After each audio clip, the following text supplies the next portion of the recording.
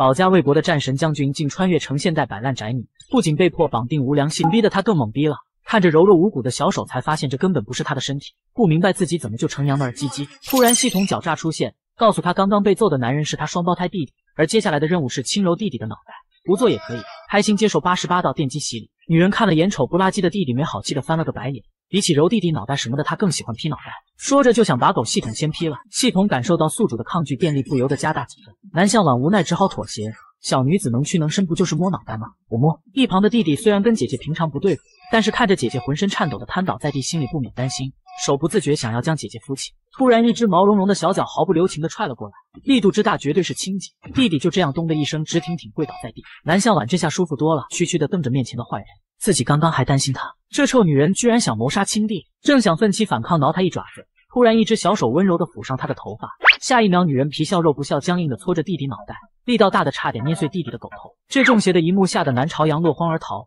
妈呀，这个姐姐太可怕了！南向晚完成任务，美滋滋的增加二十魅力值。可他一个几百年前的大将军，要怎么适应现代生活呢？好在系统很快便给他科普学习，拿着手机电脑就不愿撒手。不得不佩服现在的人脑袋就是聪明，这么厉害的高科技都能发明出来。要放在古代，连想都不敢想，就会被当成疯子给埋了。很快，南向晚被安排参加练习生出道节目，刚进门就被嘲讽是买菜大妈。婉婉摘下帽子，盛世美颜，一览无余，瞬间惊艳到一旁的托尼老师。这娇柔的一幕引起婉婉认真的感慨：“你好娘啊！”托尼老师不干了，夹着嗓子质问：“人家这叫中性美。”南向晚不想浪费时间，直接叫他梳个高马尾就完事。很快准备完毕，看着台上女孩仅凭一首歌感动了所有导师，不料下一秒，穿着军工装的女孩出现在舞台。就那标准的军姿，引得评委疑惑她为什么参加练习生。女孩则认真且洪亮的回答：“考军校没考上。”这一脸的严肃认真，萌的评委掩嘴憋笑，台下的众人更是肆无忌惮的笑出猪叫声。别的小姐姐不是唱歌就是跳舞，怎么到她这里画风突变哈？正在众人期待她接下来会带来什么节目时，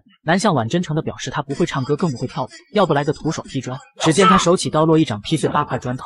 这霸气的一幕惊呆了在场所有人，更是震得评委只敢给满分。但是这可是选练习生的舞台，小姑娘漂亮是漂亮。貌似更适合参加高手在民间。南向晚无奈，只好把这两天刷到的爱如火轰轰烈烈的吼了一遍，这可把评委笑不活了。台下的众人更是笑得捶翻了隔壁的大腿。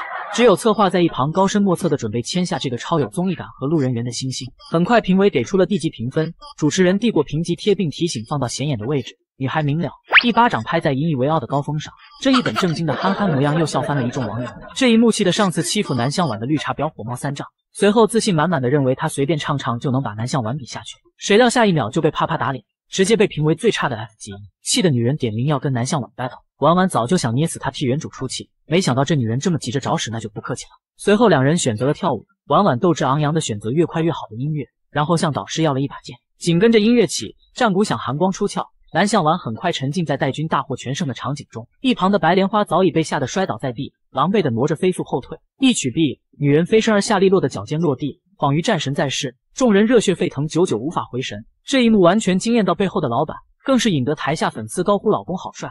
南向晚捂脸，为什么这个界面的姑娘都要叫我老公？还有男人也喊自己老公就过分了呀？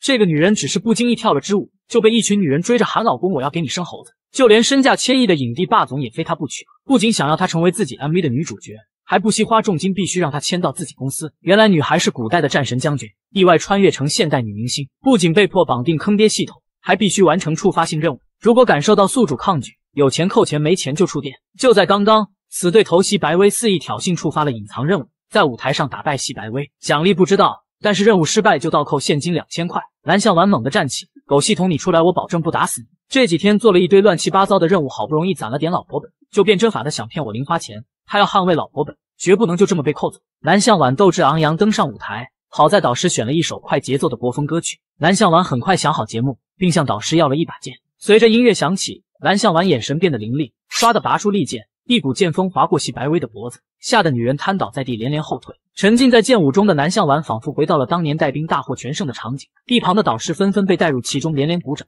台下的观众更是热血沸腾。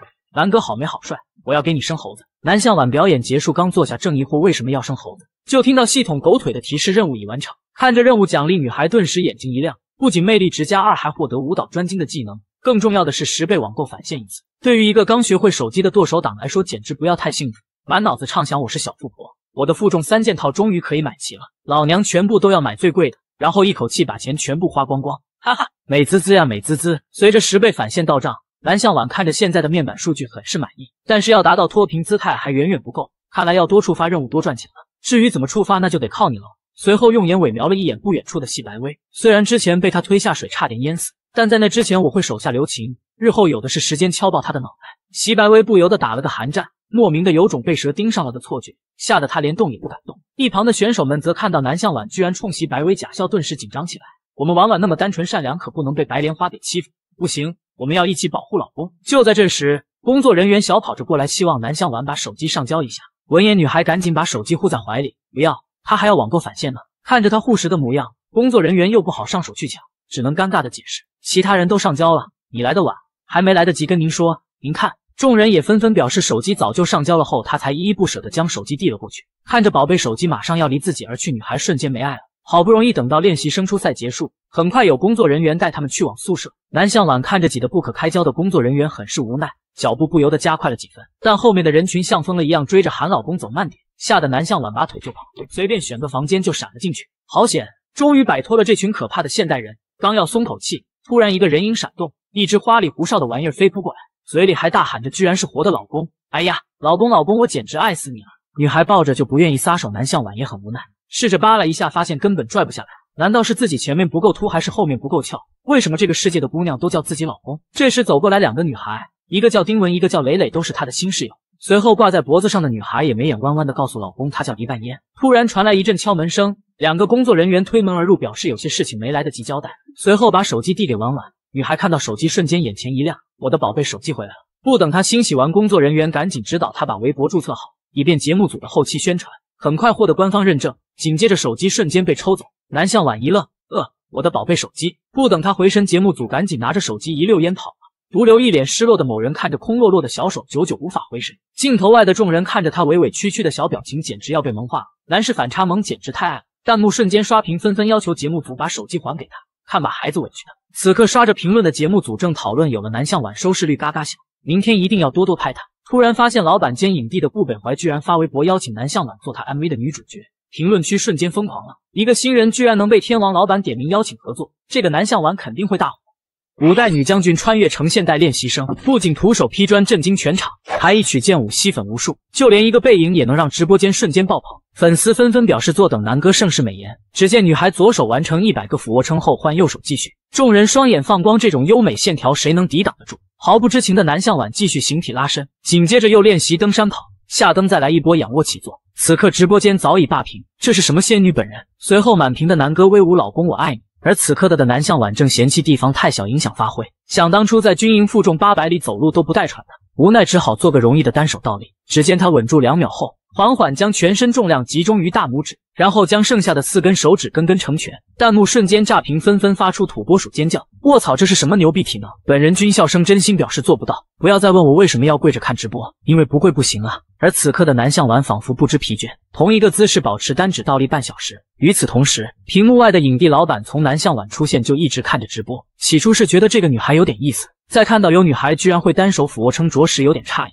震惊的是，居然有人跟她一样能完成单指倒立。不过比起疯狂的粉丝，身为老板的他还算淡定。此刻完成锻炼的南向晚转身离开了画面。男人依依不舍地放下手机，刚起身又听到直播间传来声音，其他人都还没起床呢。我是居然最早来的耶！都说早起的虫子有鸟吃，一点都不假。大家一定要支持我细白薇哦！这恶心的发言听得男人一阵鸡皮疙瘩。好似吞了只苍蝇般反胃，赶紧就将手机扔得老远，完了还恶心的将手猛甩几下。都是女人咋差距这么大？难怪婉婉一夜之间涨粉两个亿。紧接着将身上的真丝睡衣一把扯下，露出了结实有力的八块腹肌，随后单指撑地，原地做了个南向婉同款单指倒立。没想到娱乐圈除了他还有人能做这种高难度动作。突然电话铃声响起，原来是公司那边想提前把南向婉签下来，还有恒天娱乐、城东娱乐以及好几家大公司都想抢人，那就三七分把人签下来。众人一惊，新人就给三七分，这种待遇是从来没有过的呀！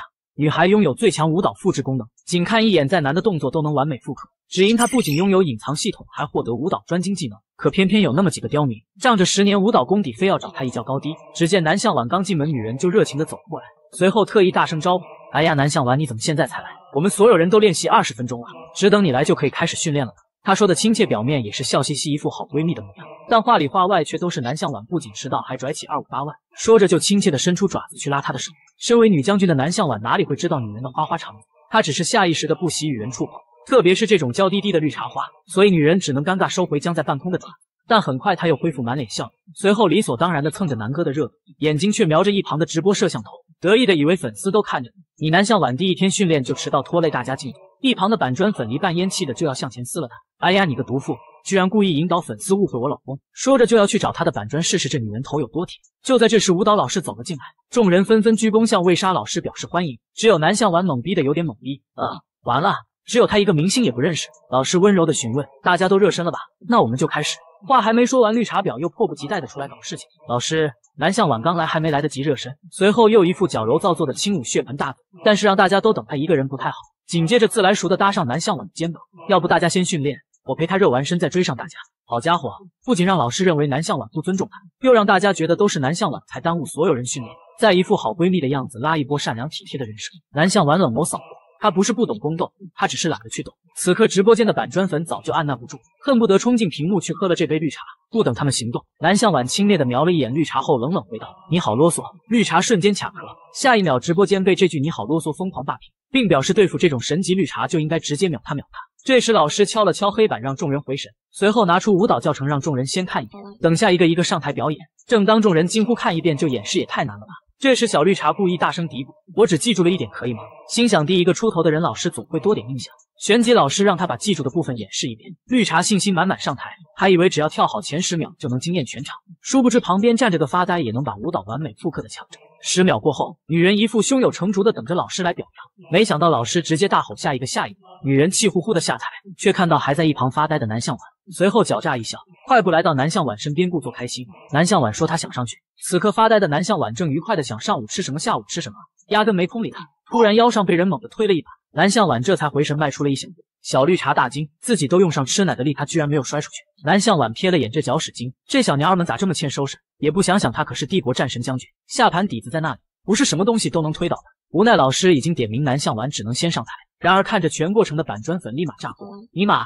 南向晚只是发了个呆，嘴都没张，这小绿茶等级也忒高了，咱们家暴力少女搞不过呀。众人纷纷表示南向晚快跑，板砖前来护驾。此刻的南向晚则深吸一口气，随后音乐响起，南向晚小手柔美的向空中挥动，紧接着一个个高难度舞蹈动作完美展现在大家面前。她这才发现自己居然能看懂从未接触过的舞蹈动作，再想到系统奖励的舞蹈专精技能，瞬间了然。嘿嘿，这就好玩了。小娘儿们居然想要我丢脸，那就看谁的脸比较疼。别说三分钟的舞蹈，就算半小时，只需一遍我都能完美复刻。此刻的南向婉如同会发光的宝石，不仅惊艳了导师，还震惊了所有练习生。特别是小绿茶，气的牙齿都咬断好几根。特喵的，说好的不会唱歌跳舞呢？此刻最激动的莫过于南哥的板砖粉，满屏的卧槽卧槽，一句卧槽走天下。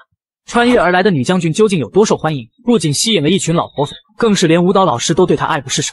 在知道他不仅徒手劈砖，还在舞蹈中融入武术，更是震惊不已。如是在练习完成后，玉沙老师疑惑地问他以前是不是学过舞蹈？南向晚立刻绷直身体，认认真真的站了个军姿，报告老师，我学过武术。魏莎老师回想南向晚的健舞身姿，毫不吝啬地夸奖他把舞蹈跟武术融入贯通，却又被他一本正经的娇憨模样萌得心花怒放，轻拍他的肩膀以资鼓励，并真诚地表示南向晚的舞蹈可以出师了。这也说明他的武术功底很厉害，至少是宗师级别的。听到老师表扬他的武术，南向晚就开心了，全身每个细胞都透着美滋滋呀美滋滋。毕竟本人可是帝国战神将军，不得不说这个老师超有眼光。就在这时，老师突然提议让南向晚去班练习，毕竟新手去世拖累他的进度完全是浪费人才。南向晚欣然接受老师的提拔，然而他第一天练习就跳级直通一班，一旁的白莲花嫉妒的浑身颤抖。要知道，，A 班只有七人，每个都是领舞级别，而且他们主攻方向是舞蹈改编，仅仅只是看几遍就能将全部舞蹈动作抠下来。南向晚凭什么？凭什么能跟他们一起？白莲花指甲都快抠进肉里，脸上却努力保持微笑，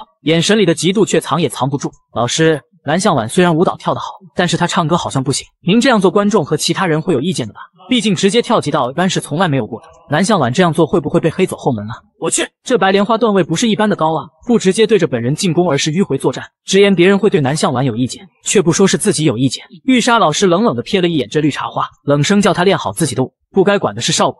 白莲花被老师凌厉的目光吓得连连后退，却无力反驳，只能气得捏紧了拳头，随后又一副被欺负的委屈模样。我只是担心南向晚。紧接着声泪俱下，满眼指控。此刻弹幕已经疯狂。卧槽，这女人居然把别人都当傻了吗？她是真不知道自己推南向晚之后就暴露了。还在这里装姐妹情深，神经病吧？更有人表示，老子是来看小姐姐跳舞的，不是来看你哭唧唧眼宫斗的。就连温柔的玉莎老师碰到这个玩意儿，也只能脑壳痛。虽然恨不得给她一巴掌，但却只能强忍着离开。他怕自己会忍不住给她一下子。随后招招手，叫南向晚赶紧走。可白莲花眼看南向晚就这么走了，赶紧趁着镜头还在，立刻委委屈屈的演一波。不料走到门口的南向晚突然停下脚步，烦躁的转头。你真的好啰嗦！众人纷纷认同，都嫌弃的离他远远的，气得白莲花咬牙切齿，却只能强忍愤怒，看着南向晚潇洒的离开。此刻弹幕已经离家出走，满屏的哈哈哈！你好啰嗦，好啰嗦！我南哥人美花少，能力强，不是什么野花能比的。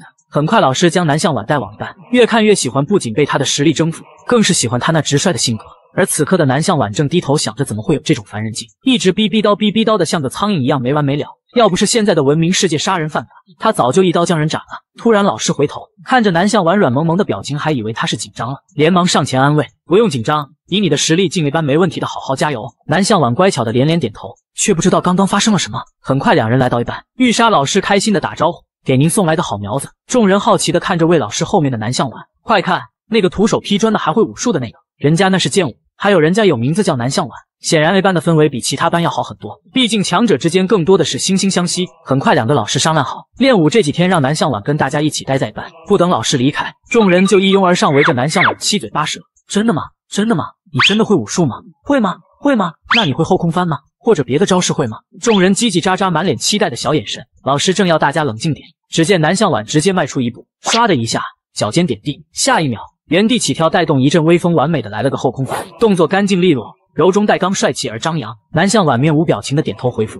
会。”众人瞬间疯狂，好帅，好帅，好帅！妹妹教我，教我。粉丝也对南哥帅气的后空翻震惊不已。我南哥二话不说就给你来个后空翻，可还行？哈哈哈！我南哥简直是宝藏女孩。突然，南向晚察觉到一股非常强烈的视线，扭头就发现一个娇娇软软的人，羞红了脸。好不容易喜欢一个媳妇，却不认识他。更重要的是，他不仅要跟一群男人抢媳妇，还要跟一群女人抢。只因他媳妇是穿越而来的战神将军，不仅拥有隐藏系统。还有各项专业技能。就在刚刚，南向晚敏锐的察觉一道炽热的目光，猛然转头，却发现一个女孩正正的盯着他。女孩感受到南向晚的视线，害羞的闪躲，瞬间羞红了小脸，懵逼的南向晚有点懵逼。这时，直播弹幕瞬间向着奇怪的方向发展。哇哦，你们看到了吗？朱砂眼神躲闪，小脸居然红了耶！是我发现了什么不该发现的东西吗？众人纷纷磕到了，磕到了。傻男 CP 冲冲冲！朱砂窘迫的匆忙走开，空气莫名的有点奇怪。老师赶紧拍手制止。好了好了，别摸鱼了，赶紧训练。看着大家都开始练习，南向晚站到最后也跟着音乐一起跳。一旁的轩轩唱歌很好听，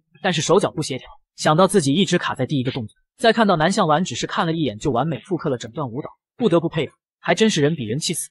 然而另一边的朱砂也通过镜子偷瞄南向晚，眼神像粘在他身上一样。南向晚敏锐的察觉到有强烈视线，疑惑回头，吓得朱砂赶紧闪躲。如此反复几次，搞得南向晚小小脑袋大大的问号：那个女孩子到底怎么回事？不等他搞明白，老师就安排他们两个改编舞蹈。因为一个成功的偶像，不仅能歌善舞，还要有一定的创作能力，而编舞只是其中一个。众人羡慕不已。然而南向晚却懵逼的更懵逼了。那什么编舞系统没有奖励这个技能啊，所以他不会。突然一瓶水递了过来，朱砂热情的邀请他一起合作。就在这时，系统突然出现，恭喜宿主触发任务，与朱砂合作编舞，奖励不知道，但是任务失败将会扣光所有金额。南向晚瞬间炸毛，狗逼系统，老娘好不容易攒点老婆本，又变招法的想搞走，你休想！一旁的朱砂懵逼的看着突然暴躁的女孩，不知道自己做了什么。不等他回神，南向晚接过他递来的水，甜甜一笑：“好的，一起合作。”懵逼的朱砂是相当的懵逼，显然跟不上南向晚的沙雕节奏。好在他很快进入状态，先是询问他以前学过编舞吗？南向晚头摇的跟拨浪鼓一样，没有，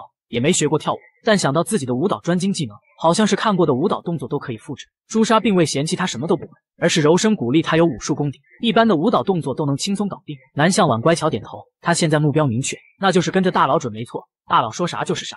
很快两人进入状态，当即开始了编舞。朱砂在前面，南向晚则在后面认真学习，两人完美配合，一个个高难度动作震撼人心。直播间瞬间弹幕四起，哇哦，暴力少女秒变乖乖女巫，傻男 CP 给我锁死，朱砂和我南哥简直配耶。然而此刻正在看直播的影帝老板看着那些奇奇怪怪的傻男 CP，莫名不爽。他们哪里配了？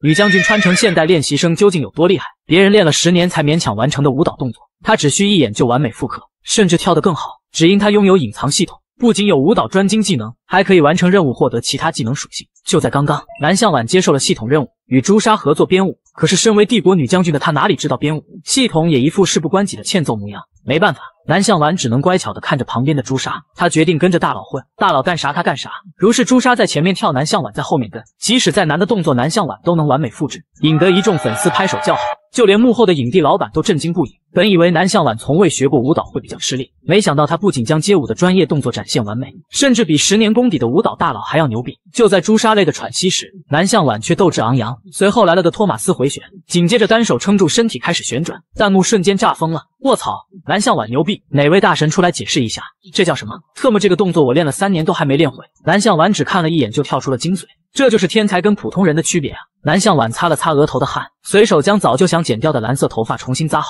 一旁的朱砂兴奋地拉过南向晚的手，这么厉害的搭档简直令舞蹈上升了一个等级。他意犹未尽的想拉着南向晚继续编舞。就在这时，南向晚的肚子发出了震天响的咕噜声。再看了眼墙上的时钟，南向晚幽怨地看向老师，捂着空城计的肚子仿佛能吃下一头牛，满脑子都是开饭了吗？宝宝好饿，真的要饿死了。老师也被南向晚的目光逗笑，瞧把孩子给饿的。如是拍了拍手，叫大家吃饭去。众人正恭敬地跟老师道别，唰的一声，一个人影早就冲了出去，那速度甚至带出了一道道残影，这可把不播间的粉丝逗得笑不活了。看把孩子都饿傻了，像极了下课铃响起的我。杠饭不积极，思想有问题。我南哥只想杠饭，杠饭，杠饭。而此刻的南向晚早已冲进食堂，那表情，那神态，那杠饭速度，仿佛一只饿了三天三夜的小乳猪。这可把食堂大妈高兴坏了。这才是正在长身体的孩子应该有的食量。众人却心态炸了，他不是来选秀的吧？吃那么多都不用保持身材的吗？而此刻，轩轩端着午餐想跟南向晚一起，南向晚则嘴巴塞得满满当当，只是点了点头，继续杠饭。轩轩看着那摞高高叠起的餐盘，不得不羡慕埋头苦吃的某人，就这秒饭的实力，居然都不会胖的吗？而此刻，另一边的白莲花却恶狠狠地盯着这边。南向晚撇撇嘴，小娘儿们干嘛一直盯着他看？难不成看他可以当饭吃，懒得理会那脑子有坑的女人？愉快地伸了个懒腰，啊哈。吃饱就犯困，看样子要回宿舍睡一觉先。轩轩见南向晚起身，还以为他要回舞蹈室，如是起身准备一起过去练舞。没想到南向晚只是吃太饱想回去睡觉。轩轩一脸懵，吃饱就睡？南向晚你是猪猪吗？而南向晚则满脑子想的是午休有两个小时可不能浪费。然而他不知道的是，有个鬼鬼祟祟的身影紧随其后。等南向晚睡着后，便轻轻的推开了宿舍门，随后悄悄爬上南向晚的床，紧接着掏出了锋利的小刀。这个女人究竟有多变态？不仅想刮花南向晚的脸。还威胁朱砂在南向晚跳舞时制造意外，否则就将他雪藏。因为他爸爸是公司高层，随随便便一句话就可以让他直接退赛。朱砂啪的一声拍在桌子上，随便你怎么威胁，我是不会做伤害南向晚的事。随后转身离开。而此刻的南向晚正呼呼大睡，突然一个人影悄悄地推开了宿舍门，轻手轻脚地来到南向晚床前，恶狠狠地瞪着那张熟睡的素颜，紧接着举起手中的修眉刀。下一秒，一双蓝色冷眸倏地睁开，西白薇惊恐地看着南向晚的双眼，居然被自己恶毒的嘴脸瞅到。随后脚下一滑，哐当一声摔了个狗啃泥。南向晚撑着小脑袋，悠悠地望着久久无法起身的女人。小娘儿们居然想趁她睡觉搞偷袭，可惜老娘上辈子在战场练就了一身肌肉记忆，只要有点风吹草动，就会条件反射攻击。要不是其他人来得及时，她的脑袋早就被一拳打爆了。而西白薇却恶狠狠地瞪着突然闯进来的三人，要不是这群家伙，自己早就刮花了南向晚的脸。到时候就说帮南向晚修眉，一时手滑，不小心弄伤了他的脸。好家伙，谁来给这毒妇一巴掌？让他也尝尝毁容的滋味。然而他却并不知悔改，居然面对众人的指责还倒打一耙，直接污蔑南向晚推他，再配合他倒地不起的模样，众人还以为自己错怪了他。本来想向南向晚求证一下，没想到某小智倒头就睡。西白薇见状更加有底气，竟气势汹汹地指着他们怒吼：“等我顾北怀哥哥新歌 MV 女主角发布，我让你们好看，你们一个也别想跑！”随后气冲冲地离开宿舍。然而他嘴里的顾北怀哥哥。早就变成南向晚的小迷弟，不仅废寝忘食的赶工作，就为了不耽误看南向晚直播。一旁的秘书早已饿得泪流满面，正小声的议论午休时间到了，快点进南向晚直播间。没想到影帝老板不仅认真偷听，还一点都不生气员工上班摸鱼。下一秒竟拿起手机，赶紧进入南向晚直播间。没想到满屏都在询问南向晚怎么还没出现，不会出事了吧？这时玉莎老师也疑惑，这都两点多了，南向晚怎么还没来？朱砂僵硬的不知如何是好。下一秒着急忙慌的将人挖过来。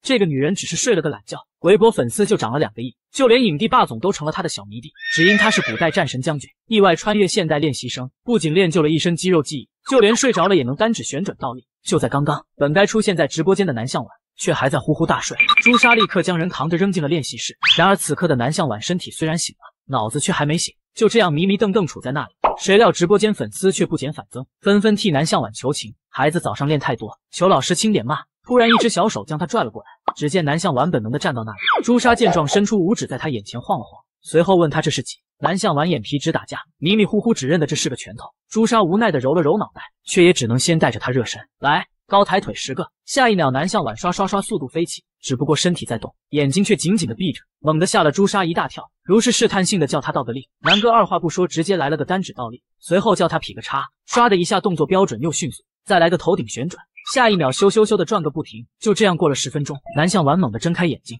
愉快的伸了个懒腰，突然感觉哪里不对劲，环顾四周，才发现自己在练习室。南向晚懵逼的有点懵逼，不知道自己怎么会出现在练习室。朱砂一阵无语，第一次见有人闭着眼睛练习十几分钟才清醒。随后拿着新编的舞蹈给他看，南向晚则一脸认真的乖巧模样。朱砂不由得想起于静婷威胁的话语，心中嗤笑：什么玩意儿？他才不会因为一句威胁就做伤害南向晚的事情。手却不自觉的攥紧，就连一旁的南向晚都察觉到他的愤怒，如是弱弱的提醒，纸废了。朱砂这才回神，满脸歉意。南向晚轻拍他的肩膀，表示自己都记住了，我们一起巩固一下就好。很快来到下午六点，下课铃声一响，南向晚就嗖的一声留下一道残影。老师崩溃大吼：“跑那么快干嘛？食堂又不会跑。”就在这时，轩轩过来叫朱砂一起去吃饭，却发现他还在练习。原来明天就要考核，他不想拖南向晚后腿，因为南向晚根本不用复习，只一眼就完美的复制了整段舞蹈。轩轩震惊不已，南向晚是魔鬼吗？这么厉害！然而震惊的不止他一个，另一边的影帝老板已经迫不及待的想将南向晚签下来，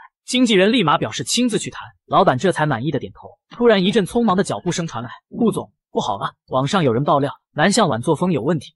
他是九亿少女追捧的顶流影帝，却对一个新手练习生迷恋不已。不仅每天定时定点看他直播，还不惜一切代价将人挖到自己公司。就连同学爆料南向晚作风有问题，他也毫不犹豫的相信女神的人品。即使粉丝要求南向晚退赛，他便利用老板身份直接下令比赛照旧。随后找到南向晚高中老师，经过采访得知，南向晚成绩虽然在中游，但是努努力还是有希望考上一本。然而老师看了他在节目组的表现，才知道孩子一心扑在考军校的训练上，可惜最后没有考上。经过两个截然相反的采访，很快转变了网友们对南向晚的态度。然后再爆出造谣者才是导数第一，大家这才明白，原来是有人故意抹黑南向晚。粉丝们由于羞愧，南向晚的波波间瞬间爆棚。而此刻的影帝老板却并不满意，直接下令将造谣诽谤者告上法庭。很快安排好这边，立刻切换女神直播间。就在这时，助理提议，为了节目效果，可以应粉丝要求，让南向晚跟朱砂吵一下 CP。没想到老板直接冷漠拒绝，吵什么吵？又不是我们公司的艺人。助理表情就很奇妙，哎呀呀，这是没见面就吃醋了。而另一边的南向晚并不知道这些，因为他木的手机。此刻他正着急的等待比赛，小脚也不自觉的抖动，整个人焦虑到极点。一旁的搭档柔声安慰他不要紧张。然而南向晚着急的却是吃饭时间快到了，要是十一点还没轮到他们，那他的午饭怎么办？朱砂顿时无语。南向晚，你属猪的吗？好在很快轮到他们，在导师期待的目光中，音乐响起，只见朱砂猛地抬头，镜头感十足，飒爽的来了一段街舞，随后转身露出了后面的南向晚。只见他嘴角上扬，信心满满，随后脚下一蹬，下一秒，唰的一下前空翻，直接翻过朱砂，稳稳的落在舞台中心。导演更是给南向晚帅气的一幕来了个特写，粉丝顿时疯狂！太帅了，太帅了，南哥太帅了！同样是女人，他怎么能这么帅？随后满屏的老公，老公我爱你，就连导师都赞叹不已。没想到南向晚舞台感这么炸裂。就在这时，朱砂表情凝重，因为接下来的动作幅度较大，需要很大的力气才能做到。他虽然单独练了很久，但是绝对不能失败。此刻双手不由得微微颤抖。突然，一只小手向他伸来，紧接着是南向晚帅气的脸庞。再看到冷静如常的南向晚，朱砂顿时定下心来。放心的交付于他。下一秒，唰的一声，南向晚单手托住朱砂，直接来了个空中翻转，随着双脚稳稳落地，现场响起了雷鸣般的掌声，就连导师都兴奋的表扬两人非常棒，完全可以直接出道。朱砂使劲鞠躬道谢，然而一旁的南向晚却呆呆的神游，就连导师都发现他似乎情绪不高。朱砂小声的提醒他，才悠悠回神，随后拿起话筒，一本正经的回答：十一点半了，该吃饭了。众人猝不及防，一阵无语。呃，时间要不要卡的这么准？郭坚瞬间笑不活了。哈哈哈哈！南向晚快被饿死了。孩子不在乎点评，孩子只在乎炫饭时间到了。导师无奈扶额，随后宠溺的让大家先吃饭，下午再继续考核。闻言，南向晚如蒙大赦，雀跃着往前冲。朱砂只感觉一阵妖风刮过，就见南向晚光速消失。朱砂笑骂南向晚是猪。很快吃饱喝足的南向晚一边啃苹果，一边美滋滋的哼着小曲。就在这时，等了坤年的系统疲惫的发放奖励，恭喜宿主完成任务，获得歌唱专精技能，十倍网购返现一次。华晚娱乐公司一家，南向晚瞪大双眼，很是满意，居然还有十倍返现，没想到狗子还是能给好东西的呀！系统一听直接炸毛，本系统明明是喵喵，才不是笨狗子。南向晚才不理会是狗还是猫，努力多啃几口苹果后，依依不舍地将它奖励给狗子。哦不，系统！喵喵嫌弃地看着抠门的宿主和只剩一半的苹果，可刚吃撑的某人则开心地溜去睡觉。与此同时，影帝老板一直看着南向晚重播，不由得畅想：如果给他好好包装一下，再敲定适合的风格，然后和他成团，嘴角止不住的上扬，他确实值得最好的。助理目瞪口呆，老板这是力捧南向晚啊！就在这时，金牌经纪人兴奋地表示：“南向晚现在就是一块金子，恨不得立刻将他签到自己手下。”顾北怀轻轻地敲了敲桌面，无声打断经纪人的激情昂扬：“不是恨不得，而是不计任何代价，都要把南向晚签到南北旗下。”很快，两人行动起来。顾北怀重复看着直播，突然手机铃声响起，男人目不斜视地看着重播，询问情况如何。顾总，南向晚的父亲知道情况后，立马解除了南市地产与趋势的合作。另外，造谣者曲贵儿也被学校开除了。顶流影帝邀请新人同台，却惨遭拒绝。然而他并不生气，还下令不惜一切代价将人签到自己公司。此刻，经纪人马不停蹄赶往签约大楼，只见门口早已人山人海，乱成一团。原来他们都是来跟他抢人的。狼虎着急的冲下豪车，这时影帝老板迫不及待的电话催促：“赶紧的，千万不能被别人抢先了！”经纪人整个人都麻了，看老板这架势，恨不得把南向晚直接绑回公司啊！嘴里抱怨帮影帝追星太可怕，脚步却不由得加快了几分。与此同时，现场正在公布考核成绩，众望所归。朱砂和南向晚都是最高评级，然而此刻的南向晚却早已神游天外，只因他绑定了顶流系统。由于这次超额完成任务，系统便发放了丰厚的奖励，不仅获得歌唱专精技能，还奖励了一家娱乐公司。但他却对十倍返现更感兴趣。可惜他木的手机突然一阵雷鸣般的掌声，这才将南向晚的思绪拉回现实。南向晚以为节目结束了，唰的一下猛然站起，赶紧九十度鞠躬道谢。朱砂满脸黑线，这个慢半拍的搭档还能要吗？就在这时，工作人员悄咪咪的叫南向晚过来一下。女孩以为工作人员放她回去睡觉，拔腿就往宿舍跑，不料下一秒直接被拉着后衣领拖进了隔壁房间。南向晚神情瞬间低落，可是她真的好想睡觉啊！很快，经纪人热情的邀请她进去，南向晚则狐疑的看着男人。狼虎却被女孩精致的容颜惊艳到，真人简直比电视上漂亮百倍不止。就这颜值，居然没被星探挖掘，也是一大神迹。更加不可思议的是，这完全可以靠脸吃饭，却偏偏要靠实力去考军校，还好没考上。暗暗窃喜了一把，赶紧拿出一份合同。虽然迫不及待想他立刻签约，但是该走的流程还是要走一下。随后步入正题，南向晚同学，你知道这两天网络上关于你的留言吗？犯困的某人还在犯困。至于经纪人说了什么，那只能去问周公了。狼虎拿出手机示意他看看网上的新闻，毕竟老板为他解决了麻烦，还是让他知道的好。然而两人却并不在一个频道。只见南向晚看到宝贝手机，瞬间就不困了，紧接着一顿操作猛如虎，就很急。万一宝贝手机又被上交了怎么办？那可是十倍网购返现。哎呀呀，这个头盔居然才一万八，这个可以，这个可以，刷刷刷，下单付款一气呵成。很快系统弹出通知，十倍返现奖励已兑换，十八万财富已到账，买到中意的宝贝还能返现。南向晚终于舒服了。经纪人见他看得这么认真，以为他了解局势，正准备接下来的签约流程，不料南向晚随手放下手机，真诚的告诉他没看。你还有事吗？狼虎心下一惊，没看。那他刚刚一顿暗暗是在干嘛呢？而且还这么急，难道他另有打算？那可不行，赶紧长话短说，我们南北娱乐想与你签约，并给予你三七分成，而且我亲自带你，并向你保证，签约后会给你最好的资源。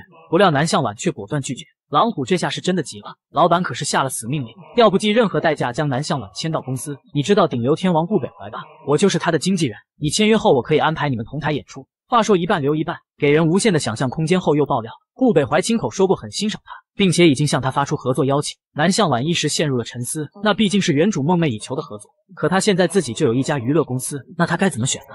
女孩被迫绑定顶流系统当明星，不仅拥有过目不忘的歌舞技能，还奖励了一家豪华版娱乐公司。然而她却对十倍购物返现更感兴趣，只因她是古代穿越而来的女将军，第一次面对手机这种高科技，简直不要太欢喜。就连顶尖娱乐公司向她抛来橄榄枝，也毫不在意。经纪人好说歹说，她也无动于衷，最后不惜搬出影帝老板来诱惑他。可南向晚却仍然不为所动，甚至连影帝老板是谁都忘得一干二净，系统都听不下去了，气得喵喵乱跳。哎呦我的宿主，顾北怀就是原主被抢走 MV 女主角里面的男主角呀！南向晚这才想起，原主记忆里好像有这么一段，随后却摆出一副我们不熟的表情。可经纪人却以为他这是被顾影帝的魅力折服了。正当他胸有成竹准备接下来的签约时，南向晚却直接拒绝了。呃，你说什么？拒绝？你为什么拒绝？狼虎周身气息瞬变，拒绝他就算了，居然有人会拒绝顾影帝的邀请。随后满脸严肃，节目组可是帮你公关过了，并给造谣诽谤你的人递了律师函，言外之意就是你这么顺利都是公司在护着你。年轻人要知道感恩不是，而且有南北娱乐这么牛掰的存在，分分钟带他成为顶流比吃饭还容易。可南向晚却表情尴尬，呃，总不能说系统送了他一家娱乐公司吧？还有他又不傻，自己放着老板不当，跑去给别人当小弟。但是别人帮了自己，该有的感谢还是要有的。随后猛地站起，认真且严肃的鞠了一躬，感谢节目组。一旁的狼虎被他唬得一愣，这就完事儿了。最终也只能无奈的挠了挠头，说到底就是不签吗？他是真的服了，怎么会有这么不懂事的新人？随后想起老板摄人心魄的冷漠，完了，老板可是下了死命令，要不计任何代价把南向晚签下来。完犊子了，我是不是马上就要嗝屁了？再看到南向晚坚定的眼神，狼虎只好先离开，再想办法。临走时还不忘提醒南向晚，就算你现在不签，日后定然会求着我签。说完，头也不回的离开。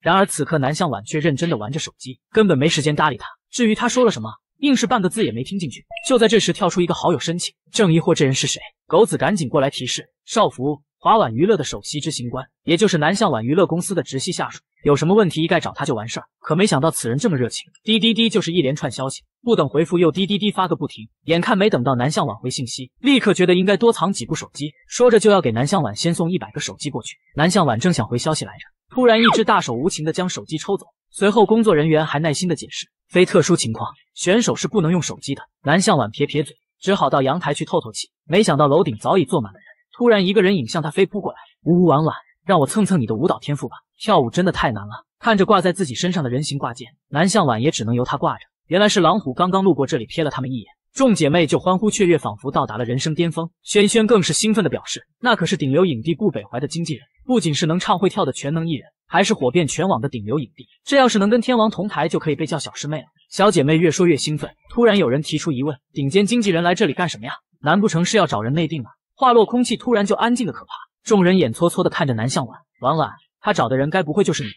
不得不说，家人们真相了。然而南向晚却脸不红心不跳的说没有，随后赶紧转移话题：轩轩，你跳舞不协调，主要是平衡的问题，这跟你平时走路站姿有关，不过问题不大，等下我帮你纠正一下。但是一次不够，要不你每天早上跟我一块训练。轩轩瞬间双眼放光，信心满满。殊不知他将要面对怎样的地狱级训练，可他却兴冲冲的要教南向晚唱歌，就那架势拦都拦不住。很快两人达成共识，相互学习。翌日清晨，南向晚训练完就被带到了地板，因为考核结束后只能回到原来的班级。然而一进门就对上几双意味不明的眼神，尤其是小绿茶于静婷。南向晚懒得理这小娘们儿，一天天的跟个搅屎精一样烦得很。不料女人却冷漠一笑：“听说席白薇是被你推倒的。”这个女孩只是轻轻的捶了一下墙壁，几十米厚的墙体就应声而裂，随后一把捂住心机女的嘴巴，吵死了！你要是个男的，早送你跟阎王拜把子去了。转身离开，吓得心机女瘫坐在地。然而在众人看不到的地方，却露出了得意的冷笑，随后找准角度偷瞄一旁的摄像头，紧接着用手捂住上扬的嘴角，努力装出一副被吓哭的样子。南向晚不爽的看着这个小作精，刚进练习室，这个女人就一个劲儿的抹黑他，表面一副笑眯眯的善解人意，眼睛却瞥向一旁的摄像头，然后就茶言茶语的找存在感。虽然席白薇很讨人厌，但是你也不要动手，毕竟从那么高的地方推下去，摔伤了怎么办？南向晚烦不胜烦，你很闲。心机女一噎，南向晚不解释也不辩驳，这要怎么给他挖坑？不等他有下一步的动作，玉沙老师就拍了拍手上的乐谱，都聚在这里干什么？不用练习就能成团出道了吗？这是明天歌唱考核的练习内容，都过来领一下。南向晚接过歌谱一看，整个人都不好了，密密麻麻，跟一窝小蝌蚪似的。于静婷见他翻来覆去的看，以为南向晚看不懂，如是特意拉大嗓门：“哎呀，南向晚。”你居然看不懂乐谱啊？要不你给节目组付点学费吧？毕竟从头开始学习挺费劲的，我们可是两岁半就学会了呢。此刻南向晚真的很想打人，捞起乐谱就揣进兜里，然后一步步走向于静婷。心机女见南向晚是真的生气了，不由得暗暗窃喜。摄像头看着呢，南向晚要是敢动手，明天就等着滚蛋吧。就在这时，南向晚忍无可忍，将手伸起，吓得心机女紧闭双眼，尖叫连连。感觉到高高举起的手停在半空，心机女惊恐的睁开眼睛，下一秒，砰的一声巨响。于静婷脑袋震得嗡嗡直响，应声转头就看到凹陷下去一大片的墙壁。你你你！南向晚见他不仅没有劫后余生的恐惧，小嘴还想叭叭个没完，反手就捂住他的嘴巴，哔哔叨哔哔叨，吵死了！转身离这小娘们远点，他怕忍不住会一巴掌将这家伙的脑袋劈成两半。于静婷夸张的瘫坐在地，呜呜！南向晚好可怕，这拙劣的演技看得本板砖真想给他来一下子。可于静婷没听到大家指责南向晚，表演的更加卖力。随后发现周围安静得没道理，如是偷偷的瞄了一眼，下一秒整个人都麻了。哎呦我去人呢！他都被南向晚欺负死了，为什么没人替他说话？玉沙老师看都不想看一眼这小作精。来来来，继续，谁第一个上来唱？南向晚迫不及待举手，我来我来。此刻的他早已烦躁不已，他怕再不走就真的会将人揍一顿。玉沙老师也知道孩子想唱完早点走，如是笑眯眯的叫他上台。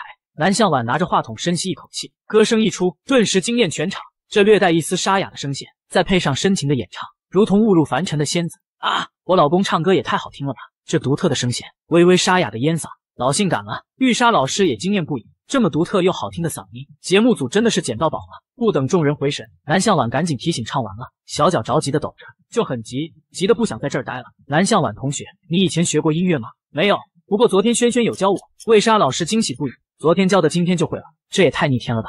嘿嘿，天才小宝贝，我带你去乐班练习。于静婷看着南向晚潇洒离开的身影，气得咬牙切齿，整个人极度的快疯了。为什么南向晚学什么都那么快？凭什么别人学了几年都达不到的高度，他听一遍就做到了？南向晚，我不会放过你的，我一定要毁了你！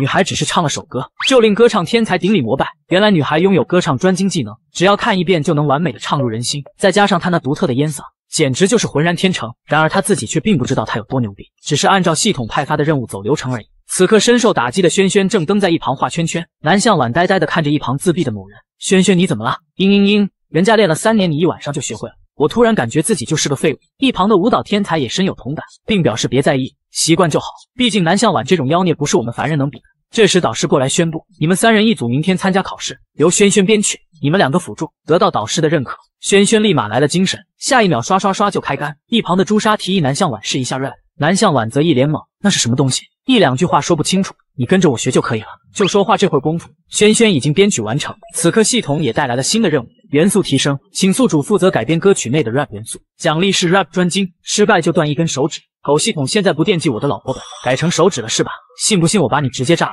狗子悠哉悠哉的看着他炸毛，嘿嘿，本喵只负责发布任务。其他的一概不知。南向晚气的猛捶胸口，吓得朱砂赶紧阻止。你不会也没关系，我一个人也可以。南向晚猛地回头，我可以，不就是 rap 吗？我包了。那一副干架的模样，要多生猛就有多生猛。而另一边的小迷弟顾北怀，一边调查南向晚落水的证据，一边担心签约的问题。因为当初南向晚答应他 MV 女主角的拍摄，不料意外落水。顾北怀明显嗅到阴谋的味道，如是派人调查一番，很快调来监控录像。顾北怀点开一看，眼神瞬间冰冷。南向晚居然是被西白薇拽到池边去的，然后就看到西白薇一个人回来。半个小时以后才出现南向晚湿漉漉的身影。顾北怀既愤怒又心疼。南向晚被推下水后，在零下几度的水里泡了半小时才爬上来，手不由得攥紧。那个什么玩意儿，居然敢推南向晚落水后又跑来拍我新歌的 MV，还差点就让他得逞了。郁闷的是，因为时间太久没有确切的证据，不能走正规的诉讼。冷静，必须冷静。突然想起那个什么威，好像是导演崔泽带来的。哼，这就好办了，立马拨通电话过来。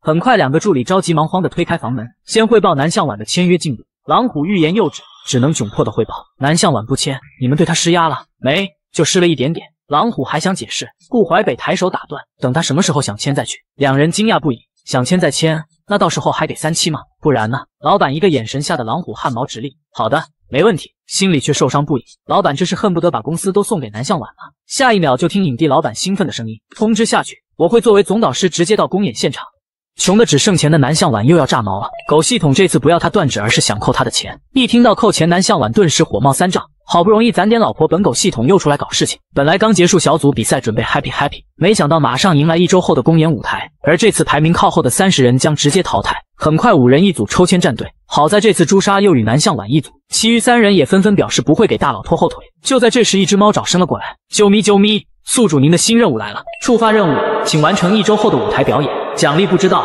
失败扣除现金十万块。卧槽，狗系统你是不是人啊？不是要断我手指，就是扣我老婆本。娶不着媳妇，你也别想好过。人家是喵喵，不是狗子。好在这时朱砂将他拉回现实。席白薇跟于静婷一组，这是有好戏看了吗？南向晚瞥了一眼欠揍二人组，那两颗黑不隆冬的脑袋一起打爆，会不会更顺手？宿主冷静冷静，杀人犯法，我不想去踩缝纫机啊！嘤嘤嘤。就在这时，导师叫南向晚上台抽比赛曲目，大力少女气势汹汹冲上去就是一下，吓得导师连连后退，生怕被余波祸害。看着手里的曲子，朱砂瞬间兴奋，这么炸裂的曲子，我敢笃定绝对燃爆全场。南向晚则生无可恋的脑壳痛，这鬼画符我看不懂。嗯，哪个地方看不懂？全部。朱砂头疼的捂住胸口，不怕不怕，你这么聪明，我们找本英语字典恶补一下，也许来得及。而另一边的欠揍二人组此刻也气氛凝重。就在这时，顾北怀的助理叫席白薇过去一下，我过来是跟你透露一下，比赛时顾北怀会亲自到场。席白薇心脏猛地一紧，顾北怀居然为了他来参加综艺。席白薇不知道自己是怎么回的练习室，只是瞬间变得高大上，简直自信的过了头。席白薇，总导演找你做什么呀？哎呀。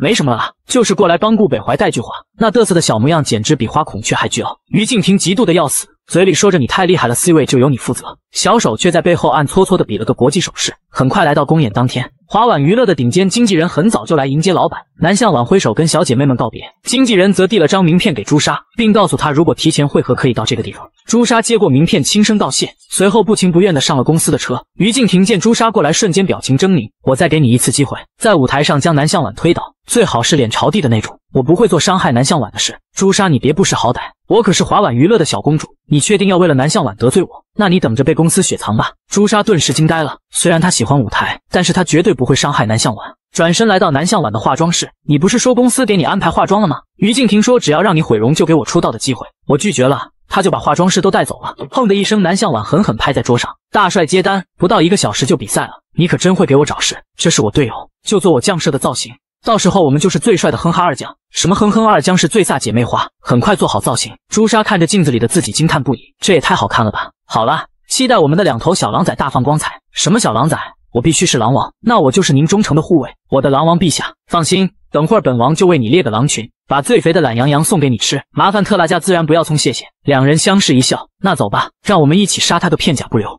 南向晚的雪狼造型太酷了，就连影帝老板都甘愿当小弟。不仅空降节目组，还特意制造偶遇。远远的就看到一头蓝色长发，顾北怀心脏猛地漏了一拍。而此刻的南向晚正烦躁的哐哐撞大墙，不仅把他的手机没收，还叫他过来拍什么照。或许工作人员也没想到，这么聪明的南向晚居然是个超级路痴。你怎么了？南向晚猛地回头，瞬间美到某人的心巴上啊！好漂亮的小狼崽，南向晚也被眼前的男人惊艳到。怎么会有这么漂亮的工作人员？我迷路了。你知道一组的休息室怎么走吗？一旁的众人震惊，南向晚居然不认识影帝顾北怀，而顾影帝满脸宠溺是什么鬼？正想随意安排一个人带南向晚过去，没想到影帝居然摆手制止。南向晚则委委屈屈，本来不想麻烦别人，可我找了十分钟都没有找到休息室。没事，我带你过去。南向晚看着漂亮小哥哥，自从他穿越过来就没见过几个长得好看的男人。你很好看。顾北怀微乐，他这是被调戏了吗？随后也真诚的夸奖，你也很美，这叫帅。我可是狼王，嗯，的确很帅。这宠溺的表情要多甜蜜就有多甜蜜。很快来到休息室，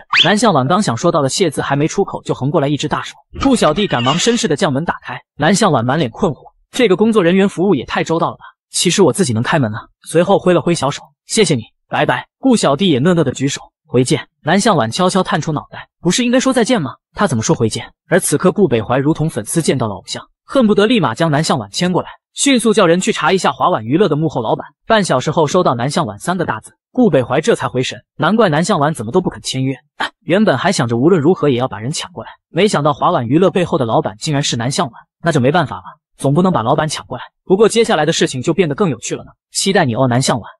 顶流影帝迫不及待观看南向晚表演，然而出场的却是欠揍二人组。随着美妙的前奏响起，两位导师非常期待接下来的惊喜。然而下一秒，震惊的呆若木鸡。不是吧？他们在唱什么？明明歌曲是指对你有感觉，竟被他们唱出了仇深似海的错觉。此刻欠揍二人组还在互相推搡，挤来挤去都想抢占 C 位表现，硬是把公演比赛搞成了演出事故。好在一曲很快结束，然而两人还在暗暗较劲儿，搞得后面队员郁闷不已。主持人尴尬的表扬一句，就丢给导师点评：你们觉得自己的表演怎么样？西白薇兴奋的挤开于静婷，抢先先开口：北怀哥。哥，你特意为了我来公演现场，我真的太感动了，谢谢你的帮助与提拔，我一定会。麻烦把他的麦闭一下。什么？北怀哥哥？席白薇不甘的试图再说点什么，然而顾北怀并不给他开口的机会。我认为你们这一组完全拉低了节目组的档次，还有我不认识你，不要乱捆绑营销。席白薇不可置信的瞪大双眼，冲过去就想理论，于静婷拉都拉不住，气得一把薅住他的头发。你这个贱狗，骗子！老娘的脸都被你丢光了，居然敢抢我的 C 位，还将我发言的机会都搞没了。席白薇还想辩解是总导演告诉他的，然而顾北怀早已把他们的麦都闭了。笑话，这一切本来。就在顾北怀的意料之中，因为就是他叫华元武去提点那个蠢货，顺便来一波捧杀。有胆量推南向晚落水，就要有接受报复的觉悟。低头看着华元武发来的信息，一切都按预想中进行。席白薇因为脑补过度引起众怒，已经被队员群殴。我这边已经联系好公关，顾北怀脸色这才好看一些。这种人根本不配进入娱乐圈，还有他欠南向晚的，我都会一一讨回来。就连旁边的主持人都注意到顾北怀的愤怒，赶忙试图圆场。顾老师别生气了，接下来是南向晚的王炸团队，绝对精彩。一听南向晚三个字，某人瞬间气息柔和，露出期待的眼神。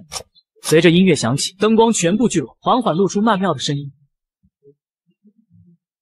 Sitting here, breathing deeply, fucking ready to go. Been sitting here blankly can't say goodbye or hello. From the pain in the sketch plane, I've got nothing left to say. 随着 Sitting Breath Sketch Play 结束，顾北怀狂跳的心脏久久无法平复，仿佛看到了他跟南向晚一起合唱剑舞的美妙画面。南向晚的雪狼之王太酷了，就连影帝顾北怀都为之迷恋。性感微张的嘴唇，手指勾住缓缓下拉的衣领，一点点露出性感的锁骨，现场瞬间沸腾。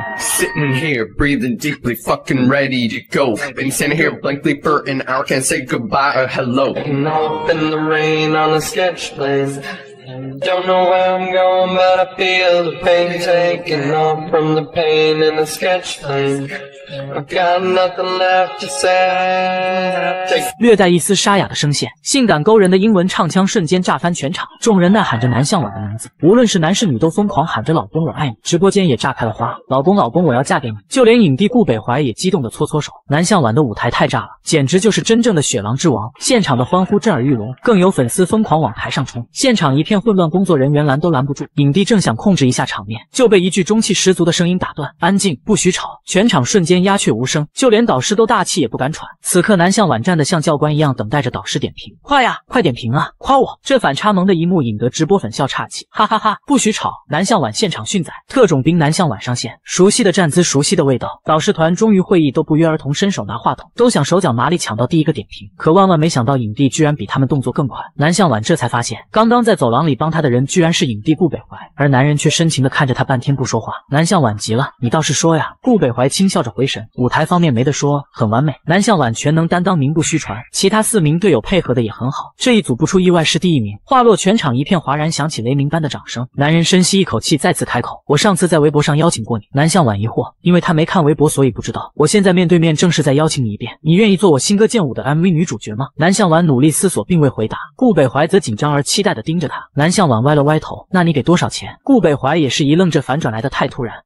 女孩只是伸出五根手指，老板却以为她要五百万工资。其实女孩想说五百块，没想到影帝老板激动的答应给五百万。原来女孩是古代战神将军，却意外穿越现代练习生，凭借高超的舞台技能迅速火爆全网，就连影帝老板都成为她的小迷弟，不仅默默为她处理一切麻烦，还两次邀请她成为自己 MV 女主角。没想到女孩直接伸出五根手指头，影帝老板瞬间安心，才五百万小意思，能用钱解决的都不算是。呃，我以为顶多五百块，没想到拍个 MV 居然开口就是五百万。南向晚撒腿就往楼。老板面前冲，到手的五百万可不能跑了，咱们现在就签合同，先不急，回头找你签。南向晚开心的数着手指头，嘿嘿，五百万，我的五百万跑不了了。安心的坐在后台看其他选手表演。此刻南向晚肚子饿得哇哇叫，好饿呀，要饿死了，给点吃的行不行？丁宿主，快来接受新奖励了。南向晚饿得前胸贴后背，公演任务的奖励到了。No No No，是新的奖励到了。突发曝光，奖励宿主成为各大奢侈品 SVIP 顶尖会员，并获得十倍网购返现一次。狗子嘚瑟的点开顶流系统面板，臭狗子，五百万。万粉丝才小有名气，你这标准也太狗了吧？那什么会员有毛用？不过十倍网购返现简直太酷了！一把拎过喵喵狗系统干得不错。南向晚吃饭了，好爷吃饭喽，吃饭喽！一把将碍事的狗子扔掉。本系统是喵喵，不是狗子。还有，既然干得不错，那你别扔，我呀喂。而另一边的投票环节正在紧张进行，场外观众实名制投票，一人一票，而场内观众一人五票，总计五千票。恭喜南向晚所在的第一组获得观众投票第一。接下来四位导师手里的五千票会投给谁呢？玉沙导师投了南向晚、葛东轩，其余四。位导师全投给了于静婷，剩下三位导师纷纷表示，南向晚那组肯定拿第一，我们就不投了。不是偏心，是没必要，我们就投给有需要的其他潜力学员吧。他们的投票很正常，南向晚粉丝投票足够强大，不需要他们再锦上添花。这么做不仅能给剩下表现良好的组提分，还能顺便给自己拉一波路人缘。那我们的天王顾北怀总导师会投给谁呢？成王败寇。我的想法跟三位导师不一样，我决定用我的两万票成就第一个百万票数的偶像诞生。投票板刷刷刷的涨，丁百万票，我们的百万票诞生了，恭喜第一组总。计一百万零三百三十二票，获得本次比赛第一，全场响起雷鸣般的掌声，众人欢呼南向晚的名字。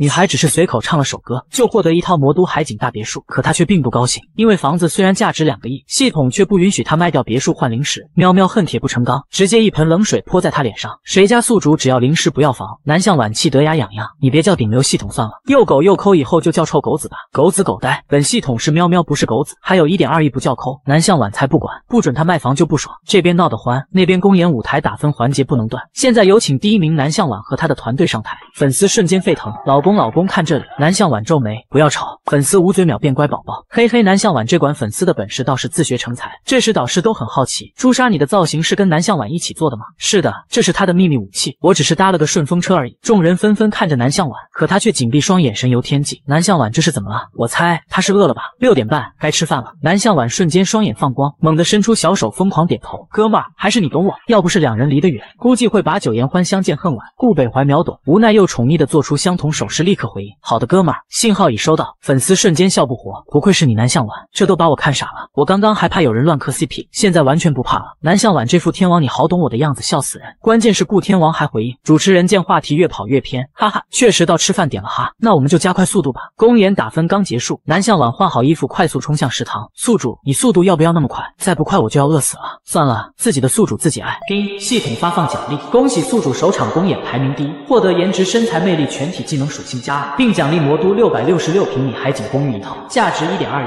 南向晚瞬间双眼放光，我要把房子卖了，能换多少零食？温馨提示：系统奖励的房产不可售卖和转租。南向晚化愤怒为食欲，咔咔一顿吃。这时小姐妹拿着饭盒走向前，嗯，南向晚你咋吃这么多？对了，刚刚你跑太快，都没听到西白尾已退赛。听说他和于静婷在后台互殴，然后被椅子砸破了头，最终只能被抬走。可能是于静婷背景太强大，不仅没事，还被安排到一班。南向晚认真思考，哈哈，原来节目组也可以打架呀。嗯，这是重点吗？还有人家打架，你咋这么兴奋？等等，于静婷不会要挨揍吧？翌日清晨，南向晚刚进一班，同学们热情的表示欢迎，可于静婷却跑来阴阳怪气。哎呀，南向晚你终于进班了。随后还故意撞开南向晚肩膀挡住镜头，紧接着笑容满面跟大家打招呼。殊不知他绿茶本茶，大家早已厌烦。于静婷被排斥，还觉得是别人嫉妒她太美。随后看到老熟人朱砂，毕竟在自家公司，算他有眼力，还知道跟他打招呼。正要扬着笑脸去相迎，就见朱砂擦身而过，直接不认认识。随后热情的跟南向晚打招呼。于静婷气得半死，好你个南向晚，我一定会让你好看。女孩刚穿越就被迫绑定了顶流系统，不仅奖励一套海景大别墅，还拥有一家华晚娱乐公司。然而却有人顶着华晚小公主的头衔要把她开除。本来南向晚和朱砂正商量舞蹈细节，可于静婷看不得他们两个好，居然伸手想推朱砂一把。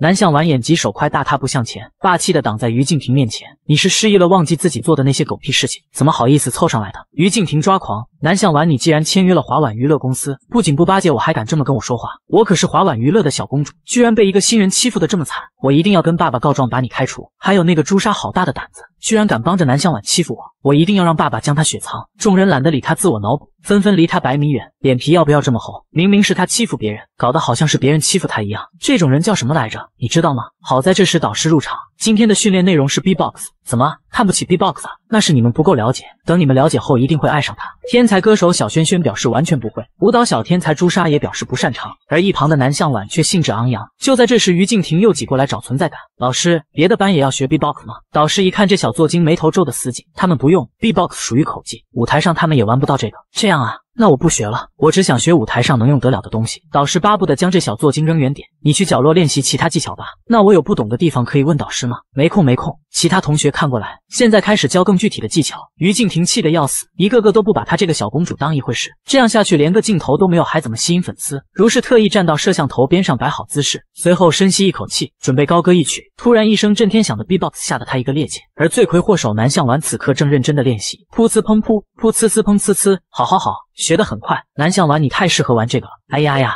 南向晚好厉害！得到鼓励的南向晚臭屁的不得了，随手拿纸当话筒，脚踏小板凳，忘乎所以，噗呲哒呲，完全沉浸其中。一旁的于静婷气得牙痒痒，南向晚肯定是故意抢我风头，我一定要告诉爸爸把他开了。嘿嘿，这也太好玩了，居然可以用嘴模拟各种乐器的发音。大家向南向晚学习，练得非常好。切，丑死了，谁要学呀？观众肯定都在嘲笑他样子难看。下午考 rap 的时候配合 B-box 技巧，效果一定会一加一大于二。于静婷瞬间觉得被针对了，却也只能强行挤出笑脸。老师怎么不走说呀？我都没学，你可以单独教我一下吗？姜老师给了他一个犀利的眼神，让他自己体会。于静婷气得咬牙切齿，我华完小公主都已经低声下气的跟你说话，不要不知好歹，连资本爸爸的面子也不给。没想到姜老师直接转身离开。就在这时，南向晚双手环胸，一脸无语的看着他，你怪他干什么？不肯学习的不是你自己吗？有什么资格怪别人？把他当垫脚石玩？听说你签约了华晚娱乐，那你接下来的任务就是把我奶上 C 位。南向晚正接受系统的奖励，没空听他逼逼。恭喜宿主，由于您的勤加练习。特此奖励 B-box 专精技能。哎呀，不错，狗子你厉害了。南向晚，你有没有听我说话？我可是华晚娱乐的小公主，神游中的南向晚，此刻正臭屁的看着系统面板，颜值、身材与魅力都是九十七，各项专精技能都很满意。这时朱砂拉开椅子往旁边挪了挪，小绿茶见南向晚不鸟他，瞬间把注意力放朱砂身上。上次看你自己弄的妆容挺好，那你以后就自己搞定吧。朱砂想打人，可他必须忍。南向晚抬眼回过神，欺负我搭档那可不行，不就是妆容跟造型？没问题，他的妆容以后包在我身上。朱砂有点小感动。一旁的于静婷却气得咬牙切齿，伸手敲了敲桌：“你们既然进了华晚娱乐，那以后就得听我的。”朱砂翻了个白眼，扭头别开脸，这臭不要脸的怎么好意思说？啪的一声拍上桌，轩轩猛地站起。朱砂讶异：“葛东轩这是要跟小绿茶干一架吗？来呀，轩轩上啊，骂起来，骂死他！”谁料下一秒，轩轩一把抓住南向晚肩膀，痛心疾首的使劲摇晃：“你为什么要签华晚娱乐呀？没有经纪公司可以来我们恒天娱乐呀？那小绿茶都摆明了要抢你 C 位了，你怎么一点都不着急？”南向晚缓缓扒了一口饭，菜要凉了，气死我了！你怎么一点危机感都没有？不行，就你这小可怜，在华晚娱乐肯定会被欺负死，跟我一起去恒天娱乐吧！呵呵，想转公司，那就先把违约金付了吧。啧啧，就你们这穷酸样赔得起吗？轩轩气鼓鼓的看着小绿茶离开的背影，龇牙咧嘴就想上去咬一口，回头就见南向晚还在继续吃，而南向晚反正想着狗子奖励的那套公寓什么时候可以进去住。而另一边的纪公馆大厅，顾北怀刚准备上电梯，就听到隔壁二零二室的公寓有人要入住。第二天，南向晚打开手机，就收到小绿茶的经纪人发来的好友申请。咦，华晚的，那不是我公司的经纪人吗？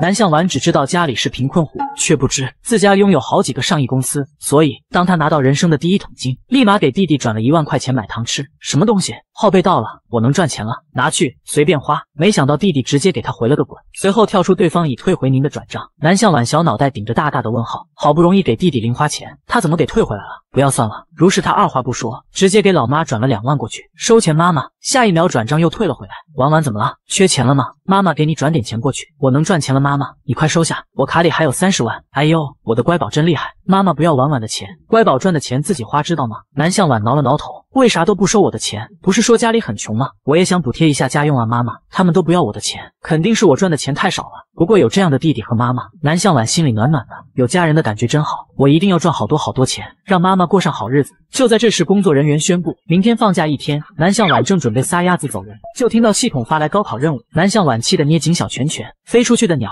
谁还想再进笼子？偏偏这个狗系统不完成任务就要被电击断手指，钱还要扣光光。奶奶个腿的，本来就很穷了，还总想着扣我的老婆本。南向晚呆呆的跟狗子对抗，一旁的同学却以为南向晚孤零零的被落下，众人纷纷心疼不已，生怕他是因为得罪了画完小公主而被资本打压。好不容易有个能打的新人偶像，就要被资本夭折了吗？殊不知南向晚就是华晚的幕后老板。很快，一辆豪华版保姆车向这边驶来，南总，请上车。南向晚提着包包转身上了车。哇塞，不仅是顶配商务之星保姆车，还有华晚的高级经纪人程雪亲自接送。谁说南向晚去华晚会被打压呀？这不就混得风生水起吗？嘿嘿，我老公就是厉害，无论在哪里都是最靓的仔。很快，南向晚回到系统送的海边别墅，环顾一周，很是满意。四周透露着金钱的味道，可惜不能卖，也不能出租，要不然就可以给妈妈补贴家用。臭狗子真小气！明天去学校的手续都交给了经纪人，公司那边也有少妇处理。南向晚则直接葛优躺，舒服。突然，嗡嗡嗡的群消息狂冒，明天开学，孩儿们，爸爸好想你们啊！滚，有毒吧？老娘直接给你劈了。然后下面就叮叮叮，溺水的徒手劈砖。南向晚当场就看懵了，这不是我的照片吗？呃，这群人在搞么子？他们干嘛都把我当表情包？不等南向晚头顶的一万只羊驼奔腾，古路直接丢出雪狼造型。微博那边好多南向晚的表情包，不过我还有。叮，宿主新任务来了，触发任务，请宿主发一条微博，正式开启营业，奖励依旧不知道。任务失败就扣除金钱二十万。呃，又扣钱。刚刚还想着挣好多好多钱给妈妈花，狗狗系统想扣我的钱没门，赶紧掏出手机支架摆好。粉丝既然喜欢我做的这些动作，那就来一段高难度的。随后单手撑地，下移、旋转、起托、回旋，动作一气呵成。这可是舞蹈专精解锁的特技动作，应该够炫了。OK，搞定。下一秒，微博瞬间炸了，晚宝发微博了，我太开心了，高兴的我原地徒手劈个砖。这是托马斯回旋，最难的街舞动作之一。叮，恭喜宿主完成任务，奖励十倍消费返现一次，限额十万元。哇咔咔，狗子我太爱你了。南向晚一个箭步猛冲，直接将系统撞飞。十万的十倍返现，那不就是一百百万啊？我的一百万必须立刻马上搞过来。女孩因为太穷了，所以每天必须花掉十万块。只因她绑定了顶流系统，完成任务就可以获得十倍返现。南向晚掰着手指头算了老半天，哇，十万块的十倍，那不就是一百万？嘿嘿，我马上就要成为小富婆了。转身下楼，准备一口气把钱花光。突然听到有人在叫他，抬眸就见男人口罩配帽，还以为自己是大明星呢。你谁啊？男人缓缓拉下口罩，露出刀刻般的俊脸。哦，是你啊，影帝顾北怀。对了，你知道这附近有哪里可以买吃的吗？男人指了指旁边，从这里走过去大概十分钟，有一家大型商场。南向晚撒丫子就准备走，你确定就这么去啊？不能这样去吗？很快，一顶帽子戴在他的头顶，随后撕开一个口罩。你现在是大明星了，不稍作伪装，被发现了会很麻烦。好哥们，谢谢你，要不我请你搓一顿。嘿嘿，这样我花钱的速度会更快，那返现奖励也能更快到账。哎呀呀！我真是个小机灵鬼。顾北怀见他这么诚心诚意的邀请，只好按下心中的狂喜，轻声答应。那我就不客气了。可一出门，南向晚就一溜烟跑了。哇哦，这里居然有系统奖励的 VIP 会员店。两分钟后，南向晚便提着大包小包，兴奋的出来。嘿嘿，我的一百万返现终于到账了。咦，好香啊！我闻到了手抓饼的味道。随后伸出一根手指，我要吃十个，你要几个？顾北怀刚比划一根手指，南向晚瞬间明白，老板来十一个手抓饼打包。就在这时，一个女孩讷讷的走过来，请问你是南向晚吗？啊，真的是晚宝，妈妈我出息了，居然见到活的南向晚了。很快，众人激动的掏出手机疯狂拍照，瞬间把四周围了个水泄不通。吵什么？粉丝们顿时鸦雀无声，只听到咔嚓咔嚓的拍照声。一旁的天王影帝忍不住轻笑，刚出道就有那么多真爱粉，只是一个眼神就让他们瞬间安静，而且还没注意到我。他在笑什么？难道还想再吃一个手抓饼？可是我只有十个，而顾北怀想跟他多待一会儿，如是借口去买个冰淇淋给他当回礼。然而下一秒，一辆顶级保姆车急速向南向晚冲来，女孩只是吃了个冰淇淋，就被一群男人强行拽上车。南向晚一个空中翻转，砰的一声，一脚将人踹翻在地。你们是谁？突然一只大手从后偷袭，南向晚闪身躲过攻击，反手就是一脚啊！我的腿断了断了。南向晚懵逼的更懵逼，打劫的吗？还是说你们想干别的？全身血液瞬间沸腾，下意识的上前。要知道，在沙场上只能乘胜追击，因为气势非常重要，否则军心就会不稳。冲冲冲！斩草除根。察觉到宿主情绪变化，警告警告！宿主大大，你冷静一点啊！这是文明世界，杀人犯法，会坐牢的。南向晚气势一顿，缓缓回神，随后帽子一戴，满脸不爽的准备回家。突然背后传来愤怒的大吼：“南向晚，你给我站住！造孽啊！好不容易恢复的情绪又跳出来作死。”原来女人是南向晚死对头的经纪人，大清早就给南向晚发了好友申请。我的经纪人明明是程雪，这个骗子也太猖狂了，我才不上当。随后拒绝拉黑一条龙，女人不可置信的盯着手机，好你个南向晚，居然敢拒绝我的好友申请！还把我拉黑。就在这时，于静婷气冲冲的拿着手机进来，林姐不好了，南向晚又上热搜了。可恶，吃个冰淇淋也能上热搜，居然还有人现场直播。放心，虽然合同没有找到，但是南向晚只要是 C 签，我就能随意控制他。到时候他只能给你拉热度，不过一个新人而已，我这就把他给你抓回来。所以女人才会顺着网线，准确的找到南向晚的位置。好在这时，看戏的影帝终于出手，把地上那几个拖去警察局，还有车里那个女人揪出来，一起扔进去。很快，女人被拖了出来。放开我，我是南向晚的经纪人林瑶。南向晚，你救救我呀！呸，哪有找艺人直接绑架的？去警察局解释吧。而南向晚早已被影帝带着走远。你没受伤吧？没有，我厉害着呢。嘻嘻，我的冰淇淋呢？顾北怀宠溺的递了过去，嗷呜一口，瞬间甜到了心坎。你的格斗技术虽然很厉害，但还是叫保安过来会更安全些。无所谓，一些小喽啰而已，就那群玩意儿，来一个我打十个，来两个揍二十。顾北怀满脸宠溺，两人一前一后拉长了身影。突然一阵电话铃声响起，南总，学校那边已经安排好了，您明天记得去上课哦。呃，暑假这么快就结束了吗？那校园生活会是怎样的呢？女孩才刚回学校，就交给老师一张请假条。可老师不仅不生气，还夸她当了明星也不忘学习。一旁的同学酸了，不就是参加了一档节目就忘乎所以？这做人啊，还是要谦虚一点的好。而且我们现在还是学生，要是成绩不好，照样完蛋。弟弟南朝阳愤怒地瞪着他们。席白薇退学是他咎由自取，用得着你们这群狗腿子逼逼赖赖？更何况锤他的是影帝顾北怀，跟南向晚没有半毛钱关系。就是就是，别理那倒霉孩子。来来来，南向晚，我们一起合个影。我也要，我也要。南。南向晚，给我签个名吧！顿时，同学们一拥而上，南向晚瞬间被围在中间。你的公演舞台简直绝了，我们大家爱死你了，南向晚！我是你的红板砖、绿板砖、超级大板砖，众人你一句我一句，简直比十万只鸭子还热闹。南向晚一个头两个大，好吵，吵得他一句话都插不进去。南向阳心疼的挡在姐姐面前，散了散了，不要吵到我姐看书。然而南向晚却拿着数学书，生无可恋。原来他只是想体验一下穿越后上课的乐趣，没想到除了舞台上学过的英语。其他的他一个也看不懂，更郁闷的是，他竟然选了理科，本来就不会，还特么净挑难的学。南向晚觉得自己要完了，高中数学怎么能这么难？就那一个个的算式，比月老的红线还难缠。心机女见状，又忍不住呲两句：啧啧，现在离高考只有一百零八点八天。南向晚这完全看不懂的样子，你确定真的没问题？而且你之前成绩也一般般，估计考个三本都难。你特喵的阴阳怪气的说什么？突然，一只小手拦在他面前，南向晚用眼神示意：“这小娘儿们交给我。”只见他缓步走向他们，就在擦肩而过时，南向晚突然松手，砰的一声，书包重重落地。南向晚，你干什么？嘻嘻，换个手而已。还有就是我的高考和比赛全都没问题。南向晚瞬间斗志昂扬，就算为了任务死也要完成。呜，说话就说话那么凶干嘛？南向晚懒得理这些蠢东西，扭头直接吩咐：“走了，老弟，回家吃饭。”好嘞，爸妈在校门口等我们呢。南向晚和以前完全不一样了。简直就像真正的狼王。很快，南向晚提着三百斤的箱子放好。朝阳，你怎么回事？也不知道帮你姐提一下箱子。白长一米八八的大个子，要你何用？南朝阳泪流满面，气息还没喘上来。妈妈，你也要看我追不追得上他呀？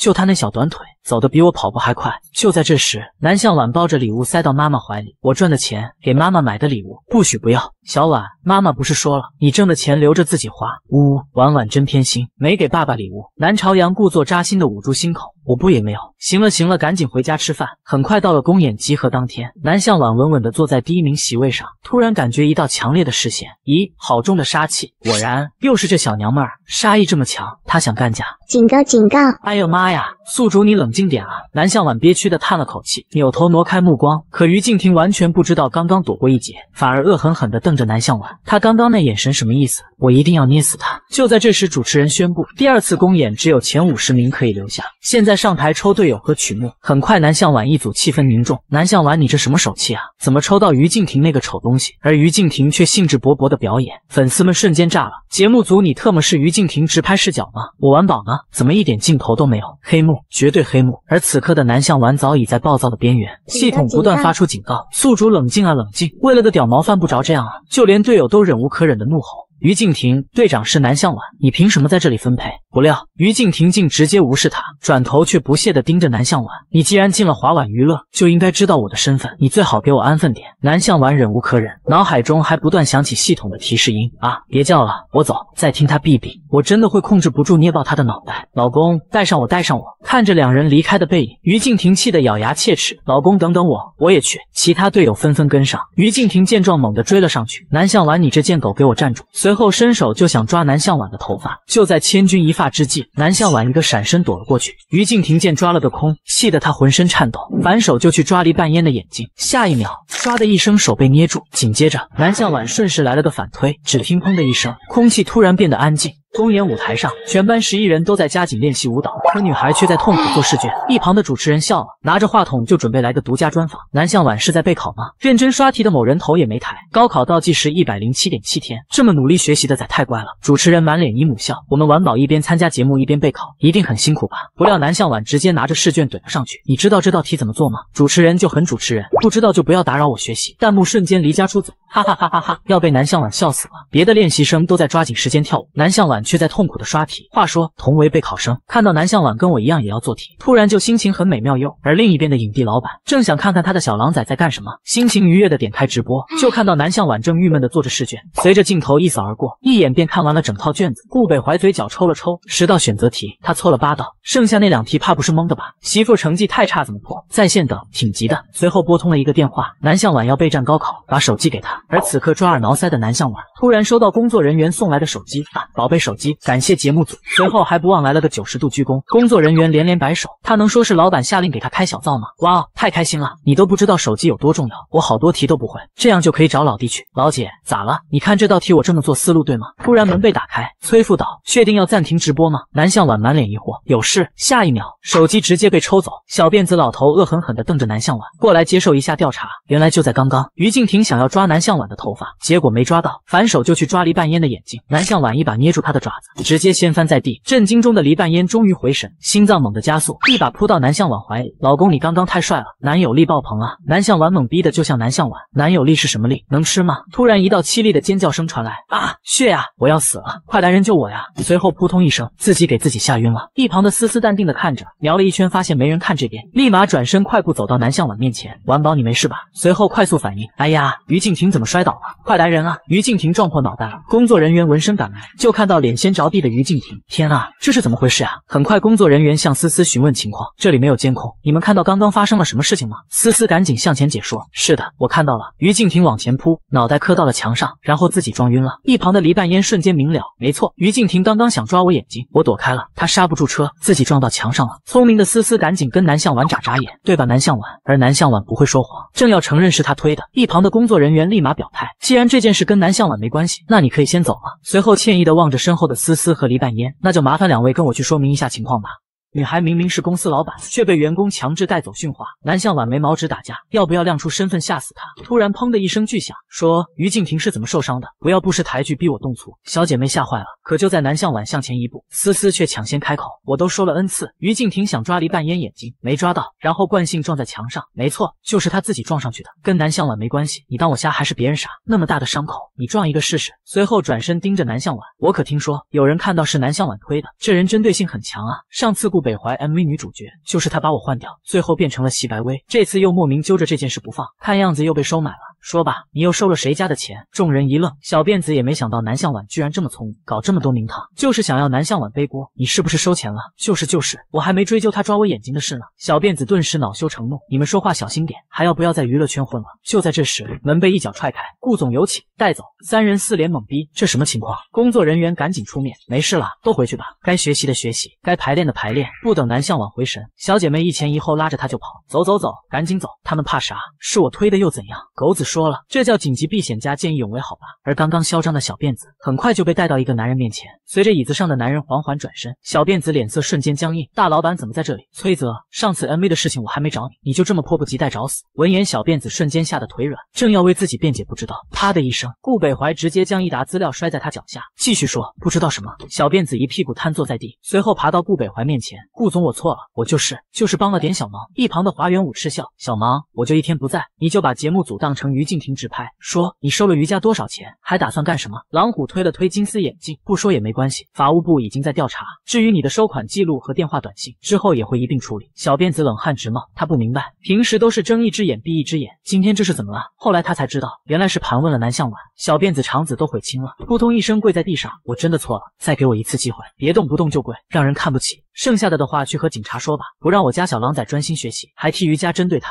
简直是找死。随后扭头吩咐去调查一下余家。而此刻刚包扎好的于静婷看着自己被剃了一半的头发，想死的心都有了。呜呜，太丑了，丑爆了！婷婷别闹了，爸爸已经把事情处理好了。你看，有了这个热搜，南向晚就等着社死退赛吧。就在这时，一阵电话铃声响起，什么叫我把网上那条热搜删除？我女儿现在还躺在医院里，我要南向晚死。而此刻的南向晚刚刷完题，突然想起之前推于静婷的时候用了点巧劲儿，不知道医院检查出来时画面会不会很美？叮，你的宝贝系统来了，臭狗子又要警告我吗？是警告，触发任务反黑，针对网络突发事件，请宿主立刻采取合理手段澄清，完成任务奖励十倍返现一次。任务失败，明天的作业翻十倍，翻倍？什么翻倍？翻什么倍？作业翻十倍？狗系统，我现在就要锤死你！别别，先别打，先看看热搜，啥热搜？点开一看，南向晚将人打至残疾，不仅将两个大男人的膝盖骨踢碎。还踹断了三根肋骨，咦，这不是之前被我揍趴的人吗？居然这么黑我！但系统的任务肯定要立刻完成啊，不就是反黑吗？板砖们肯定会相信我呀，更何况我才刚把暑假作业写完，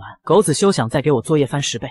女孩因打人被骂上热搜，可粉丝不仅没少，反而涨了六百万，只因她踹出去那两脚又快又准，还贼帅，就连天王影帝都亲自替她反黑。发小顿时察觉有情况，怎么回事？你怎么对我爱豆的事情这么上心？该不会千年铁树开花了吧？顾北怀无语，他未成年，你怎么能问出这么禽兽的问题？发小就是发小，哪能不知道他心里的小九九？那你为什么主动帮他那么多次？顾北怀脑海瞬间出现南向晚的身影，我只是不希望宝石被埋没。切，谁信呢？你大半夜不睡觉，突然找下班的警察发小去给别人发成轻视频，而这只是为了。做好人，话这么多，限定手办还要不要啊？发小秒怂，算了，好男不跟男斗。话说你怎么知道那个监控的存在？而且给我的时间地点还这么准？我当时在现场，发小都震惊了啊！我连爱豆的面都没见过，你居然大半夜和他在一块儿，呸！人渣，还说对人小姑娘没想法。而他口中的小姑娘，此刻正在询问物业要出示当天的监控，因为今天不完成反黑，明天的作业就要翻十倍。可物业却告诉他要等到明天才会出结果。南向晚没办法，只能先发一条澄清微博。这时物业及时发来信息，并告诉他警方已经发博帮他澄清，而他直接转发就行。最后还贴心提醒，千万不要被那些黑子影响心情。您完全是正当防卫。南向晚挠了挠头，这物业怎么和我的粉丝一样激动？不过更意外的是，这警察动作咋这么快？刚说明天才有回复，马上结果就火上热搜。不知道还以为是我发小出来帮忙。南向晚反手就给他点个关注，顺带把刚刚那条微博转发。叮，恭喜宿主完成反黑任务，获得十倍消费返现一次，限额十万。哦耶，任务完成，一百万奖励到手。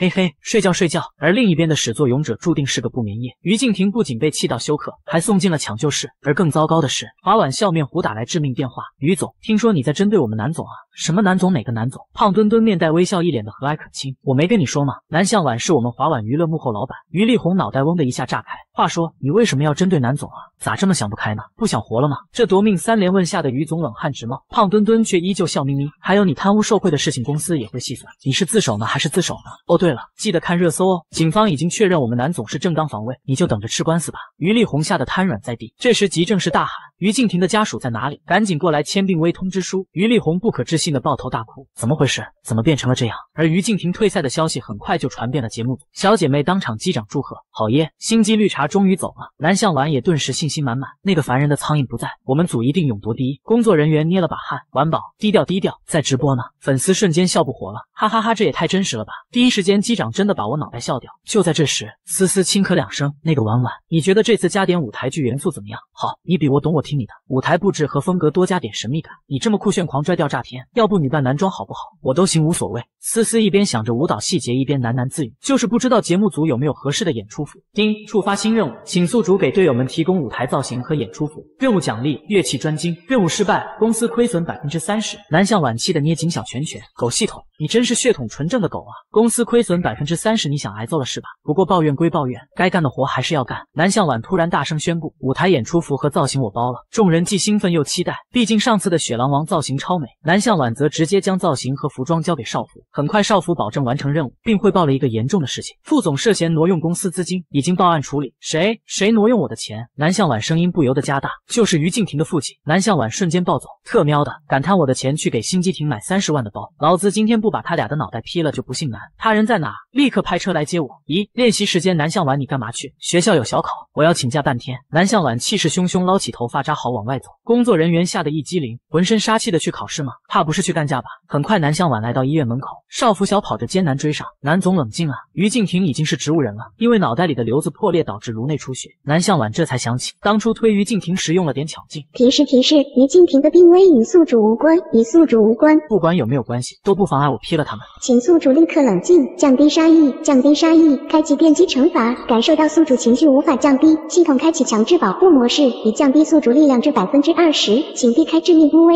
南向晚瞬间露出邪恶的微笑，那就没什么顾忌了，直接开干。而一旁的于丽红还不知道危险正在逼近，等发现时，南向晚已近在咫尺。于丽红顿时火冒三丈，南向晚，赶紧把我的账户全部解冻，把我的钱还给我。我女儿现在这个样子都是你害的，你拿命来赔！说着就伸手去抓南向晚，而南向晚一个闪身，一把捂住男人的脸，哐当一声直接砸到地上。特喵的，你再说一次，那些钱是谁的？他是全公司七亿人都害怕的恶霸，却被女孩哐哐两拳揍趴下。狗东西，就是你贪污了我的钱！男人不可置信的捂着后脑勺，从来都是他揍别人，今天居然被一个小孩揍了两下，突然感觉哪里不对，颤抖的将手伸到眼前，呜呜，流血了！南向晚，你疯了吗？说着就张开双手冲了过去，不料下一秒，南向晚一把捏住男人的下颚骨，贪污受贿，不仅拿着我发的工资，还贪污我的钱。最后竟满水军搞我，只听咔嚓嚓骨头碎裂的声音，你真应该感谢法律保护了你。然而围观的群众纷纷拍照指责，医院有监控都敢这么猖狂打人，南向晚也太可怕了吧！就在这时，两名警察同志朝这边走来，众人纷纷看着南向晚，毕竟刚刚把人打得那么惨，不料被押走的居然是挨揍的男人。这时南向晚的经纪人出面解释，华晚娱乐副总裁涉嫌违法，贪污数额巨大，我们老板南向晚得知情况后前来要债，不料发生了一点肢体冲突，这件事情我们已经报警处理，希望大家不造谣不传谣。众人震惊，华晚娱乐居然是南向晚自己的公司！卧槽，原来我老公是超级富婆啊！老公什么时候娶我？我要当富太太！这高级的发言吓得少福瞬间瞪大四只眼，赶紧将老板打包拎走。南向晚则双手环胸，气出小奶雕，早这么解决不就完事了？狗系统就是磨磨唧唧，害我被欺负了七八九级。就在这时，肚子掐着点的咕噜噜狂叫，我饿了，我要吃饭饭！少福两只眼睛瞪大三只，哇，自家老板也太可爱了吧！狼王与狼崽的转变只需零点零二秒，必须立刻马上安排超级大餐。很快来到一家餐厅。居然看到两个熟悉的身影，南向晚顿时双眼一亮，五百万居然也在这里，而狼虎则瞬间警惕，南向晚干嘛这样盯着自家老板看？要不是刚刚看了热搜，他都不知道南向晚居然是对家公司的大老板。可他着急忙慌的向自家老板汇报情况，没想到顾总头也没抬。狼虎挠了挠头，顾总你都不震惊的吗？我早就知道哦，难怪这么淡定。不过这小姑娘背景也忒大了，难怪之前不肯签约。而此刻的小姑娘正兴奋的朝这边走来，她过来干嘛？是想和顾总炒 CP，还是身为对家老板来宣战？而随南向晚一起来的少福和陈雪同样警惕，两人相视一眼，要不要告诉老板南北娱乐跟我们是敌对关系？可是你看老板那亮晶晶的小表情，不知道的还以为看到了初恋。而顾北怀看到南向晚过来，周身气息瞬间温柔，有什么事吗？签合同啊？啥时候打钱？顾北怀呼吸一顿，最近忙着帮南向晚反黑，差点忘了跟他拍 MV 的事情。一旁的狼虎人都傻了，这又是什么鬼开局啊？女孩只是吃了一口巧克力，就直挺挺的栽倒在地。闺蜜大惊：“我刚刚也吃了呀，这酒心巧克力没毒。”很快医生诊断，原来南向晚是超级易醉体质，只是沾上一点酒精，就足足晕了两个半小时。南向晚晕乎乎的扶着脑门，突然猛地睁开眼睛：“我不是在练习室吗？怎么回来睡觉了？”她只记得闺蜜送了一盒漂亮的小糖果，就忍不住多吃了两口，然后就好热，只感觉整个人头重脚轻，脑袋也不受控制的往地上砸去。紧接着就听到闺蜜着急的大喊着什么，然后，然后就没有然后了。哎呀，好晕，就像做了一百道数学大题。闺蜜还在一旁哭哭啼啼，呜呜完宝。我不知道你一滴酒都不能沾，不然我也不会给你吃酒心巧克力了。突然叮的一声，系统一脸坏笑的出现，嘿嘿，宿主你醒了，有新任务喽！触发任务，请宿主完成第二次舞台公演，奖励依旧不知道。任务失败，醉酒惩罚。南向晚气愤的捏紧小拳拳，臭狗子你过来，我保证不打死你。刚出现一个新词就想用在我身上是吧？还是顾北怀够哥们，不仅签下五百万的合同，还贴心的帮我把税都交齐。不过他的经纪人心疼的捂着心口是什么鬼？嘻嘻，还是顾北怀好哥们够干脆。来击个掌，顾北怀无奈又宠溺的碰了个拳，南向晚高兴到飞起，嘿嘿，又有钱钱到手了，我要给妈妈买新衣服补贴家用。南向晚那叫一个高兴，开开心心回到桌旁努力干饭去。要知道这里的饭可比节目组好吃一万倍，可一旁的经纪人可就没他这么惬意，嘴里说着合作愉快，握手的力度却差点把老虎的手捏碎，那态度就是相当的友好，还莫名的有点 CP 感。很快来到公演当天，南向晚的及腰长发直接被咔嚓剪短，只在后面用蝴蝶结扎了个小尾巴。他缓步而来，像极了中世纪的贵族公子，瞬间。迷倒一大片啊！这也太帅了吧！我不想努力了，老公，你什么时候娶我？而一旁的思思却被南向晚的大佬身份震惊，他拍着小胸脯，现在还不敢相信，南向晚居然叫金大帅给他们做造型，那可是时尚界的顶流，花再多钱都请不来的人物，而且南向晚还和他很熟，众人钦佩的两眼放光。而此时一百米外的南向晚正扒拉着头发，脑袋突然变青了，还真的有点不习惯新造型。就在这时，系统狗腿的出现，恭喜宿主，道具提供的任务已确认完成，奖励提前发送。嗯，狗子干得不错。南向晚终于正眼瞧他一眼，突然听到有人在喊他，扭头就发现粉毛绿茶向他走来。南向晚，你不要以为做个罕见的造型就能赢得比赛，这次公演我绝对会碾压你。南向晚酒醉还没醒，才懒得去理这小虾皮。粉毛绿茶却满脸自豪，不屑的与南向晚擦肩而过。女孩醉酒客串男杀手，叙述火爆全网，不仅引得一大波老婆粉花痴尖叫，就连影帝老板都提早抢位。可偏偏有菜鸟上前挑衅，这次公演比赛，我绝对会用实力碾压你。然而下一秒，女导师就毫不留情的打脸，表演一般，只能说中规中矩，不如上次亮眼。男导师也不心软，的确退步的不止一点点。粉毛绿茶着急的推卸责任，是因为造型师换了。女导师也不惯着，直接开怼，跟造型师没关系，是你唱歌跑调的问题。这种低级的错误你都没发现吗？粉毛气得浑身颤抖，不甘心的被工作人员轰走。很快抽到第一组，总导演赶紧起身给顾北怀让位。顾总，您时间掐得刚好。南向晚马上准备出场，此刻现场早已欢呼沸腾，只有南向晚安静的坐在钢琴前闭目，随着手指缓缓跳跃，动听的旋律瞬间惊艳全场，众人心跳加速。这雌雄莫辨的脸，谁能扛得住？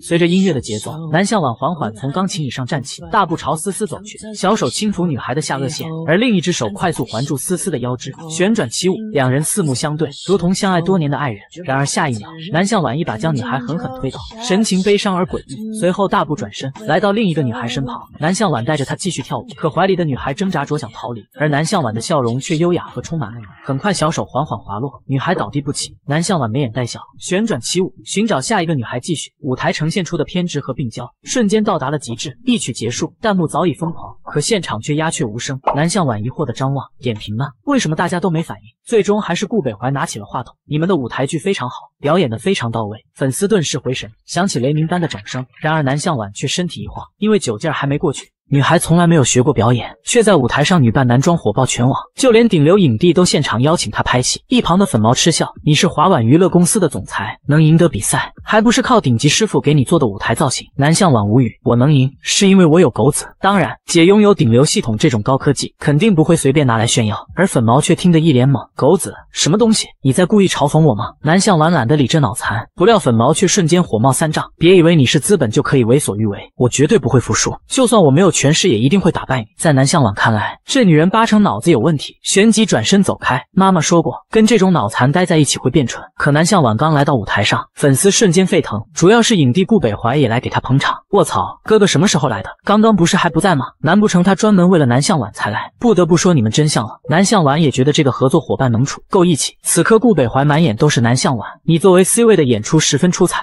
舞台剧形式也很亮眼。不知道你有没有演员方面发展的意思？小伙伴们瞬间露出羡慕的表情，毕竟这样的机会十分难得。而南向晚却懵逼的挠了挠头，自己没有学过演戏，就像一个刚会说话的人。被人问你要不要学八国语言，我要怎么回答吗？好在顾北怀没有叫他立马答应，而是等他高考完后，如果有想法再直接联系他。南向晚乖巧点头，子发导师立马拿起话筒发言。南向晚的表现非常棒，不过我想问一下，舞台剧是谁编的？南向晚赶紧把小姐妹思思介绍给大家。子发导师眼前一亮，非常棒，又是一颗星星，这是你独有的优势，要继续保持。黄发导师也问出了所有粉丝想问的问题。邓思南编的舞为什么会让南向晚当 C 位呢？因为南向晚女扮男装最好看啊，而且只有她会弹钢琴。主持人恰到好处的接过话题，谢谢各位导师的精彩点评，让我们有请下一组。南向晚刚下舞台，小伙伴就恨不得扑在他身上，老公太帅了，我差点晕你怀里。很快来到休息室，南向晚早就已经渴得喉咙冒烟，此刻正好看到小姐妹倒饮料，她顿时眼睛放光，支着小下巴就寻了过去。南向晚一把抓起饮料，不等众人回神，直接一口闷，然后小脸瞬间绯红。南向晚晃晃悠悠，这是什么气？汽水？咋会这么晕呢？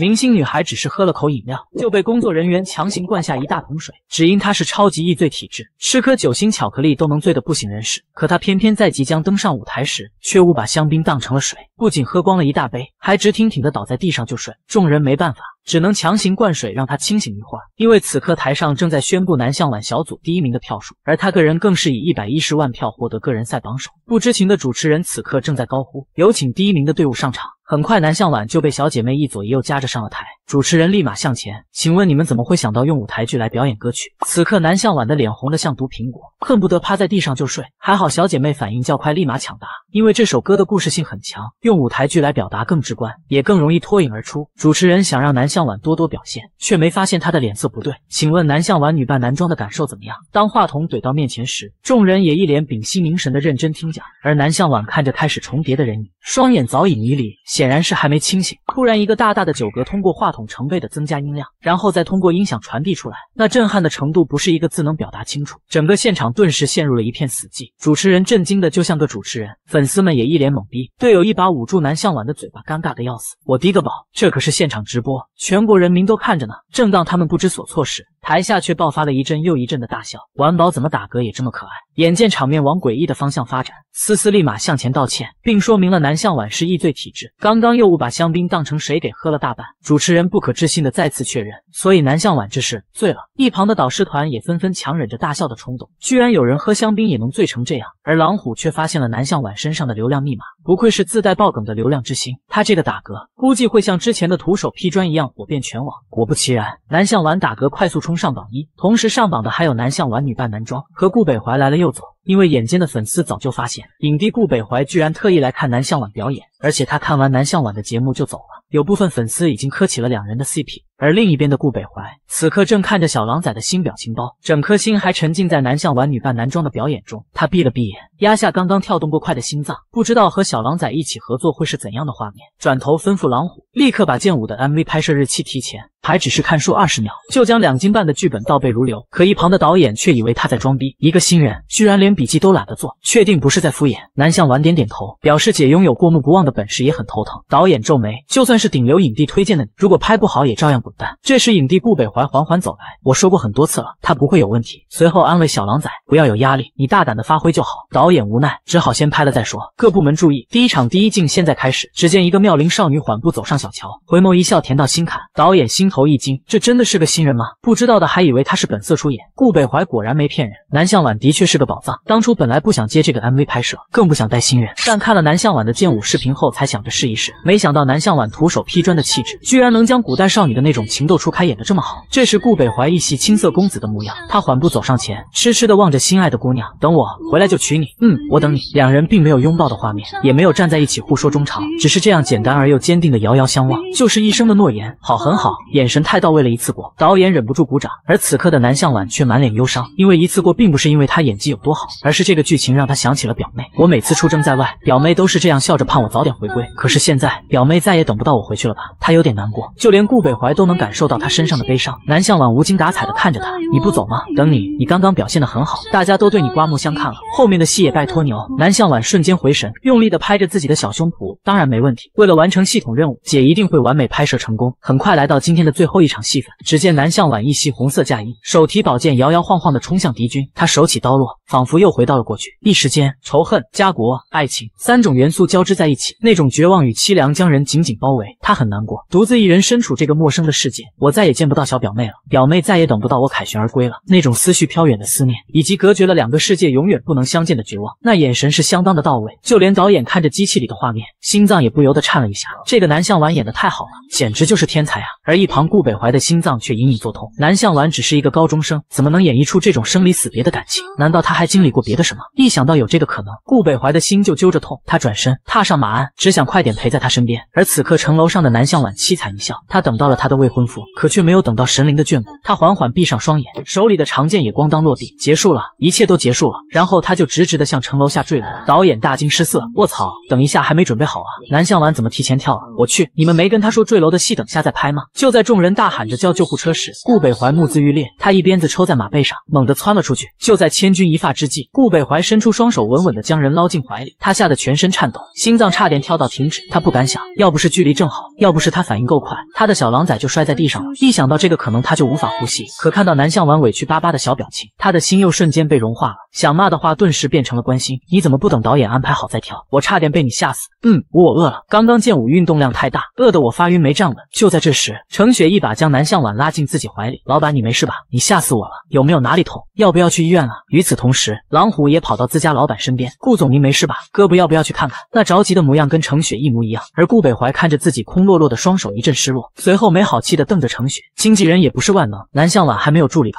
程雪愣了两秒半，顾大影帝这话是什么意思？这时南向晚的肚子咕咕咕的叫个不停。顾北怀揉了揉额角，看把小狼崽都饿成什么样了，害得今天差点出事。算了，我带他去吃饭。南向晚一听可以吃饭了，穿着嫁衣就往前冲。等等，换个便服再去吧。两个老板相亲相爱的一起去吃饭，而两个经纪人却剑拔弩张。你们华晚娱乐的运气就是好，遇到我们家顾天王。切，难道不是我们南总集实力与美貌于一身？你们顾总裁重拍 MV？呵。自家老板饿到从城楼上摔下来，可还行？程雪气得脸色涨红，这件事是他失职了。本以为二十个肉包子就是午饭，不料只够老板塞牙缝。然而这边闹得不可开交，可老板那边却进展神速。只见顾北怀一脸的痴汉样，我家小狼崽吃饭也这么好看？可看到南向晚干光了二十道菜和一大桶米饭，呃，怎么这么能吃？还好我又加了一桌菜。随后举起手机想要加个好友，见南向晚没动，顾北怀又循循善诱，这样我们以后合作会方便点。还有你卡号也发我一下，我好给你打钱。南向晚一听有钱到账，立马掏出手机加好友发。银行卡号一气呵成，顾北怀嘴角直抽抽，没想到和小狼崽的第一条消息居然是卡号，估计在他眼里只有钱和吃的吧。很快回到拍摄现场，两人刚进门就听到同事说谢谢南总。南向晚一脸懵，他们为什么要谢谢我？顾北怀却沉默不语。程雪突然出现，南总，这是我给您找的助理小东。只见一个小胖妞兴奋异常，南总好，我是你的大板砖，这是我给您准备的零食，为表忠心，我这就给您现场表演个徒手劈砖。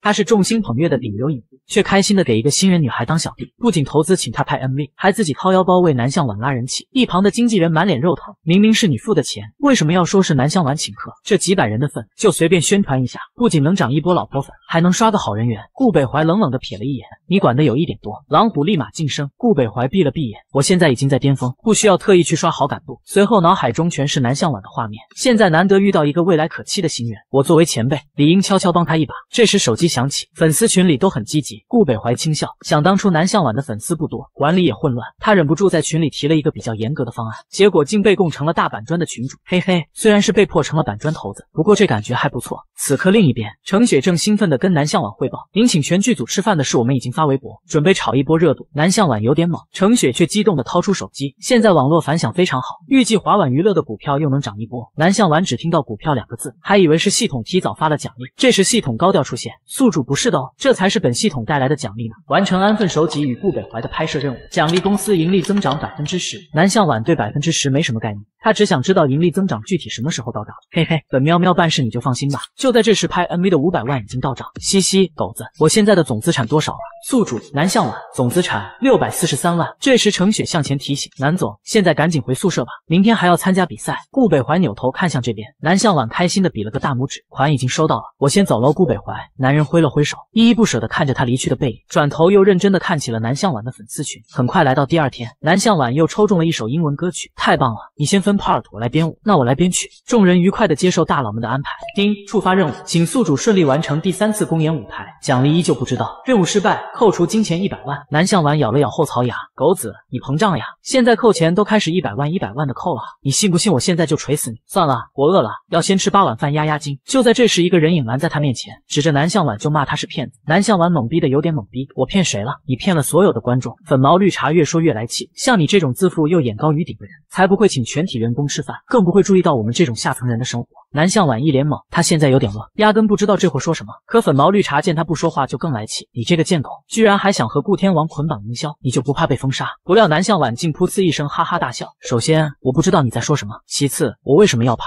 随后缓步向前，本将军做事向来敢做敢当。紧接着一拳砸在墙壁上，可对于来挑事的人，一律杀无赦。粉毛绿茶吓得头发都粉了，就连南向晚转身离开，他也吓得双腿发软。就在这时，南向晚的手机铃声响起，点开一看，就出现老弟咆哮的笑脸。不是读书吗？人呢？南向晚挠了挠头，你现在不是应该在上课吗？上课还能玩手机的？没想到弟弟直接给他来了个灵魂重击，你两天没写作业了，怕不是忘了你还要高考？南向晚如遭雷击，恨不得立马趴在地上装死。我为什么还要写作业？为什么还要高考？对了，姐，你之前和顾北怀拍的 MV 上热搜了，有人在磕你们的 CP，然后还有黑子在黑你。嗯，CP 是什么意思？这时程雪来电，南总，有人雇佣职业水军刷您的负面评论，不仅说您故意捆绑顾北怀营销，还带坏社会风气。目前只查到买水军的人与娱乐圈没什么联系，公关不想知道您的意思，立刻网上查，必须查到源头，斩草除根，否则后患无穷。下一秒，程雪惊讶的声音响起，南总，那些黑子的账号全被封了，还有顾北怀为你专门发了一条微博。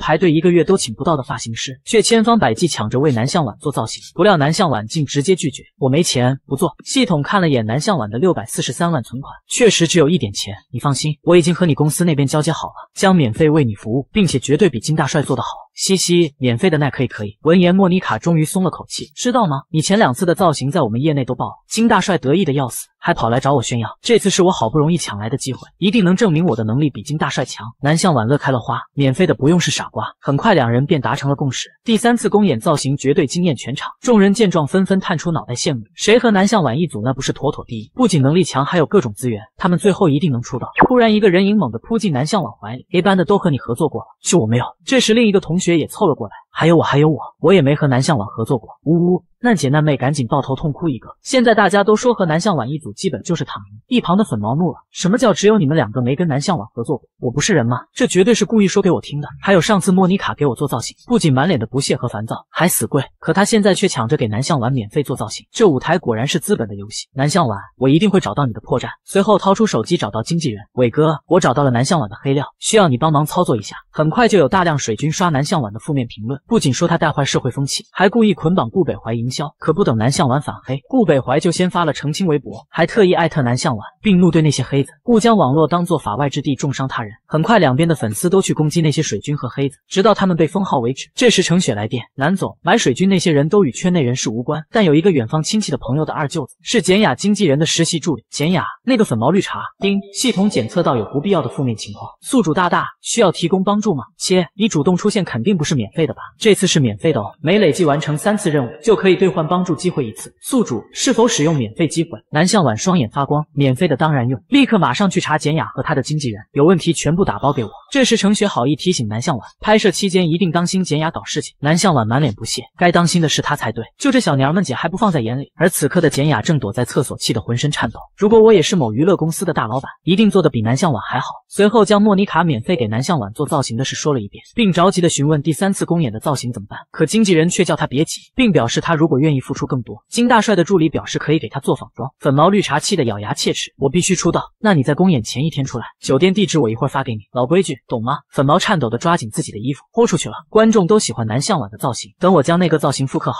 绝对能在舞台上将南向晚死死的踩在脚下。这精灵造型简直太美了，就连天王影帝都瞬间变成追星达人。可当南向晚正准备登上舞台时，却发现有人模仿他的造型。简雅这个抄袭狗，本板砖要去扒了他的皮。这臭不要脸的表表，竟公然抄袭晚宝上一季的病娇公子造型。东施效颦不成还丑爆了。而一旁的南向晚却无比淡定，既然他上赶着来送人头，那姐就送他一份大礼。这时狗子适时出现，宿主，这是简雅和他经纪人的所有黑料，已经发送到你的手机。南向晚邪魅一笑，来的正好，姐现在就让你体会贱狗的快乐。随后将资资料发给程雪。拿着这些黑料，立刻让公关部行动起来。好的，蓝总，公司已经出动公关，我们手砍绿茶绝不手软。而舞台中央，评委也毫不犹豫地批评简雅抄袭，简雅气得脸色惨白，却只能在心中暗骂南向晚运气好。凭什么她做这个造型就有那么多人喜欢，而我却直接被所有人嫌弃？然而他不知道的是，板砖们的战斗力才是他噩梦的开始。只见板砖头子直接号令粉丝上线杀狗，一群板砖已就位，姐妹们立即准备开骂；二群板砖已就位，简雅小婊抄袭狗立马滚出娱乐圈；十群板砖早已开骂，纷纷表示不喷死简雅，老子就不是键盘侠。南向晚更是人狠话不多，直接在简雅评论区发送了一个狗脑壳，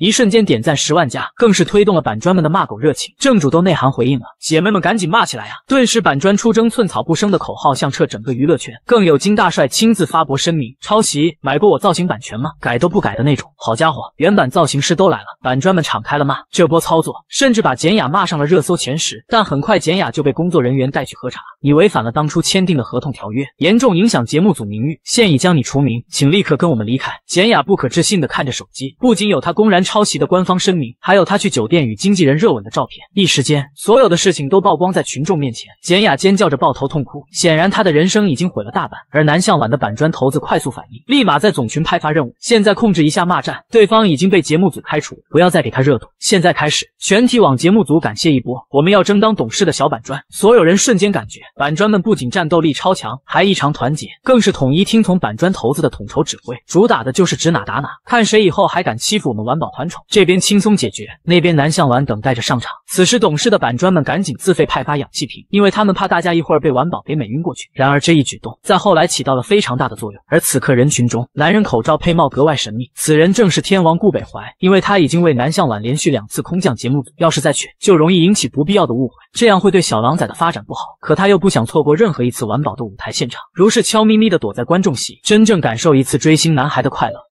女孩一袭精灵造型快速火爆全网，不仅让全球七十亿人瞬间沸腾，就连顶流影帝都偷偷的躲在观众席为她打包。不料南向晚只是一个回眸，女帝顾北怀就激动的将手机都扔了出去。忽然一只小手快速伸出，南向晚一边唱歌一边敏捷的接住。可就在南向晚递过手机时，飘扬的发丝瞬间撩动着男人的鼻尖。这最强的美颜暴击谁遭受得住？当场就有一名女孩晕倒，旁边的大板砖立即给她递上氧气瓶，而顾北怀这才将帽子往下压了压，却不知南向晚一眼就认出了他。嘿嘿，这个合作伙伴能处，居然还亲自到观众席来捧场。南向晚俏皮的缓步离开，仿佛真正的精灵落入了人间。It, can't stop it, can't change it. Tell me how to make myself believe in the stories that don't have to say delete. Oh, when the sun is about to disappear with me. 随着空灵的歌声响起，瞬间燃爆了全场。而顾北怀刚刚压下的悸动又又又狂跳不止啊！老公老公，看我这把吹爆暗夜精灵南向晚！此刻现场所有人，不管是不是板砖，都在呐喊着南向晚的名字，甚至还有好多人激动的狂哭。哎呀呀，太美了！姐姐用脸杀我！我老公不会是穿越而来的精灵吧？我简直太爱了！然而一曲结束，南向晚只想早点回去干饭，因为他真的快要饿死了。至于后面主持人说了什么，他反正是一点儿也没有听进去。直到傍晚回到济公馆，南向晚炫完满满一桌子的外卖，这才愉快的伸了个懒腰。叮，恭喜宿主第三次公演又是第一名，任务完成百分之一百，效应突破百万。现在开始发放奖励，颜值、身材、魅力属性全部加一，获得技能作曲专精、作词专精。哎呀，狗子！你这次真够大方的呀，以后记得发扬光大。南向晚一个高兴就炫了瓶八二年的雪碧，不料下一秒小脸瞬间微红。咦，不对啊，我明明买的是雪碧，怎么感觉味道好像有点像恰啤酒？哎呀，我的宿主大大，不是好像你买的就是啤酒啊？可就在狗子抓耳挠腮时，他家宿主顺着网线爬到了隔壁，而此刻顾北怀正坐在家里回味南向晚的盛世美颜。突然，一只小手伸了出来，紧接着就看到南向晚朝他这边阴暗的爬行。呃，他怎么像个小乌龟一样的慢慢爬？话说那一米五的围栏，他是怎么翻过来的？顾北怀满脸黑线，就这样站在一旁静静的看着。老铁们看到了，媳妇是自己爬过来的，不是我拐来的哈。不料下一秒就听到咚的一声巨响，不好，媳妇掉下去了。第三次公演完美落幕，影帝便迷弟现场捧场。夜晚偶像在自家阳台又出现又消失，顾北怀慌张喊着。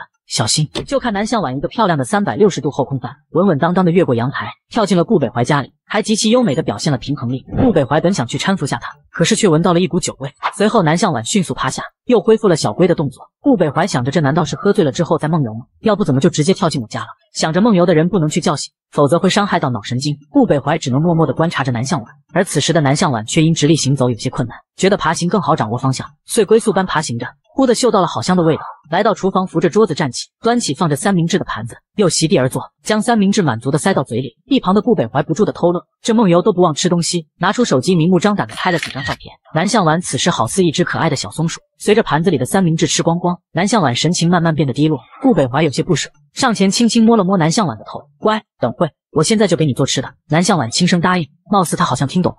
接着。顾天王拿出了厨娘的本事，半个小时即做了满满当当一桌子的菜，一边欣赏着南向晚大快朵颐，一边想着这小狼崽醉酒居然能爬过两步，中间还有一个花园，精准找到自己厨房的三明治。这小狼崽的嗅觉未免也太灵敏了。南向晚放下手中的盘子，脸上还沾着饭粒子。顾北怀亲切的像个老父亲，轻轻为他擦拭，心中不由为南向晚起了个昵称，真是个可爱的崽崽。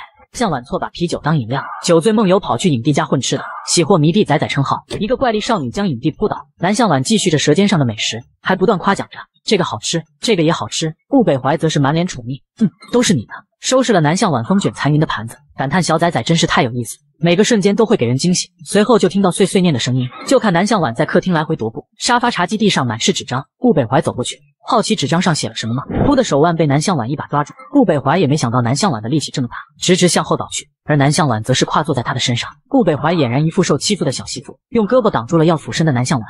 只见南向晚打了一个九格，随后背诵着：先帝创业未半而中道崩殂，今天下三分，益州疲弊，巴拉巴拉。接下来是什么来着？顾北怀满脑子问号，这梦游还能背诵古诗词呢？随后南向晚从沙发上蹦了下来，不断翻找。我的数学卷子呢？我的一百套真题呢？顾北怀也快速理解了南向晚，他在备战高考啊。遂拿出 pad 说：“我给你找。”一个小时后，顾北怀认真的给南向晚批改题纸，果然偏科严重。看着有些困意的南向晚，数学题全错，默写倒是都对了。随后，南向晚拍了拍顾北怀的肩膀：“不错，南朝阳，你比之前有耐心多了。”顾北怀心中了然，原来把我当成弟弟。南向晚终于坚持不住，倒头靠上顾北怀的肩膀，听着他的轻呼声。顾北怀没动，和自己的小偶像亲密接触，感觉还不错。小偶像化身小龟爬到影帝家混饭吃，老爹板又做饭又辅导作业。影帝顾北怀抱着熟睡的南向晚，感叹他虽然吃得多，但是好轻啊，温柔将他放在床上。南向晚开始转转转，随后自动成团。顾北怀瞧着睡觉都这么好玩的南向晚，忍俊不禁，替他盖好被子。细心的发现南向晚乱糟糟被他压在身后的头发，应该很难受吧？轻轻隆起，南向晚像被顺毛捋的小猫，微微翻身，顾北怀的指尖就触碰到南向晚柔嫩的脸颊，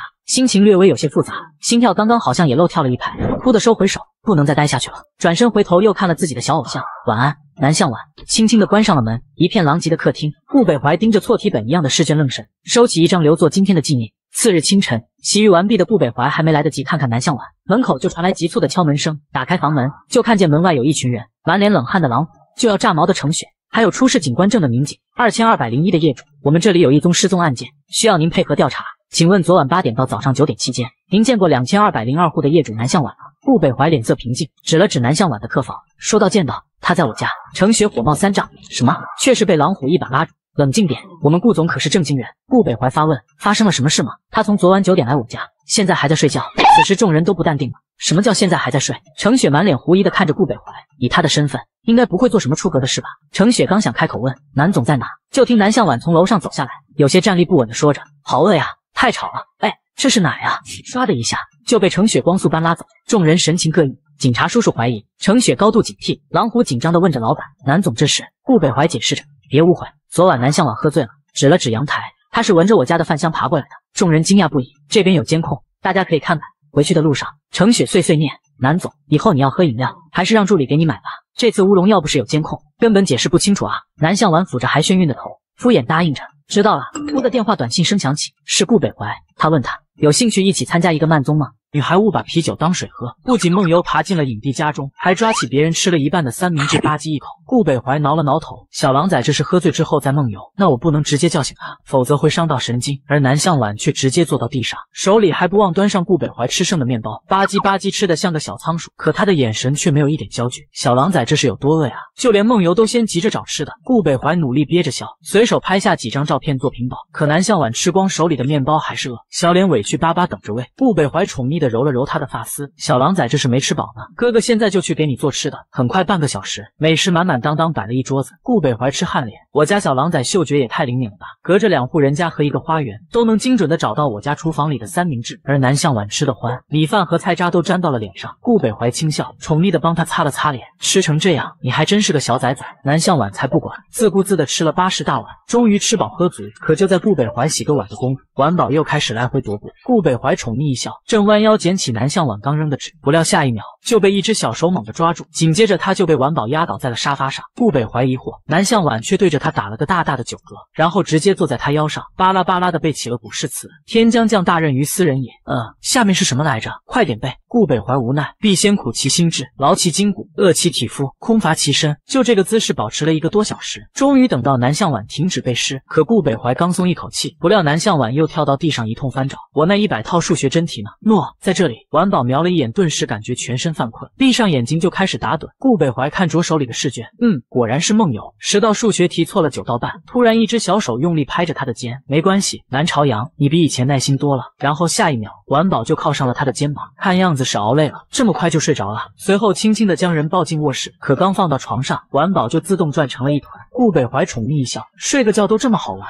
看了眼他被压得乱糟糟的头发，手不自觉的帮他整理。不料晚宝突然翻身，指尖顿时触碰到脸上的柔软。顾北怀触电般的收回手，胸口也仿佛有团火在燃烧，一种陌生的感觉令他口干舌燥。慌乱的走出房间后，久久无法入睡，只好拿晚宝的试卷打发时间。突然感觉今天很值得纪念一下，于是小心翼翼的抽了张晚宝的试卷收好，准备等明天拿去裱起来。可第二天他刚洗完澡，门就被踹得砰砰响。打开门就看到一群人围在他家门口，帽子鼠鼠举起手里的证件询问：“我们这里有一宗失踪案件正在调查，请问您见过隔壁业主南向晚吗？”“见过，他在我家。”闻言，程雪就要上去挠他一爪子，好在一旁的狼虎拽住了他：“冷静啊，冷静！我们顾总是个正经人。”然而下一秒，他就恨不得堵上自家老板的嘴巴。只见顾北怀一本正经把人请进家里面：“他昨天晚上九点来我家的，现在还没睡醒。”程雪的爪子收都收不住，什么叫现在还在睡？就在这时，南向晚晕晕乎乎的打开了门：“啊，饿死了，好吵！这是哪里？我是谁？”程雪一见自家老老板，赶紧把他拉到身后，一脸警惕的瞪着顾北怀。别误会，南向晚昨天喝醉酒后，闻着我家的饭菜香自己爬过来的。诺，这边有监控。众人当场傻眼，那个跟乌龟一样在地上爬的，真的是南向晚吗？关键是顾北怀就站在旁边看着他爬，还贴心的给他开了门，这就很 nice。最后的最后，程雪半推半拉的将人扔进车里，然后就是长达半小时的教育。南向晚揉了揉脑壳，头好痛，感觉像是做了一百套数学题。这时突然手机响起，南向晚有兴趣一起参加今天吃什么的综艺吗？还有就是他家的菜特别好吃，所有人都下河抓鱼，可男人却说他脚扭了，要先回去休息。南向晚一个箭步冲了上去，不急不急，我会正骨。随后抓起男人的脚，咔咔两下子，吓得男人脚丫子狂踹。南向晚小手一松，只听扑通一声，绿茶男就掉进了水沟里。切，根本没崴脚，只是为了偷懒才撒谎，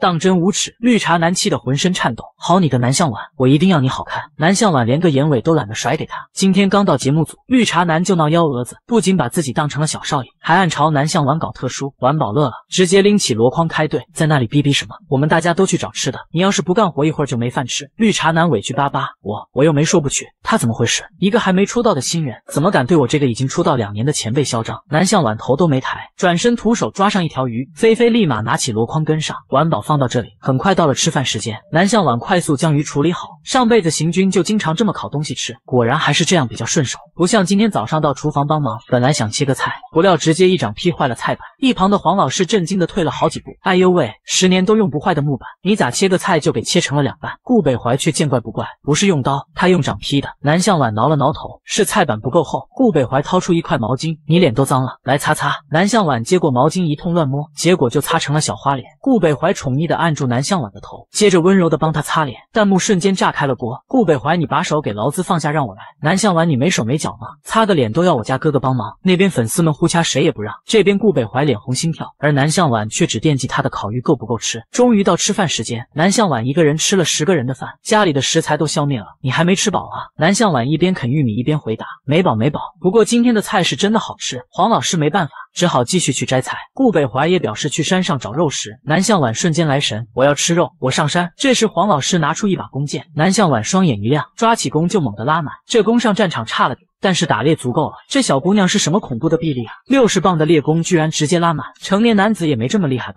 而南向晚只想早点上山，一个人哒哒哒的走在最前面。黄老师惊叹，别的嘉宾都是跟不上我的体力，你俩倒好，我直接追着你们跑。这时南向晚突然停下脚，周围估计有蛇，大家走的时候注意避开树上的藤蔓。然而下一秒，南向晚脚尖一点，竟直接跳上了大树顶端。顾北怀吓一跳，南向晚你干什么？快点下来！南向晚失落的拿起刚掏的鸟蛋，正准备跳下去，突然一阵沙沙的。声音响起，南向晚回头就与毒蛇四目相对。顾北怀心猛地一颤，迅速抽出匕首，不料南向晚握住蛇的七寸，朝树干猛撞。顾北怀着急的检查他有没有受伤，我没事，蛇已经死了。随后猛地转身，拎起死蛇朝躲藏的绿茶男扔去。你刚刚居然敢惊扰毒蛇，让他来袭击我！绿茶男吓得花容失色。我没有，你有什么证据？别血口喷人！南向晚一把揪住男人衣领，不承认吗？随后小手一松，直接将人推倒。男人大叫着有蛇后便吓晕了过去。南向晚不屑，孬种，敢做不敢当。穿越而来的女将军究竟有多虎？不仅徒手解决碗口粗的毒蛇，还一脚踹上暴怒中的野猪王。众人大喜，以为自己得救了。不料野猪只是愣了两秒半，转身就张开大嘴朝南向晚冲了过去。不好，我现在还是力量不够，不仅没有踹翻野猪王，反倒把他激怒了。此刻野猪彻底进入狂暴状态，照抱着南向晚就猛冲了过来。晚宝大惊，尽量让自己少受点伤。不料下一秒，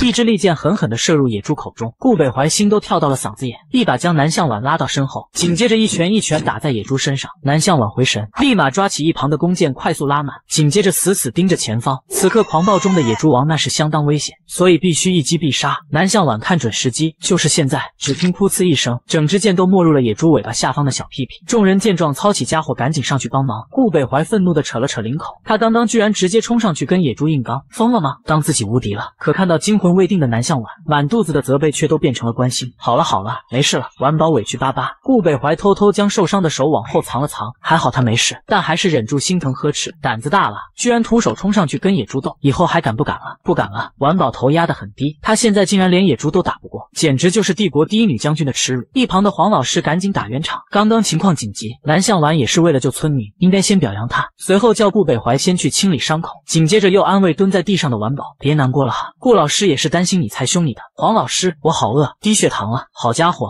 原来是饿的难过呀，那要不先吃饭？南向晚猛摇头。等顾北怀回来一起吃。虽然刚刚和他合作了短短十分钟，但那是过命的交情，所以他不再是顾老师，而是顾战友了。可这一等就等到了晚上十点半。顾北怀过来的时候，南向晚早就睡着了。看着乖乖巧巧的人，顾北怀满脸柔和，随后温柔的为南向晚擦了擦脸，紧接着一把将人抱进怀里。啧啧，顾天王这是千年铁树开花了。不过这谈恋爱和结婚还不都得等人家？顾北怀轻笑，我等得起。第二天，晚宝晨练完正准备去洗澡，这才想起自己没带换洗衣服。顾北怀向前，我现在受伤了，暂时不能训练，所以这套运动服也用不上，是干净的，你穿吧。大家都是兄弟，所以南向晚也不客气，拿上衣服转身哼着小曲洗澡去了。弹幕瞬间霸屏啊！哥哥你这是在干什么呀？正主都出来送衣服了，高举南王北帝的 CP 大旗，呵呵。本板砖表示一点都不慌，南向晚是个傻的，就算你家哥哥再有想法，我们晚宝也不开窍。弹幕瞬间疯狂，朝着不知名方向发展，而此刻的晚宝正眺望。着远方，哼着从来没有听过的旋律。原来把自己遇到的美好和幸福都记录下来，再转化成音乐，让别人体会到我现在的心境，是一件如此美妙的事情。顾北怀都看呆了，我的小狼崽简直就是个天才。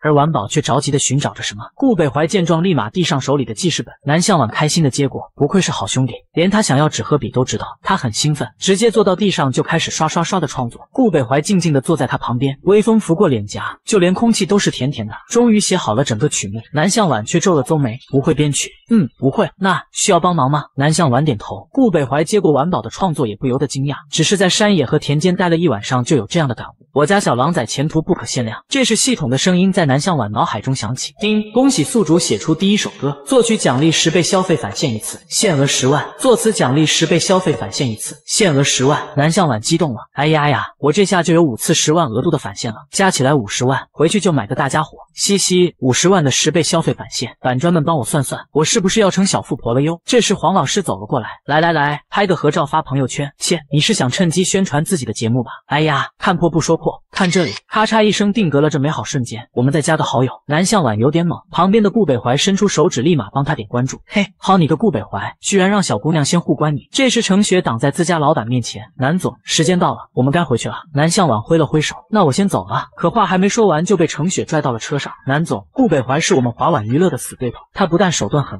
还城府极深，一不小心就会掉进他的坑里，然后被整个吞并。他突然主动接近你，目的肯定不纯。南向晚垂眸，这套形容倒是跟我上一世的军事一模一样。不过这段时间的相处，我能感受到他对我没有恶意，所以他是不会害我的。程雪无奈，自家老板又舍不得骂，只好回去找老虎算账。烈女将军打怪升级，仅仅是参加一个慢综，拍死毒蛇猎杀野猪。回到拍摄大楼，南向晚成了女团选手们心中的偶像，纷纷欢喜他真是太帅了，晚弓射箭好像个女将军。南向晚心想自己就是啊，羡慕南向晚没出道就能参加综艺。南向晚玩的也很高兴，说着等成团了，我们一起去做宣传。他们兴奋不已，说着网上炒南向晚和顾天王 CP 的话题巨火，管你们叫南王北帝。南向晚笑笑说自己并未看，但是非常笃定自信的说，不过我能确定的是顾北怀是自己特别好的战友。心想自己还有比赛和高考呢，其他的事和自己一律无关。接下来第四场治愈力量的酷飒摇滚，第五场的铁骨柔情的英姿女侠，都带领新组合团队赢得了公演百万票数第一名。转眼来到各自为营独唱的总决赛，抽签决定每个人的曲目。南向晚抽到的是一首英文歌《The Immortal Legend》。导师赵兰说，为了总决赛的公平和效果，时间练习是不再进行对外直播。赵兰、钟玲飞和边志明老师将开通三个直播间，随时给学员提供帮助。大家欢呼，这也太棒了！边志明老师上前说道：“和节目组商量，最后一周将手机也归还给你们。”钟玲飞老师提示大家，现在就可以到自己的直播间拉票了。女孩们欢呼雀跃，夸赞良心节目组。此时的南向晚通过大量的任务，已经获得了大票舞台和音乐技能，拥有一千三百多万粉丝的支持。结合自己目前的实际情况，应该不太需要导师帮助，这样自己也有时间可以为高考做准备。大家开始有序离场，南向晚忽的被人叫住，是赵兰老师。为了以后合作，要加下南向晚的联系方式，还有微博。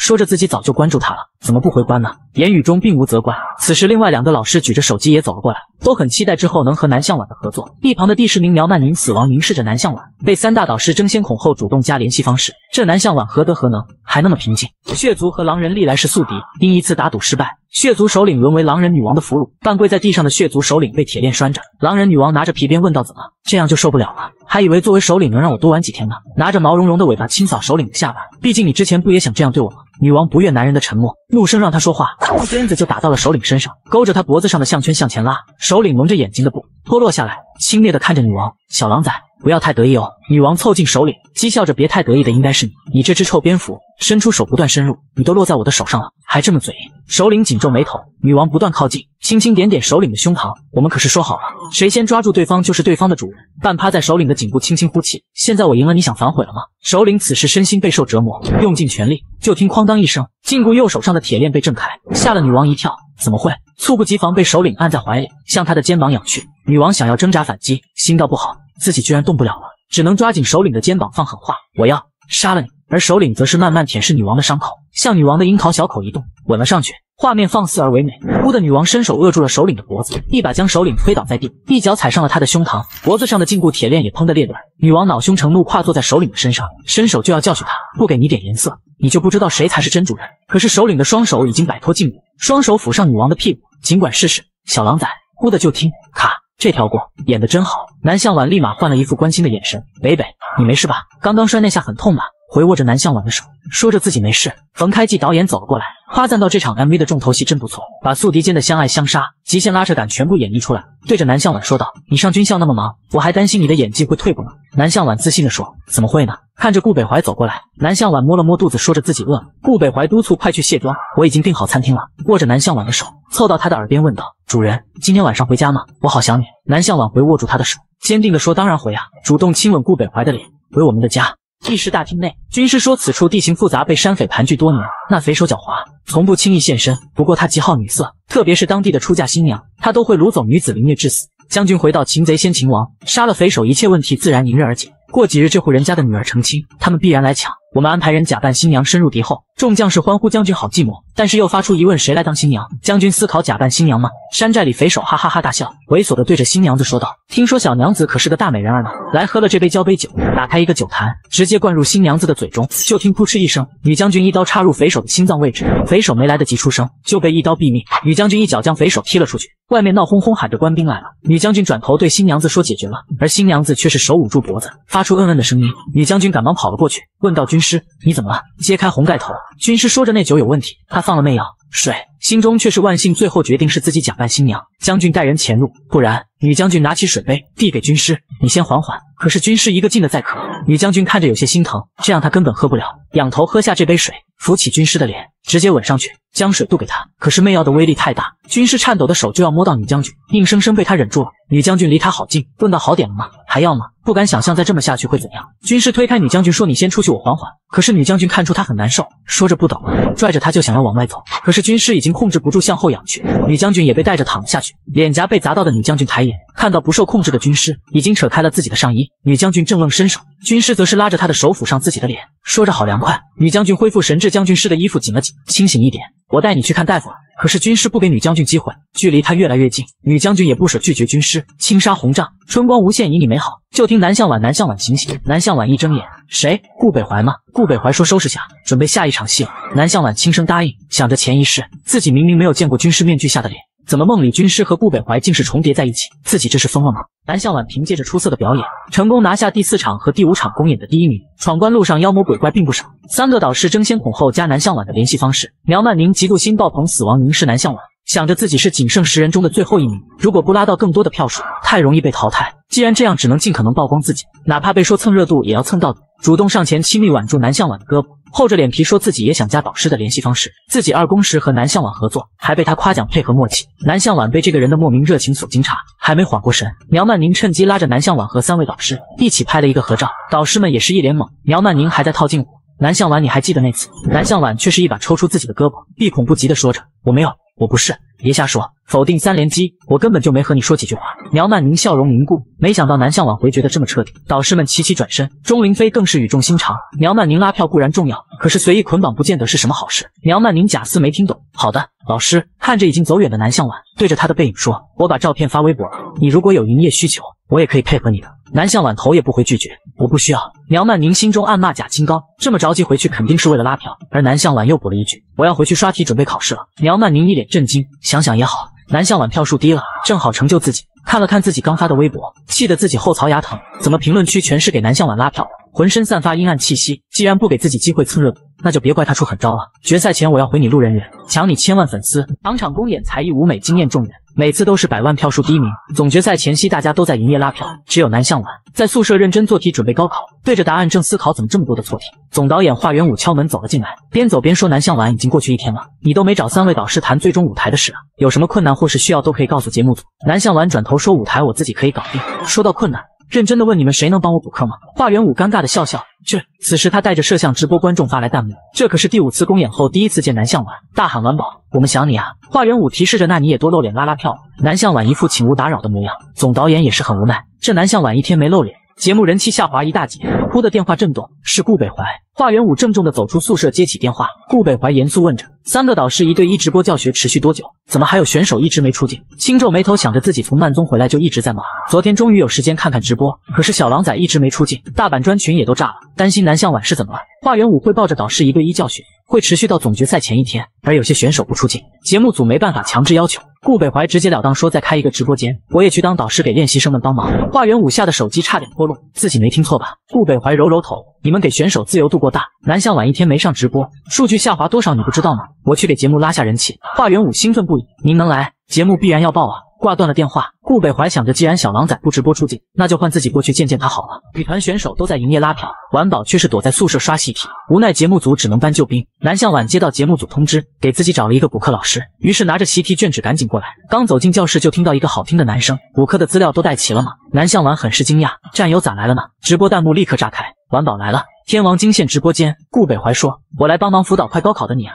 先来一套模拟摸底，我给你批阅。”板砖粉们表示自己也已经准备好卷子了，跟晚宝一起做题，学习使我快乐。南向晚也觉节目组太好了，爽快的答应，行，信心满满。有人能帮助自己学习就好，管这人是谁呢？等到一套习题顾北怀批阅完，总结到前面的题型基本全对，不过后面的两道阅读理解题全是零分。南向晚有些惊恐，怎么可能？顾北怀循序渐进问道。开头手段描写田野之前，先写蔚蓝天空，可以起到怎么样的作用？南向晚笃定说，告诉我们当下天气是晴天，适合春游。那第二段展现蔚蓝田野怎样的特点？肥沃的土地上，各种好吃的食物茂盛生长，可以干饭了。直播弹幕乐坏了粉丝，绝了。只能说和正确答案没有一毛钱关系。顾北怀想了想，你前面的九十分基本没问题，作文我给你总结个套路模板，语重心长，阅读理解放弃吧。南向晚也不矫情，知道了。这里我们再看看，你整理好笔记就可以休息一下了。南向晚勤奋好学，感觉这老师真不错。苗曼宁无意听到工作人员说，这届练习生真幸福。顾天王又空降当导师直播教学，现在南向晚的直播间热度都爆了。苗曼宁腹黑想着顾天王来了吗？而且南向晚居然第一个过去了，趴在门口偷偷看着。什么？南向晚居然在直播间公然摸鱼？他吃着零食，顾北怀却是帮他做着什么？拿出手机，打算把这段放到网上，这样南向晚肯定会被顾北怀的粉丝围攻，而且。既然南向晚能蹭天王流量，自己也可以啊！顾天王看不见小狼崽抓心挠肝，只好来导师直播间现场教学。无奈审批阅读理解只能是零分。晚餐时间，南向晚落寞的拿着餐盘，总算可以吃晚饭了。回想自己饿得两眼冒金星，顾战友才堪堪放过自己。刚刚自己差点就要被饿死。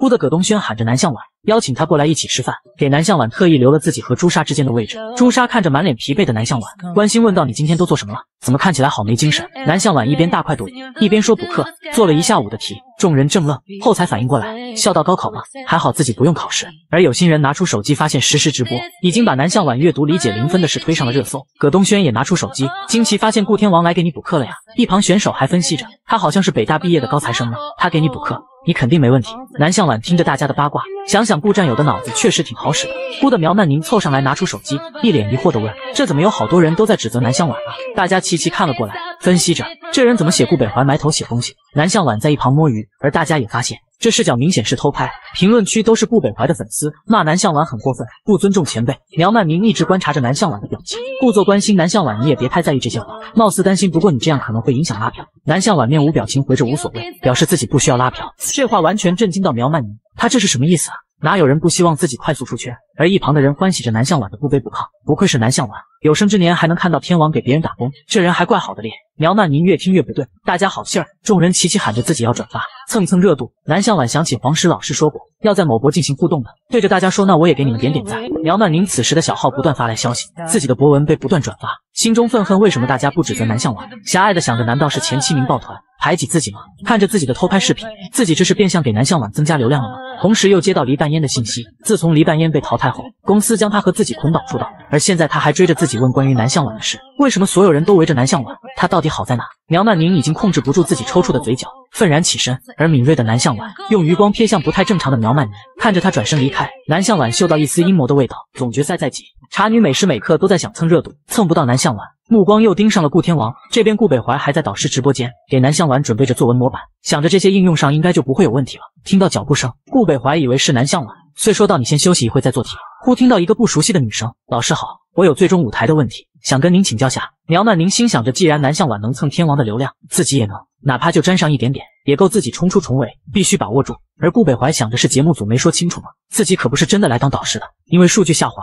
自己是来拉人气，顺道给小狼崽补课的。眼神瞥了一眼苗曼妮，如果是像小狼崽那样的潜力新人，自己提携下也没问题。但是这种，自己可没有那时间。遂回绝。舞蹈问题去请教赵兰老师，歌曲问题去找钟林飞老师。苗曼宁找着借口，我想请教男士舞蹈。顾北怀并未抬头。赵兰擅长街舞，男人大多跳的也是街舞。苗曼宁继续争取，我从没遇到过像您这样好的老师，请给我一次机会吧。不死心的说，况且您不是也知道南向晚吗？顾北怀有些不耐烦，你的意思是赵兰老师不行？啪的一声拍而起，居高临下教训道：“你想让我指导你？你有南向晚的业务能力和水平吗？不思进取，一心想蹭热度罢了。你这叫不务正业。”直播弹幕也齐齐骂着苗曼宁不要脸。而后苗曼宁被工作人员架走，架走的同时还劝着：“那南向晚是能力强，顾天王爱才才会处处谦让，不是顾天王脾气好，你又不是南向晚，愣头青往上蹭，你想被粉丝骂死吗？”被拉出来的苗曼宁。看着网上对自己的一片骂声，心想这同样是蹭热度，为什么南向晚就可以？不公平！忽的听到化妆大师莫妮卡的声音，躲起来偷听，原来是莫妮卡和南向晚在沟通总决赛的造型和服装。决赛会要求全员在一个大的化妆间，所以服装和道具会提前送到仓库。角落里的苗曼宁听到此处，心中生出骇人的心思：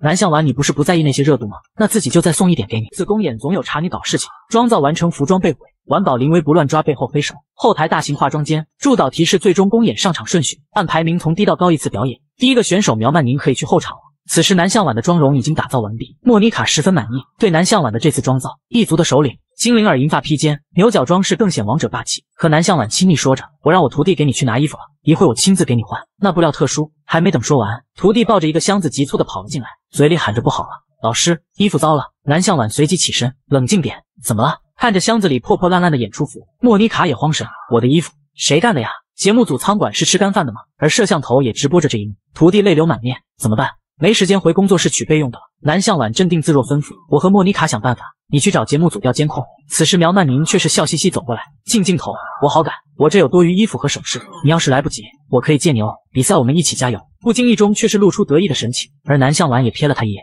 发现他的首饰好像有些缺失，莫妮卡焦急说道：“我先去找点应急的衣服吧。”转身要走，却被南向晚一把拦住：“不用，我有办法，将服装更贴合我的歌曲主题。”随后神情冷冽打通程雪电话，安排着查几样东西。几位选手都表演结束，终于到了南向晚上场。台下表演完毕的苗曼宁想着自己表演前在化妆间蹭镜头刷好感，刚刚舞台结束又极力拉票，自信满满，觉得场外投票怎么也能进前期了。而且南向晚短时间内肯定解决不了服装的问题，自己只要静静等着看。南向晚跌下神坛。出尽丑态，总决赛前晚宝私服被毁，背后黑手露马脚，晚宝并不着急，也有对策。歌曲《The Immortal Legend》的声音响起，南向晚空灵的声音响彻现场。可是已经唱了十五秒，舞台还是没有亮起。歌曲给人一种苍凉之感。台下的顾北怀感觉到南向晚似乎在隐忍些什么，而南向晚的沙哑独特的嗓音似乎就在人的心间滑动，缓缓流淌。忽的舞台灯光大亮，台下响起振聋发聩的声音，高呼南向晚。女王南向晚，舞台上南向晚身着破烂不堪的披风铠甲，银色发尾也被染上了血色，脸颊上好似浴血奋战的凤凰喷薄欲出。一族首领对天空声嘶力竭的呐喊，宣泄着自己给部族带来的胜利曙光，再次攥起了拳头，发起新征程的号角。台下一片欢呼，我的女王南向晚。导师赵兰忍不住站起为南向晚喝彩，而顾北怀却陷入沉思，他好似唱出了战壕之声，仿佛真的是浴血归来的女将军。可是心生奇怪，为什么会觉得他最后的手势莫名的好熟悉，好像在号召他的所有将领士兵，我们战无不胜。一曲结束的南向晚有些轻喘，他也没想到这首歌能代表他结束了自己的过去，开启他的心声。顾北怀拿起话筒问道：“我想问你一个问题。”为何你会选择这么一身破衫褴褛、剑走偏锋、充满沙场气息的妆造？我记得你最终提交的舞台方案是单纯的华丽风啊。南向晚沉声说：“那是因为指向台下坐着的苗曼宁，正是拜他的剪刀所赐。与武神战场浴血奋战，凤凰图腾喷薄欲出，华丽披风恶意被毁。”南向晚肃杀的眼神看着台下的苗曼宁，苗曼宁惊慌失措，还不忘给自己辩解：“这是诽谤，你有什么证据？”台下议论声渐起，原来南向晚之前的演出服不是这个破烂风啊！惊天大瓜！苗曼宁笃定这么短的时间，南向晚根本不可能找到证据，而且自己当天伪装的那么严实，他一定是诈自己。赵兰导师问南向晚：“你能确定是苗曼宁赛前破坏你的演出服吗？如果是真的，节目组一定会严惩以待的。”顾北怀看着手机刚收到的信息，拿起话筒说道：“节目组已经收到南向晚方提供的证据，现在就可以核实，索性大家一起看吧。”台上的南向晚露出信任的目光，微微颔首。就知道程雪效率很高，没想到顾战友也这么给力。指着大屏幕中出现的一个移动黑色物体，就是这个大黑垃圾袋。昨晚凌晨偷偷进仓库，剪坏了我的服装。可是台下一片嘘嘘声，这也根本看不到脸和身形轮廓，居然用个垃圾袋。这个人果然很垃圾。南向晚拿出证据，可是这个坏人没想到自己会暴露，指了指垃圾袋人手腕上的手链，是蓝白宝石相间的。这是城东娱乐给苗曼宁接的通告产品，而且产品尚未上市。现场捡到了一枚镶嵌的白锆石。南向晚笃定冷冽，杀伐果断地喊着苗曼宁。把你那缺失的手链给大家看看吧。苗曼宁立马捂住自己的手链，还在极力争辩，单凭一条手链就能确认一定是我吗？搬着大垃圾袋的垃圾人被南向晚现场指证，苗曼宁极力辩解，漏洞百出。南向晚冷笑：“你是忘了临上场前你说过的话？你说我的披风坏了，可是赛前你怎么知道我的服装是披风？你如果不承认自己说过，节目组的摄像可以帮你回忆，毕竟互联网是有记忆的。”眼神更加森冷。还有之前你用小号发我吃东西的视频，故意引黑粉事件发酵，这账回头跟你一起算。苗曼宁心中大骇，怎么会？他怎么什么都知道了？这不全完了吗？直播弹幕也是一片骂声，劣迹艺人，封杀封杀！南向晚不屑，你不是一直想蹭热度吗？我亲手送你一波大的呀！就听砰的一声，顾北怀拍而起，请这位选手立马退赛，节目组会就你的恶劣行为发律师函，给参赛选手和观众一个交代。苗曼宁又一次被拖走，南向宛如战胜的将军潇洒离场。主持人开始 Q 下一个环节，即将进入截止投票，宣布最终成团名单。顾北怀看着网上的风向，还好南向晚自己化险为夷，想着苗曼宁几次三番的险恶行为，要不要趁机找城东娱乐赔偿，再把赔偿款转给南向晚。主持人再次登台，手中已经拿到后台的计票通知，激动人心的时刻，从第七位开始宣布成团人员。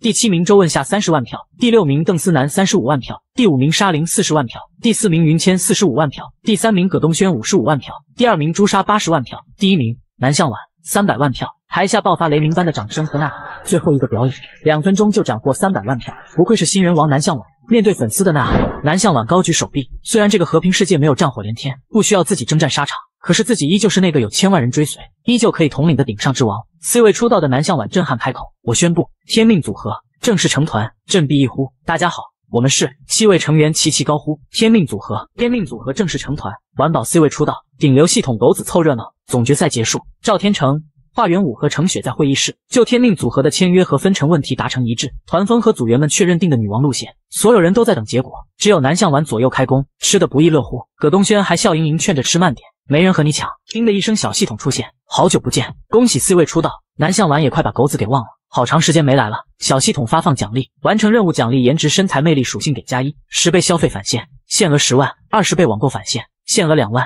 恭喜粉丝突破一千五百万，奖励十倍消费返现，限额十万。南向晚想着自己又可以消费买东西了，兴奋的和狗子击掌，夸赞狗子这次奖励不错。随后顶流系统发来南向晚最新的数值，颜值、身材、魅力天花板，技能专精都很哇塞，总资产一千二百万。小系统回赞，厉害的宿主。随后又叮的一声发来新任务，瞬间南向晚嘴里的饭就不香了，暗骂就知道这狗东西不可能消停。任务为天命组合创作专辑主打歌，失败扣除分成利润的百分之三十，就怕南向晚抓着他打。小系统迅速后退溜走。朱砂念着刚刚发出的组合第一个通告，两个月后要出新专辑，需要八首原创歌曲，预计三个月后在暑假期间开巡演。朱砂担忧的问南向晚：“你没问题吧？”南向晚比了一个 OK 的手势。吃完饭干劲十足，兴奋问着：“这八首歌要明天都写完吗？”葛东轩连忙挥手：“也没那么着急。”南向晚想着到时候可以将沃爷也加进去，就是不知道顾战友编的曲怎么样了。成团夜暖房饭，帝国女将军没吃过那滚烫的火锅，爹系男友顾北怀照顾的无微不至。葛东轩忽地站起，举起小手：“刚刚赵老师说我们接下来要有个为期数月的团队生活计划，那我们一会就去新家吃暖房饭吧。吃火锅怎么样？”大家异口同声答应：“太好了。”只有沙林神情不太对，沙林起身说：“不好意思。”经纪人夺命连环扣，叫我立刻回公司。恰好被刚出来的赵天成听到，既然重月娱乐给你打电话，就回去吧，别耽误你个人行程。南向晚却逐渐有了团队意识，记得早点回来，给你留饭哦。沙林这时表情才缓和下来。那晚上别墅见。顾北怀为了多陪晚宝一会，主动安排组局火锅暖房饭，也慰劳大家这段时间辛苦了。大家兴奋，居然有顾天王给团队安排。南向晚更是抑制不住，自己还从来没吃过火锅呢。不多时，合宿别墅内，热气腾腾、红红火火的火锅就准备好了。拿着满桌的好吃的，南向晚只觉得顾战友也太棒了。而这些食材都是顾北怀专门让人挑选的，就怕给婉宝吃坏肚子。大家好奇的偷看顾北怀，原本以为顾北怀会请专业团队来做饭，没想到他亲自操刀，而且他居然会做饭哦。他还说只是兴趣，这种男人是真实存在的吗？大家围坐在餐桌上，看着南向晚迟迟不下筷。顾北怀关心问你喜欢吃哪个？南向晚有些低落，这火锅要怎么吃啊？众人震惊。原来婉宝真的没吃过火锅呀！顾北怀猜测着他年龄最小，平时不是在训练就是在学习，而且说不定他是军区大院长大的，军区里可没有火锅吃。大家听着也觉有道理。顾北怀就像照顾小朋友，这火锅就是将你喜欢的菜放进去，熟了就可以吃了。拿起一盘肉，吃这个吗？还要别的吗？南向晚高兴地说：“吃，所有的自己都要吃。”吃了几口，南向晚表达真好吃，天天都想吃。顾北怀疼他疼出爹感，小心别烫到，嘱咐着大家在网上要保持活跃度，但是不要暴露了别墅位置，要保护好自己。大家窃窃私语，这顾天王和传闻中的好像有些不一样了。吃完晚饭，大家齐齐和顾北怀告别，南向晚也喊着慢走啊，站一站。突然，葛东轩卷着一张纸当话筒怼到南向晚的面前，逼问道：“从实照来，你和顾天王现在是不是在交往？”南向晚一脸懵，这帝国将军穿越当咖位女王。C 位出道会影帝艾希，心中只认那是生死之交的顾战友。在葛东轩的一再追问下，晚宝直直向后倒了下去。因为晚宝的生物钟到点了，葛东轩还觉得晚宝是想用睡觉糊弄自己。可是无论怎么摇晃拉扯，晚宝一点苏醒的架势都没有。只有朱砂懂晚宝。他确实有秒睡的能力。晚宝困倦的微睁开眼睛。有人问顾天王，他在比赛的时候就特别关注你，还专门邀请你去慢宗。刚刚吃饭的时候看你的眼神都拉丝，那氛围。晚宝打了一个大大的哈欠，想着他们怎么会觉得自己和顾战友有什么？那可是一起战斗过的友谊。遂连续回答了三个问题：没有，不是，不可能。朱砂是了解晚宝的，解围道：既然南向晚说没有，那就是没有，别八卦了，让他回去睡觉吧。众人听话的回道：好，队长。此时恰好沙林进屋说道：我回来了。扶着晚宝的朱砂说：“这都凌晨一点了，你总算回来了。”晚宝迷迷糊糊的还嘱咐着：“给你留了菜和肉，快去吃。”好吃。沙林苦笑，我去吃点就行。餐桌前的沙林刚坐下，就接到经纪公司刘哥的电话，说着五点必须到指定的地点。这个广告单子大，不能迟到。沙林累的声音都沙哑，说现在已经凌晨一点了，而且今天下午已经还没说完就被打断。你需要无条件服从公司安排的工作。这个广告拍完。还有两个通告，众人原本想陪着沙林让他吃点饭的，可是就看他一直在接电话。邓思南劝道：“你赶紧吃饭，其他的事吃完饭再说。”沙林无奈的双手撑着头，说自己都要疯了。刚成团，重月就塞给自己一堆工作，拍写真、广告、直播、视频，恨不得拿我当机器人用。到现在一口水都没让我喝，说是趁着成团的劲头多活跃活跃。原本困意上头的玩宝此时深深皱起眉头，队员们你一言我一语问着，这才刚成团。不给你吃的也就算了，怎么大晚上还让你接这么多工作？给你多少钱？接了三个广告，分成大概到手五万。五万？我在的小公司没成团前，我接的广告分成就有大几十万，更别说现在，最起码六位数起步。你这是被压榨了？什么黑公司啊？朱砂思考了下说，沙林在的重越娱乐怎么也算是圈内二线公司，按理说合同不该这么坑啊。管宝说沙林，你需要帮忙的话，随时开口。沙林不愿给大家添麻烦，起身说暂时没问题，我先去休息了，一会还得早起。南向晚看着强撑着的沙林，心中有了思量，再吵闹也不影响晚宝。生物钟到了，吃完就困。队员被压榨，女将军霸气护着自己人。三天后，晚宝正在备战高考数学题，门外传来沙林略带请求的声音：“让我休息半天不行吗？我都提前说了不太舒服，为什么一定要给我排这么满了？”玩宝快步出门，看到在楼道中哭泣的沙林。沙林说：“刘哥，我是人，我需要休息，连续几天。”我每天都睡不够三个小时。晚宝一把夺过手机，听到对面传来一个男人的声音：“给你安排的赛可西泳衣广告，你必须接。给你半个小时过来，不然我就直接上门找你。”沙林眼中含泪望着晚宝，晚宝用上位者不容置疑的声音说：“让人休息，听不懂人话吗？”对方毫不客气：“你他妈谁啊？”晚宝教训到：“重月如果已经穷到盯着沙林一个人压榨，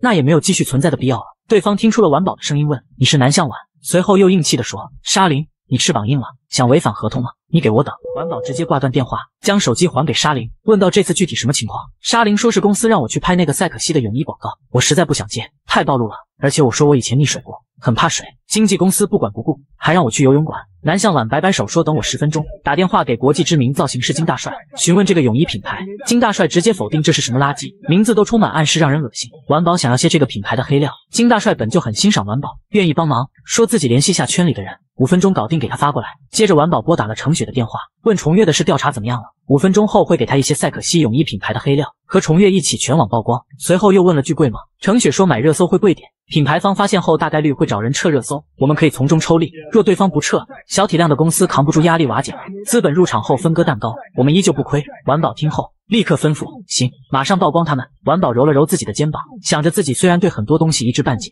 但是不妨碍自己找专业的人做专业的事。沙林有些忐忑，南向晚，你这么帮我，那边会找你麻烦的，而且他们肯定会拿合同做文章。玩宝笑笑，说着没事，自信而笃定地说，我可不会让自己吃亏。沙林，你就等着之后和华婉签约吧。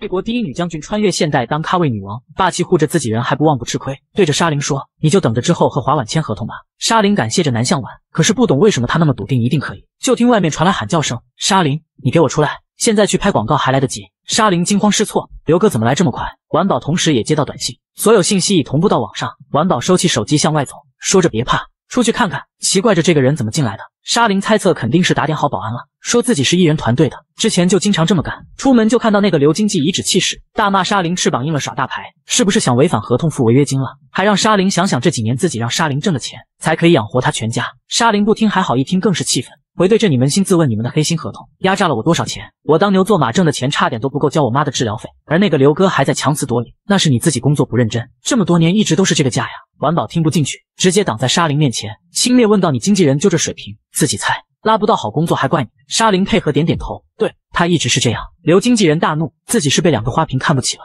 就想上前拉沙林。你再这么固执，我就不再给你好的资源了。忽的一个秃头油腻男出现，喊了声小刘，有话好好说嘛。八字眉三角眼一看全是坏心眼，说你看沙林年纪小，但是懂事啊。这把 C 位出道的南向晚都拉出来和我们见面了。南向晚冰冷的眼神扫射着这个油腻男，油腻的样子就让人想吐。他就是赛可西的老板，内心污秽的想着，如果沙林拍了这个广告，其他成员也能拍，他们个个都这么漂亮，肯定都有大用处，自己还能好好玩玩。伸出那贼兮兮的大胖手，就要去拉晚宝的手。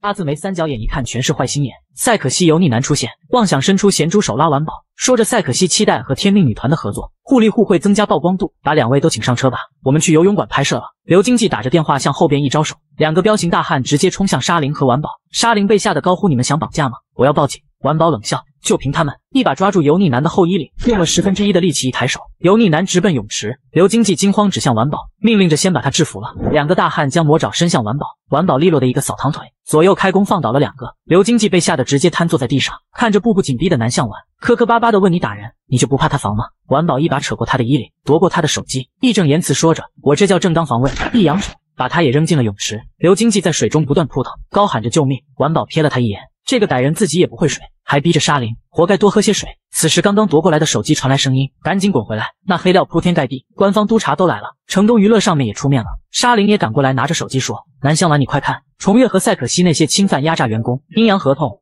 使用毒材料，报上热搜了，股价暴跌，官方都介入了。”南向丸只说先报警，把泳池那些垃圾清理走，想着自己也没安排程雪通知官方啊。忽的手机来电，是顾北怀。关心问着沙林那边的事处理好了吗？说自己顺带联系了下熟人，官方介入处理的也正规些。晚宝感谢不愧是战友，想得真周到。顾北怀神秘地说自己有个很重要的东西要给晚宝，让他尽快回夏季公馆。将军和影帝联手完美处理女团成员的纠纷，丰满的感情满满的就要溢出来。顾北怀强东发小秘密被发现，接到战友电话，晚宝第一时间回到季公馆，可是到了楼下怎么也联系不上顾北怀，因为电梯一梯一户，没办法只能走另外一条路去战友家。毫无疑问好顺利。对于莫名熟悉的路线。晚宝也有些疑惑，只是自己不知道这是上次喝醉，身体有了惯性记忆。刚进入战友家，一股菜香味从厨房传了出来。走进客厅，晚宝被眼前的场景惊到，这是什么造型？顾北怀、强东正要赶走发小好友谢愁，而谢愁觉得顾北怀有什么事瞒着他，想进他的家好好查一查。忽的就看到有个人从阳台跳了进来，定睛一看，居然是晚宝，兴奋的蹦起。他可是杠杠的板砖粉，热情喊着晚宝，手舞足蹈的介绍自己。说自己是他的粉丝，好爱好爱他，结果后脖领子直接被顾北怀拎走。顾北怀和晚宝道歉，本想处理好他再去接你的。谢愁看出顾北怀一脸不爽的表情，而且处理自己是什么意思啊？晚宝认真的问你说要给我什么东西？此时肚子不争气的咕咕叫了起来，摸了摸肚子，委屈巴巴的说战友，我饿了，我想吃你做的饭。谢愁没有眼色的插嘴，他哪会做饭啊？他要是会做饭，我把太阳给你摘下来。还要继续说，却被顾北怀一把拖走，拉着他去厨房打下手。片刻。三人展开了空盘计划，晚宝满足的夸赞：“这饭菜真的好好吃。”谢愁不乐意了，自己从小就认识顾北怀，从来就不知道他什么时候竟然成了大厨的水平，而且刚刚发现墙上居然挂着晚宝字迹的纸，因为之前在直播时见过晚宝字迹，以往那冷若冰霜的影帝，热情的妨碍他和晚宝合影，还特意支开晚宝去做套高考题，种种表现说明他真的不对劲。顾北怀此时很正式的嘱咐着谢愁：“南向晚还小。”自己暂时还不打算跟他表白，也不希望他被这些影响到，让发小谢愁管好自己的大嘴巴。想到晚宝现在完全没有这方面的想法，自己真的担心谢愁嘴快说出去。最好的方式就是温水煮青蛙，自己慢慢渗透他的生活，一直陪在他的身边，总有他长大懂得的那天。这惊天大雷震惊的谢愁不要不要的，怒指顾北怀：“我不同意，我要代表板砖大军监视你。你以为你是天王，你了不起吗？”内心喷火。你如果敢诱拐我们晚宝，我就跟你拼命！顾北怀冷静地问：“那他成年后，我以你发小的身份追我喜欢的女孩呢？”谢球平静想想是，晚宝早晚会谈恋爱的呀。如果是顾北怀，那是个不错的选择。忽的感觉自己好像被顾北怀套路了。一个小时后，晚宝出来说自己刷完一套题了，问到怎么就你自己了？他说他有事先走了。顾北怀可不会说他是被自己赶走的。随后神秘地说：“来这边吧。”我也编曲完成了，我想马上弹给你听。晚宝听到自己作词的曲子新鲜出炉，兴奋的一屁股坐到钢琴前。顾北怀在晚宝身后温柔的将钢琴盖打开，嘱咐着小心。坐下后偷瞄全神贯注的晚宝，想着刚刚的姿势有些暧昧，不过好像只是自己想多了。一曲结束，晚宝兴高采烈说：“这就是自己想要的感觉，太好听了。”忽的接到赵天成的群信息，通知三天后天命女团的团综开拍，还有具体的行程。顾北怀满脸宠溺，眼神拉丝。晚宝越来越专业，也越发专注事业，自己也要尽量压抑那些心思。不过。第一次参与团综，遇到个不长眼的挡通道，晚宝可不会惯着，帮助警察叔叔维持秩序。清晨，南向晚在前面急速前行，后面的助理摄像紧追快跑，喊着南总，等等我们呢。助理气喘吁吁说，专车已经在等我们了，您不用这么着急。南向晚想着这几天一直没回合租别墅，本来就没有和成员们一起出发，第一次团综绝不能迟到。可是出机口门前被堵得严严实实，还有粉丝的呐喊声：“何颂哥哥，我爱你啊！”南向晚听着其他众人议论，这明星接机为什么要堵住一般出口？太不像话了。我开会要迟到了，而这边重越娱乐旗下艺人樊和颂正享受着粉丝的追捧和众人的围观，迟迟不离开出机口。南向晚问着总算追上来的助理：“他谁呀？为什么一动不动？”助理给晚宝解惑：“樊和宋是沙林在重月娱乐的师兄，前几年挺火的，不过最近两年没啥作品，猜测着估计是为了让粉丝给他拍点美照，制造点热度。”随后就听那边传来争吵声，接到报警的警察拿着喇叭来维持秩序。并推搡着樊和宋赶紧离开。樊和宋却慢吞吞挪动，等着粉丝出头。粉丝开始表达对警察动作的不满，控诉着不要推和宋哥哥，警察怎么能动手打人？助理一旁劝着南总，我们从旁边走吧。可是婉宝一个箭步就冲了上去，摄像老师一惊，我去，南向晚你干什么？就见婉宝帅气的将背包一扔，伸手扶住差点被推倒的警察，一手拎起樊和颂的脖领子，像扔铅球似的将他抛了出去。众人一惊，赶紧躲开。管宝神情肃穆的教育道：“好狗不挡道，你不知道吗？你不走，后面还一堆人呢。”随后拍了拍手，众人议论：“好飒的小姐姐啊，这女人是飞进去的吗？”樊和颂也没反应过来，刚刚自己的粉丝都把自己围起来了，怎么这会儿自己就被扔出来了呢？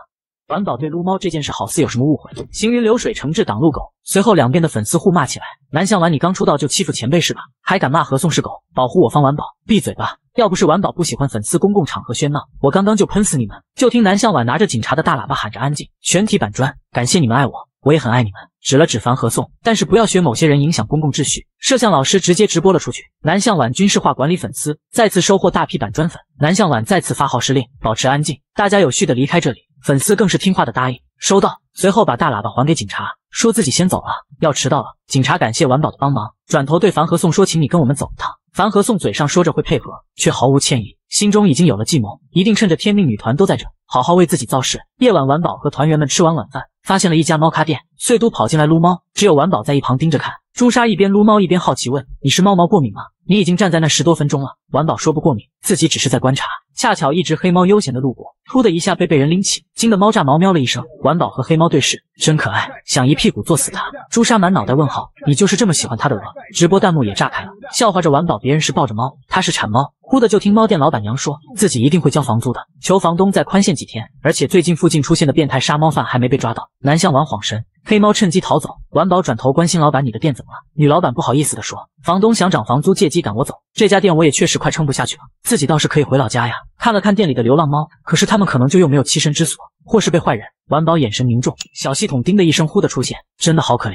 身为同类，我感同身受。婉宝不留情面，你不是狗子吗？你出来干什么？小系统眨眼，当然是发布任务，随即可选拯救猫咖，达成任务奖励腕表一枚。提示这是支线任务，可接可不接。玩宝笃定接啊，不接这店不就没了吗？安慰着老板，你别担心，指了指自己的女团成员们，笃定的说，我们来帮你。玩宝独特的撸猫方式，拯救猫咖女团在行动。天命少女凌空出世，葛东轩甜美主持。宝子们，第一届天命女团团内唱歌 PK 直播火热进行中，支持哪位可以给哪位投票哦。朱砂是猫咖店铺一号链接的公益周边，支持邓思南可以选二号。面对黑粉质疑他们收钱办事，葛东轩手抱猫猫，我们才没有，我们是路见不平，古道热肠。猫猫配合的也喵了一声。片刻后，猫咖店老板感谢着，真的感谢你们，我直播店里的公益商品都卖爆了，还有猫粮的品牌方 P 二私信想援助我们，你们用我的号直播，真是帮我解了燃眉之急，太感谢你们了。婉宝笑笑，我们都很喜欢这些猫猫呢。转头认真的拿着笔。刷刷在纸上写着，心中构思专辑里下一首新歌。看着猫咪们各种各样超可爱姿态，婉宝的目光不自觉的变得柔和。葛东轩来喊专注的婉宝说到你了。朱砂也好奇问道，你刚刚在写什么呀？婉宝拿起吉他后坐下，随后轻哼出一段优美的旋律，弹幕立马发来惊叹，好好听，好温暖，好适合雨天。这旋律真的是惊为天人啊！婉宝神色温婉。音调柔美，女团其他成员也发出惊叹。这么短的时间，她就创造了一首这么好听的歌。弹幕直呼天命少女啊！一曲结束，大家还都沉浸在温柔的歌声中，余音绕梁。女团成员们都想给她投票了。叮的一声，小系统出现，恭喜宿主完成拯救猫咖，获得价值七十八万腕表一枚，之后会送货上门哦。这边的顾北怀也关注到婉宝的直播，这歌确实好听，都有些期待成品了。截图了婉宝好多美照，原来她这么喜欢小猫，心中已经想好要送她什么礼物了。司机问老板，川西开完会您的行程如何安排？直接回公司吗？顾北怀嘴角微扬，不，再多待几天。天命女团第一次直播首秀，公益拯救猫咖店，婉宝再次创造新曲，温暖柔美。接下来的几天，天命女团来到川西著名的熊猫馆，吃了网红美食超辣火锅，还去了吓得嗷嗷叫都躲在婉宝身后的密室逃脱。古街路边的早晨，吃的婉宝心满意足。大家都知道一定要让婉宝吃饱再出发。忽的就听一句南向晚，好巧啊，是那个讨人厌的何颂，自认为展示了一个阳光笑容，说我们也在这拍摄，没想到在这能遇到你们。凑近婉宝，伸手还要套近乎。婉宝看见这人就恶心，享受美食的心情都没了，闪身躲开他的脏手，问道：“你谁啊？”弹幕形成两个阵营，一边骂着樊和颂这种不要脸的行为，一边说和颂哥哥只是热情，对着天命女团的直播镜头开始自我介绍。板砖粉开骂：“别蹭了，都蹭出火星子了，还要伸手和师妹沙琳打招呼。”南向晚直接用餐盒挡住，说：“麻烦借过，扔个垃圾。”樊和颂贴脸上去，说：“喊我师兄就行。”婉宝就像没听到，说：“好的。”樊老师，沙林和大家吐槽，这个樊和颂就是个猥琐男，在公司时就喜欢以前辈身份骚扰后辈，前不久还想和我炒 CP，但我没答应。大家都劝沙林别怕，朱砂此时喊着大家可以上车出发了。晚宝向着保姆车走去，樊和颂恬不知耻说：“我们节目组的人起的比较晚，我现在正好没事，和你们一起啊。”可是节目组的人说车满了，没座了，回见。接着关上车门，迅速开走。樊和颂却像是不在意，没关系，我坐另一辆。心想不让我蹭了？我偏蹭。我得借机再红一把。片刻后，天命节目组直接将樊和颂送回了他的酒店。樊和颂满脸阴沉问：“我们不是去天命下一个拍摄地吗？”原来他们不是跟丢车，是故意送自己回来的。节目组笑笑：“您还是多休息休息吧。”不得不说，樊和颂心里很强大，想着不着急，只要节目结束前拿到热度就行。心中暗骂：一群卑微的兔崽子，就等着给我这前辈当垫脚石吧。半红不火的十八线小明星。各种围追堵截，女团蹭流量，拉着女艺人就想炒 CP。往后连续两天，樊和颂阴魂不散。这好巧，刻意的连傻子都知道他的目的。貌似偶遇，总要对着天命直播镜头要画面。真人 CS 基地，大家玩的不亦乐乎。彩弹枪比水弹枪的威力大，地雷区埋的也是感应式的彩弹。工作人员提示，一定要套上防护服。大家都感觉好像穿了防弹衣在里面。只有晚宝拿了步枪，好似拿到了心爱之物，怀念起自己之前的日子。好的武器都是有生命的，轻轻抚摸这步枪的每个零件。虽说是游戏，但是自己一定会认真对待。忽的听一个讨厌的声音，好巧，又是那个讨厌鬼凡和颂，弹幕都看不下去，真是荒唐，十八辈子的巧遇都让你用上了。樊和颂和演员华英刚完成侧把，一副和玩宝很熟悉的模样，说要不要比比看？我是老玩家，但是可不会放水的哦，妹妹们可别说哥哥欺负你们。双手又要去搭沙林，沙林眉眼看着猥琐的师兄，迅速跑开。樊和颂转头对着云谦，这枪太重，根本不适合你。云谦嫌弃躲远，樊和颂不顾羞耻朝向葛东轩，亲切唤着东轩啊，你要不要歇歇啊？反正你的上把率那么低，看着葛东轩假装听不到，转身伸手就要去搭朱砂架枪的手。朱砂，你手肘的姿势不太对。弹幕的粉丝大骂，我都要吐了，别来贴我家小姐姐。这何颂又来拉女艺人炒 CP 发糖，想当唐宋八大家呀？就当他要碰到朱砂的胳膊肘时，一杆枪的枪头拨开了他的手，随后将他逼得步步后退。是完宝，他冷冷地说：“樊老师，我们动作不标准会问教练员的。”帅气的举起枪，单手叉腰教训道：“你不懂专业的事交给专业的人吗？”男人自大又狂妄，看不起女团成员的命中率，被麻雀杀手完宝分分钟打脸。完宝教训樊和颂不用他上手，女团成员们都点头称是。和颂一副自己太心急神情，因为多年爱好枪械，看到新人错处总会忍不住帮忙纠正。一旁的话音都看不下去了，喊了声和颂回我们自己场地去。可是何颂装着一点没听见，还兴致勃勃问南向晚，你是把成绩如何？很厉害吧？这边的华元武拉着何颂节目的导演，怒气上涌，我们这团综拒绝无数合作。樊和颂倒是很会巧遇蹭千万流量啊。何颂节目的导演战战兢兢，他也想要点脸，说自己劝过他了，但是他不听啊，让华导消消气，稍后会补偿给他们的节目组的。华元武警告，如果你的嘉宾你管不了，之后出事了你也别管。管宝没理会樊和颂，转身就对准人形靶子。樊和颂看他上来就单手，翻着白眼，小女生就是爱逞强，等着一会的后坐力让她出丑。管宝此时眼神凌厉，砰的一声枪响，直击靶心，随后秒速上膛，又是连开三枪。女团们兴奋高呼阿婉娶我娶我，教练员却是喊了句拖把，再次拖把。朱砂让大家自己练习，不要打扰阿婉了！一旁的何颂开始喋喋不休，多问问多看看会的人怎么玩，比自己瞎琢磨有用。忽的教练员说：“等一下，你是打中了更远处飞行的麻雀啊！”樊何颂顿时僵住，自己刚刚说的话没直播出去吧？教练员都傻了，问到你之前是不是练过呀？相当于移动靶子命中率百分百呀！你这女娃怕不是特种兵吧？弹幕里全是耻笑樊和颂的，一个上靶率百分之三十的人，还要教命中率百分百的晚宝，上靶率百分之三十五的朱砂，真是不自量力。接着晚宝转身走掉，半点不想看这碍眼的东西。樊和颂挣扎着，等一下，我有个想法。晚宝瞥了他一眼，不如我们两个节目组两队，五对五对战比赛怎么样？输了的一方要完成赢家的一个心愿，继续诱惑着，就当给粉丝福利了。无时无刻想蹭流量的十八线男星，为了和女团成员同框，恬不知耻提议比赛。华元武怒气上前，我们节目组可没这安排。心想这樊和颂得寸进尺，想让女团给他当垫脚石，没死他。南向晚伸手拦住要上前的华元武，爽快的答应一声，行，我们接受挑战。心中却是高兴不已，终于有机会暴揍他了。挑战开始，无人机高空拍摄，冰柜神速，晚宝带着女团找到最好的藏身地点。弹幕粉丝发出，如果树叶不动，还以为自己网卡了。质疑樊和颂你在干嘛？不是他挑衅吗？说完就水拉。真拉！几个女团成员小声嘀咕：“樊和颂真的好讨厌，蹭热度还拉踩我们。”无人机拍着呢。嘘，阿婉让我们听声辨位呢，可是我们什么也听不到啊。晚宝眼神一瞥，有脚步声，但是很轻。晚宝准备好狙击，那是踩断树枝的声音。前方有一个人走得很快，轻浮还没有任何隐藏的意思，是樊和宋，一脸的自信满满，瞧不起女团五个人，说着我们肯定比他们先到，到时候来个伏击，一举拿下。同队的华英却很谨慎，看着樊和宋小人得志的模样，提示着我觉得你应该放轻脚步。樊和宋根本没听进去，自己故意建议玩这个，就是为了和天命女团同框，蹭流量的同时还要给他们点颜色。谁让他们一直对自己不理不睬，自信举枪，毕竟子弹无眼，枪炮无情，得意志满的神情还没收敛，砰的一声，小腿就中了一枪。虽然是燃料子弹，但是冲击力也不小，竟然被偷袭了。自己张罗的游戏还没大显身手呢，对着无人机喊着打中小腿不算淘汰吧，心中暗骂这群女的也太阴险了，痛死老子了。花音迅速隐藏，樊和宋不顾羞耻的说：“你们不回复我就当默认了，定个规则吧，中三枪算淘汰。”葛东轩气急想站起理论，他怎么耍无赖？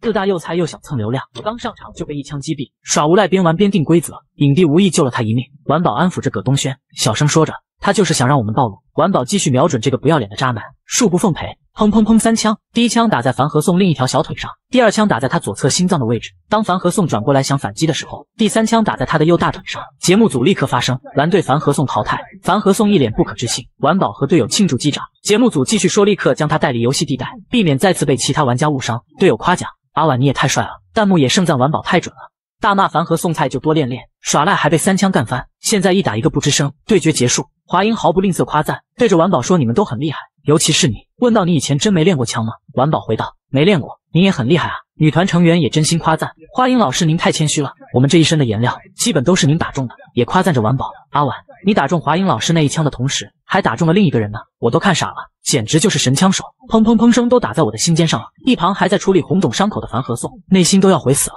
原本是想和人气最旺的婉宝炒个 CP，最好能假戏真做，未成年肯定上热搜，眼神狠辣一瞥。结果这男香碗不理自己。还集中火力攻击自己，新人还敢这么不尊重前辈，不行，自己一定得讨回来。樊和松立马上前，展开双臂，热情地说：“聊得这么热闹，带我一个呗。刚刚我没认真打，而且我们队缺上把率高的，我们加上教练员再来一场吧。”那只不安分得手马上就要碰到晚宝了，晚宝心中大骂：“找死！”已经准备好折断他的手腕，可是没等他动手，樊和宋的胳膊就被人狠狠捏住。樊和宋大呼：“好疼！”来人问：“缺人吗？”是顾北怀，贴近樊和宋，语气不容置疑：“那我来补空缺。”影帝空降节目组助力完宝收拾渣男。顾北怀猜测完宝是属窜天猴的。顾北怀说：“我有资格做你的对手吧？”一把松开禁锢住樊和颂的手，樊和宋被吓得连连后退，磕磕巴巴喊着：“顾顾老师，你怎么来了？自己都他妈要疼死了！这影帝手劲怎么这么大呀？”顾北怀原本不想打扰晚宝的团队生活，可是没想到这个渣男天天缠着他们，阴魂不散，恬不知耻。没办法，只能过来给他来上一枪，一把将教官手中的步枪拿到自己手里。想着好友小球子看到直播也很气愤，已经开始着手准备以某人逾越行为为例，发布犯罪心理学课堂来提升女性防狼意识。开口说：“我们开始吧。”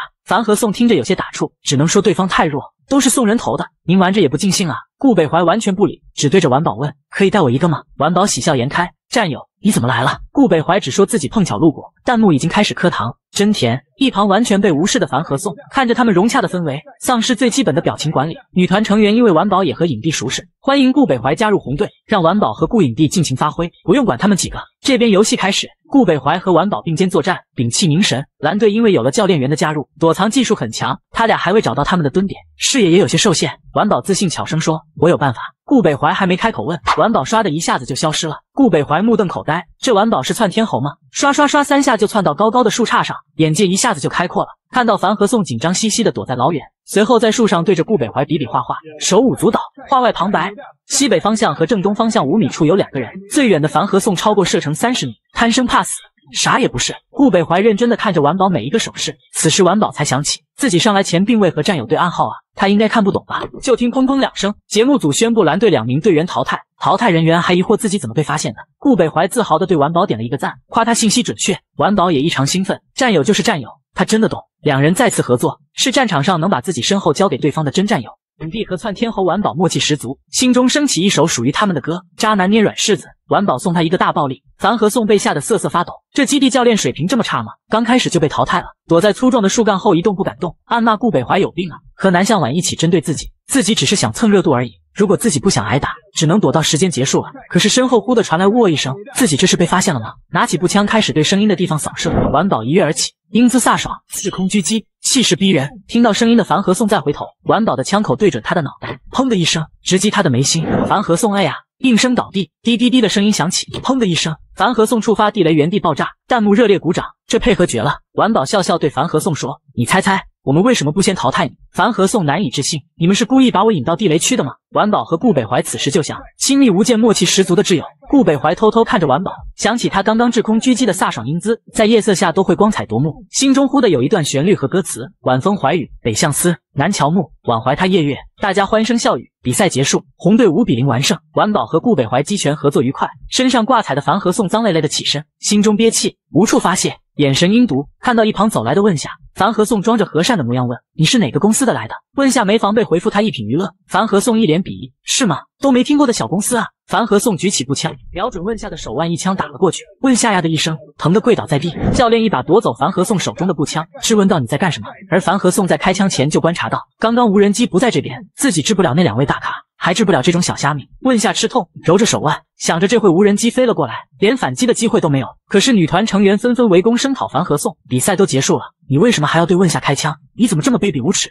樊和颂还奋力反驳：“你们不要造谣，我可没有。”忽的砰的一声，无人机被一枪击落。樊和颂一惊，什么？他的胸口被突如其来的一脚踢飞，狠狠撞在一棵大树上。没等他缓过神来，戴风的一拳直击他的面门，重重砸在樊和宋耳边的大树上。婉宝神情肃穆，眼神冷厉吓人，冰冷的声音教训道：“再敢动我的队友一下，你试试！”婉宝砰的一拳又狠狠砸在他靠着的大树上，粗壮的大树都有些离了歪斜。樊和宋直接被吓晕了过去。无人机缓缓升起，再次开始录制，直播间炸锅。纷纷猜测刚刚黑屏发生了什么。婉宝还嘱咐一句，别忘了输家还要满足赢家一个条件。夜晚，华元武和团队道歉，是节目组没安排好，不小心让人渣混入，决定最后一天不拍摄，让大家好好放松，而且表示公司一定会好好找樊和宋算账。这边女团成员发现，有人已经将樊和宋的所作所为做成反面教材来提示广大女性怎么提升防范意识，热度好高啊！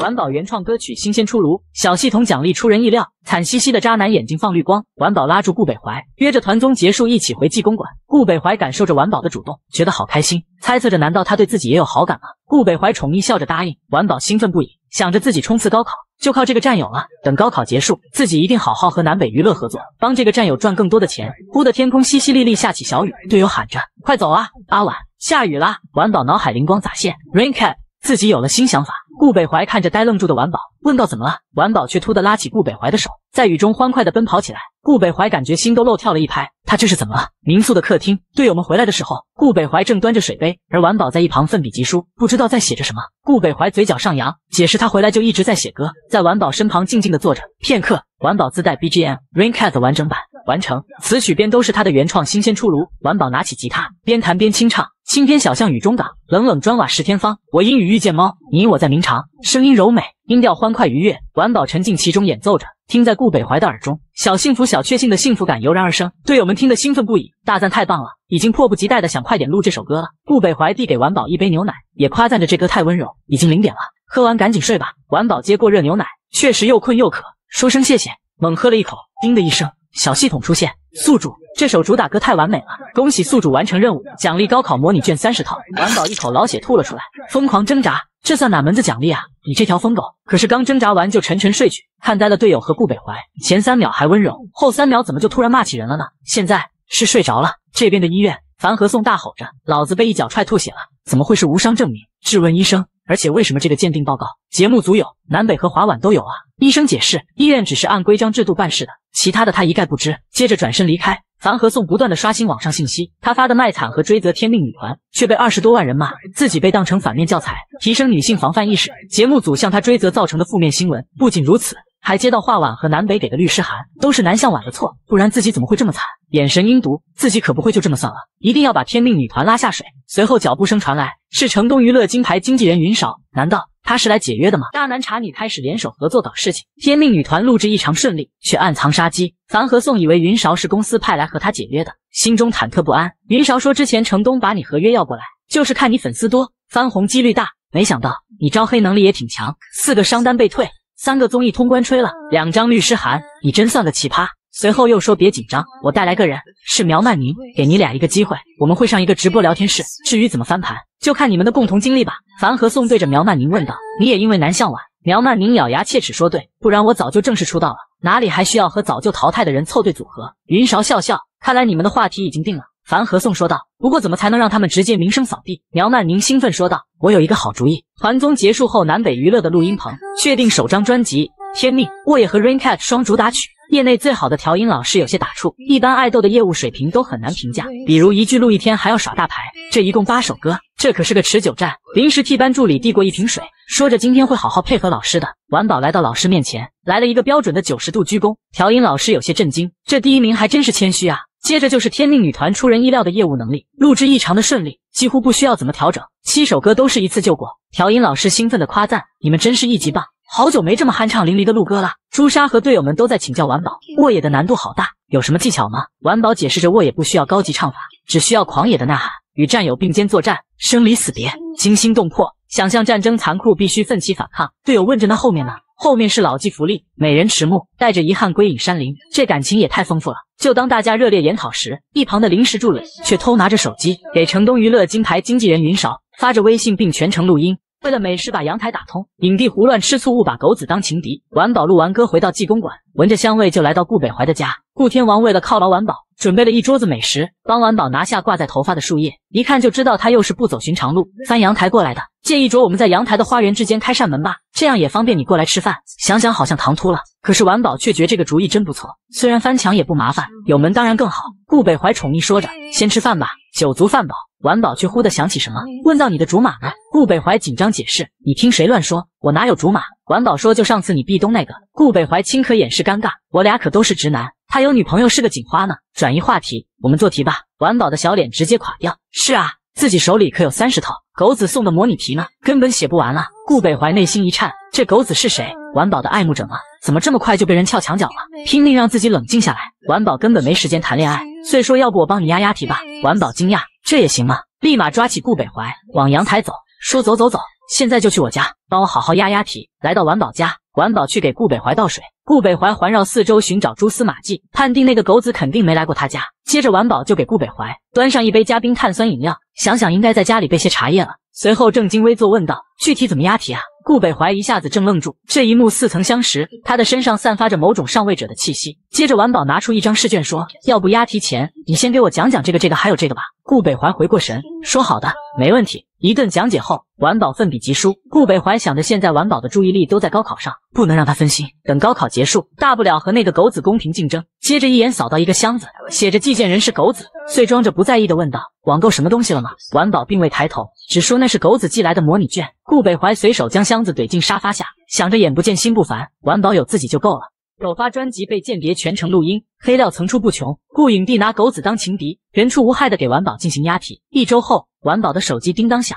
顾北怀说是你们天命的群视频，今天你们首张专辑上线，你也太冷静了。晚宝还在做着卷纸，只说自己太忙了，没空紧张。顾北怀拿起他的手机，说休息一下看看吧。晚宝一看九十九加的未读信息，还有某博，拿起手机就听队友视频炸锅。阿婉，你终于出现了，我们沃野全平台称霸日榜第一了。对手们争先恐后说着，本来我们新组团没知名度，没想到顾天王帮我们转发，还说他也参与了编曲。把他那霸榜的剑舞都给挤下去了。顾北怀说：“我确实参与了制作的。”晚宝感激说：“不管怎么样，都谢了。”晚宝翻开评论，想看看粉丝都怎么说，结果看到了一堆自己的表情包，徒手劈砖、群魔乱舞，还有窜天猴。晚宝凌乱了，这是什么画风啊？笑得顾北怀肚子疼。忽的就看到一堆的黑热搜上涌什么本年度娱乐大黑瓜，天命女团出道内定，南向晚滚出娱乐圈。晚宝神情肃穆，顾北怀心情极度不爽。是谁这么下三滥？女团成员给晚宝发来链接。黑料的来源是苗曼宁和樊和颂直播综艺，那评论一边倒，明显都是水军，他们就是在我们新歌发布时故意抹黑。此时顾北怀拿过 pad，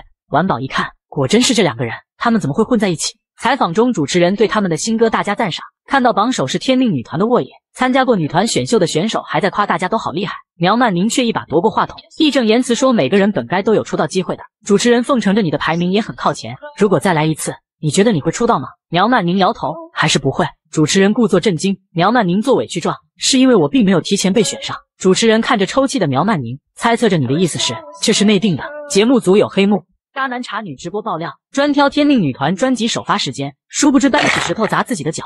樊和颂假意安慰，我也听说了，你想帮南向晚，人家没领情，原来是因为你不是他的同伴。故作深思，怪不得他们的关系看起来那么亲密，不是成团没几天吗？他们还都是一般的。苗曼宁乘胜追击，而且第一名几分钟就有三百万票，怎么可能？他们扬言说新专辑都是自己原创，可是，在团综时，他们都在玩，哪有人写东西？晚宝放下 pad，对着队员说：“别急，这是我处理。”这边作为南向晚的大板砖头子顾北怀，被群内疯狂呼叫。画晚发公告都没用。顾北怀处变不惊，安抚着大家去控评。那三百万票是因为晚宝最后一曲唱的大热电竞主题曲，大主播们带头投的票。他去联系澄清，转头再看晚宝，还真不是一般人。这时候还能冷静刷题，有些心疼晚宝。这是他要快点解决。他不知的是，晚宝的手都要把笔捏碎了。忽的炸毛的狗子出现，发布任务反黑，扭转局面。解除不良影响，被接连打断。晚宝不耐烦地说：“程雪和赵天成那边已经在处理了，焦躁的准备哪天就把狗子炖汤。”唰的站起，随后拨打程雪电话，一步步嘱咐着。随后确定造谣者的位置，穿上外套，戴上鸭舌帽。对方问着南总：“你要干嘛？”晚宝拎起包，帅气地说：“我会好好待着的。”大步流星走了出去。顾北怀也快速穿好衣服，想着那包里装的什么呀？难道他是直接找人算账去了？苗曼宁和樊和颂还在庆祝，这黑料爆的太猛了，铺天盖地的热搜。庆幸有云勺。特意安排他们首张专辑发布时安排直播，这时云韶来电，准备接受夸赞的两人直接被骂得狗血喷头。你俩惹大麻烦了，今后所有的通告全部取消，违约流程之后会通知你们。两人惊得大眼瞪小眼，完全没想到。樊和颂惊叫：什么意思啊？自己演艺生涯就没了吗？忽的就听欢呼声，南向晚，南向晚。惊恐中的两人齐齐回头看向门口，天命女团被水军讨伐没真实。晚宝运筹帷幄，直播上阵，找到一个人流量比较大的商业街，公司层面已经交代好。至于那些水军污蔑，他准备用实力证明，打脸造谣人，设置好直播设备。附近的人群听到音色优美的歌声，有心人一下就听出这是天命女团的新歌。有人拿出手机准备拍下来，这女孩长得不错，唱歌还好听。忽的晚宝听到磁性的和音伴奏，转头看到配合的战友顾北怀，两人默契对视，开始合唱。围观的人越来越多，分析这旋律好像还有现场改编，好厉害！一曲结束，晚宝和顾北怀不约而同的击掌，这种感觉真是太好了。此时的顾北怀给晚宝一种熟悉感。好像是前世那个舍命陪着自己的军师，专辑的歌全部演唱了一遍。晚宝来这个商业街的目标人物出现，那个曾经世界第一 ADC 简大，当时就是他带着电竞粉丝给晚宝投出三百万票，因为他从不接受公司层面的任何联系，所以这次反黑只能来这找他。简大刚路过，就听到晚宝在晋级时唱的那首歌，惊喜回头，真的是他的偶像南向晚。现场版好似比舞台更具感染力。一个战胜的将军再次归来，简大兴奋地喊着他的名字，围观的人也议论纷纷。这种实力怎么可能是网上说的草包？他也太惨了！我要发他刚刚的演唱，为他证明。晚宝落落大方地说，希望大家多多支持我们天命女团。顾北怀也为晚宝表现暗中叫好，无形中让路人真实反馈，扭转不实言论。团综官方也发布了幕后创作花絮，大量的板砖粉、电竞粉，还有关注猫咖的爱猫人士，都加入了拨乱反正的舆论风波。叮的一声。小系统出现，恭喜宿主完成反黑任务，奖励价值三百二十二万美元的古董钢琴一架。还没等晚宝得意，得知晚宝在商业街直播，板砖大军来势汹汹，晚宝立马薅住顾北怀，飞速逃走。气公馆的路边，两人庆幸总算甩开粉丝的热情追逐。晚宝想起高考，顿感时间不多了。顾北怀轻拍晚宝，鼓励着你绝对没问题。晚宝恍惚答应。如果其他人这么说，他只会感觉是随口说说。但是听顾北怀这么说，他也觉得自己肯定没问题。顾北怀对南向晚有秘密了。济公馆顾北怀家正在和发小们语音中，顾北怀不耐烦，找我干什么？我很忙。谢仇不满，你小子忙啥？忙着给我家晚宝当伴奏吗？若薇顾北怀的发小之一，我查了一下，那个南向晚是一个才出道的爱豆，也是华晚的老子。顾北怀的另一个发小之一恭敬调侃：狐狸，你胆子忒大了。你们当明星的不是要避嫌吗？他只是我和谢仇一起追的星，遇到点事儿顺手帮忙而已。谢仇阴阳怪气，对，还是邻居呢。若薇恭敬邻居。你们这剧里有点暧昧了吧？顾北怀自动屏蔽了几个发小的恶龙咆哮，敏锐的察觉到开门的声音。南向晚走了过来，我回来了。接着逗我饿了。公司的事处理好了，事情不仅解决了，他还从狗子那里收到了号称已经绝版了至少两千万起的古董钢琴 Giant Span。对面三人同时听到了女生的声音，还没来得及追问，顾北怀啪嗒挂了电话。我马上去做饭。顾北怀动作娴熟的做起了饭。南向晚在一旁馋的絮絮叨叨，转移注意力。只剩半个月的冲刺期了，你和狗子给我的卷子，我还得继续刷。哦，对了，我要回姑苏市考试，考试前两天我得回家住。顾北怀显然对这样的相处已经习以为常，一脸柔和。嗯，我知道了。押题卷子，我重新给你安排了一部分。话还没说完，突然顾北怀口袋里的手机嗡嗡收到短信，顾北怀脸上立刻出现笑容。之前订的三个猫舍的幼猫都出生了，他迅速回复全要了。到小狼崽生日正好三个月，到时候把小猫接回来给他个惊喜。南向晚凑近，你怎么了？看什么消息这么开心？赚钱了？顾北怀收起手机，望着南向晚的目光温柔。笑起来带着一股蛊惑劲儿，暂时保密。过段时间你一定会很开心。南向晚高考剩下半个月，南向晚在顾北怀的辅导下疯狂刷题，认真备考冲刺。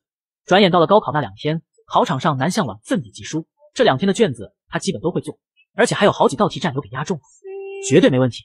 考完最后一门，他甚至是飞奔着跑出去的，特别高兴。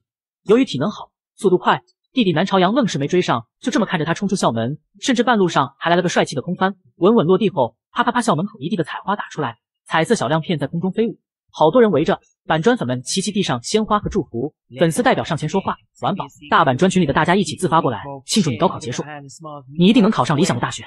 南向晚边说边收到满怀，谢谢你们啊，来就来，送什么礼物？礼盒里有一个板砖，用丝绸系着蝴蝶结和一只可爱猫咪玩偶挂件，是粉丝与偶像相互成就的象征。南向晚开心的收下，飞的一下一掌劈碎。南向晚直接一个现场徒手劈砖，板砖粉眼睛都亮了，好耶！玩宝好棒，徒手劈砖现场版，板砖们很有秩序。庆祝过后，开始清扫现场，捡起垃圾带走。南向晚高考完是真的开心，开心的一连干了好几碗饭。紧接着电话就响了，挂了赵天成的行程安排电话。南向晚还没喘口气，顾战友电话来了，板砖们送你的礼物喜欢吗？南向晚说喜欢小猫挂件时，顾北怀眉眼带笑，太好了，他很喜欢。南向晚挂了电话，抬头，没想到家里人都一脸警惕的看着他，特别是南朝阳，眼中都快喷火了。姐，我可不会随便来个人都认姐夫。南向晚疑惑啥姐夫？小婉听声音，两通电话都是男性朋友。宝贝，你喜欢什么人，妈妈都支持你，但一定要带回来给我们看。南府摩拳擦掌，一副要干架的样子，爸爸会好好招待他。南向晚觉得这一幕好眼熟，前世他和军师回去时，表妹一家和小邻居对着军师。好像也是这种莫名的敌意，南向晚差点就亲到顾北怀了。南向晚笑得开心，顾战友会怎么给他庆祝呢？顾北怀亲手做的冰淇淋蛋糕，顾北怀一个闪身，一个冰淇淋蛋糕，蛋糕很小一只，只有七寸，一层层的冰激凌叠加而成，还写了字祝南向晚金榜题名。顾北怀将蛋糕往南向晚面前推了推，冰激凌蛋糕特地给你做的。南向晚惊讶，你自己做的？你还会做蛋糕？顾北怀递来一个小勺，轻描淡写道，现学的。南向晚拿出手机拍照，你这做的还挺精致。程雪老催我多一面，等我拍照发个微博。顾北怀催促快尝尝，冰激凌要化了。南向晚突然踮起脚尖，手很自然的勾住顾北怀的脖子，难得你帮我庆祝，一起拍个合照。之前天命的大家都是这样的，这样显得关系好。顾北怀脸刷的羞红，拍完照片发了微博。南向晚被蛋糕转移了注意力，顾北怀才勉强喘口气，努力平复激动的心跳。这小狼崽怎么总会出其不意？南向晚少起一大块，嗷呜一口塞进嘴里，这蛋糕好吃的，他心满意足极了。见他这么吃，顾北怀无奈。眼疾手快，一把拉住他。这是纯冰激凌蛋糕，太凉了，要小口小口的吃，不然拉肚子。南向晚不乐意了，小口吃不是他的作风。顾北怀索性将蛋糕没收，不许他吃了。你给我做的蛋糕，却不许我吃，是什么道理？把蛋糕交出来！说罢，南向晚直接就要上手。顾北怀捧着蛋糕躲，两人打打闹闹，在花园里上演了一场追逐战。忽然的近距离接触，顾北怀的心突突愣了一下。南向晚趁机拿走蛋糕，开心的大口大口炫了起来。完全没注意到一旁的顾北怀炸红的脸，心跳砰砰跳的剧烈。顾北怀懊恼，刚刚差一点他就亲上去了。掏出手机，原本想看下微博冷静一下，这届网友不是一般的给力。前几天他不小心点赞了一个制作冰激凌蛋糕的视频，虽然他下一秒就撤销，还是被心细的网友截屏了。根据刚刚南向晚发的有关冰激凌蛋糕的微博，网友推断出南往北地西地是锤了，危险即将来临，看南向晚如何反转。自顾北怀做冰淇淋蛋糕，为南向晚庆祝高考顺利结束。天命女团已经彩排半个月了。今天最后一次彩排，明天就正式演出。南向晚的古董钢琴将会在凌晨送来进行布置。赵天成叭叭叭说完，程雪拿着起诉城东娱乐法务部的文件，请南向晚签字。南总全网都已知城东娱乐买黑，势必要让他们赔偿巨款。南向晚签字时，几名天命成员围了过来，纷纷起哄：“阿晚赔，让他们把裤衩子都赔掉。”虽然圈内打官司是常事，不过这次他们公关也不起作用了。南向晚敏锐觉得目前一切看似顺利，但似乎哪里不对。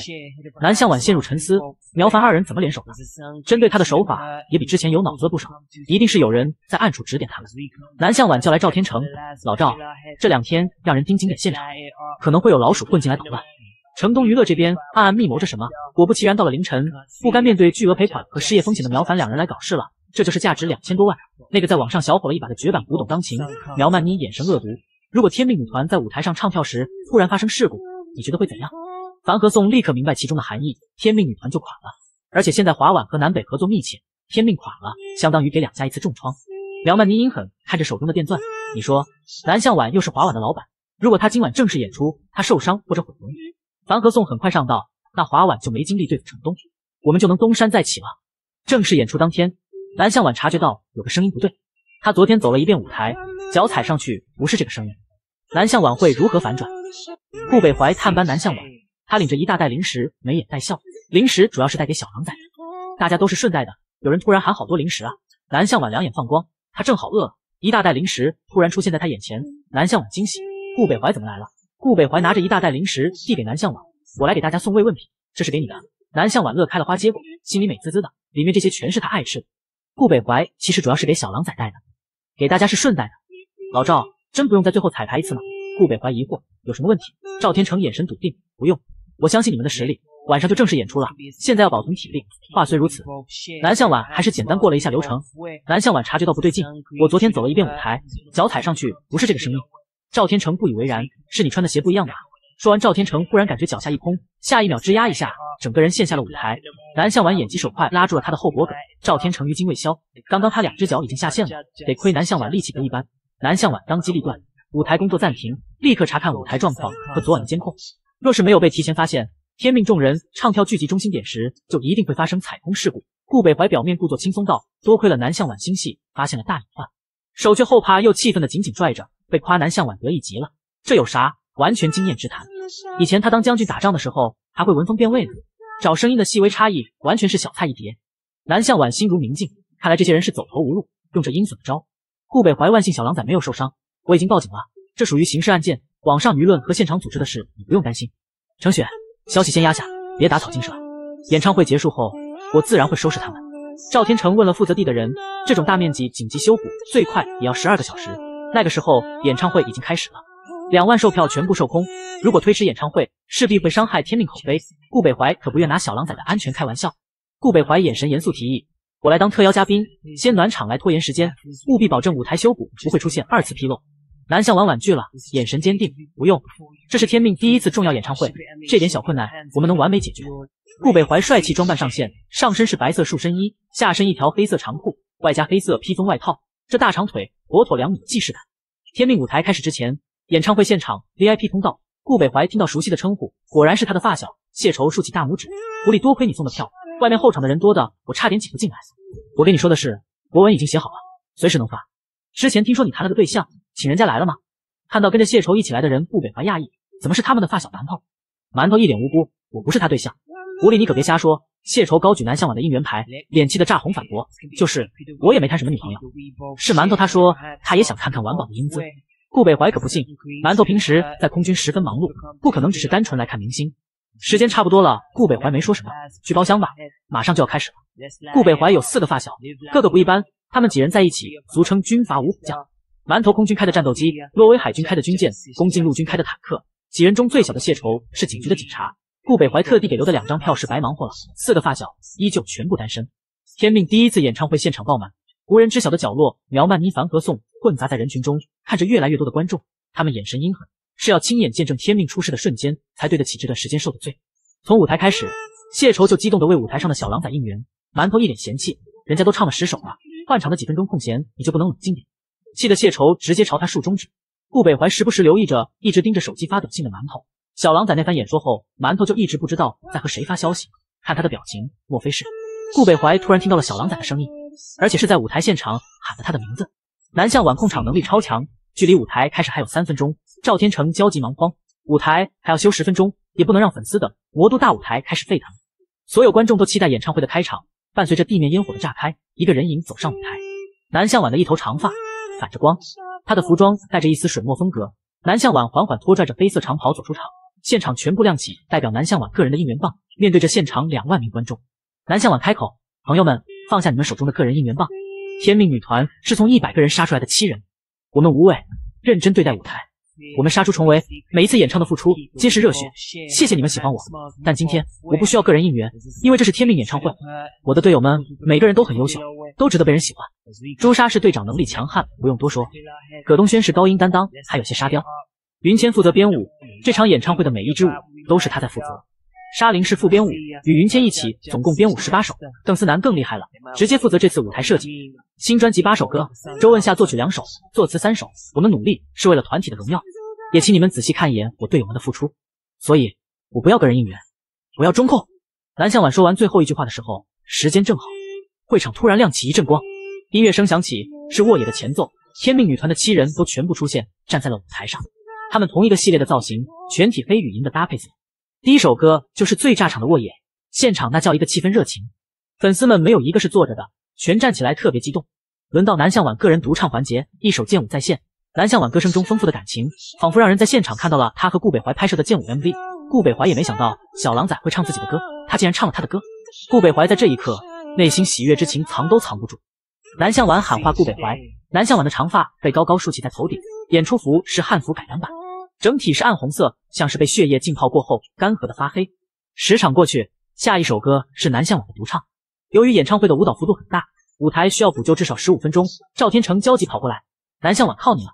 你开头的发言特别好，再来一次。南向晚果断拒绝，不行，鼓舞士气只能用一次，多了会麻木，效果无法到达最佳。南向晚无语，他总共才唱五分钟，剩下的十分钟难道用来哭吗？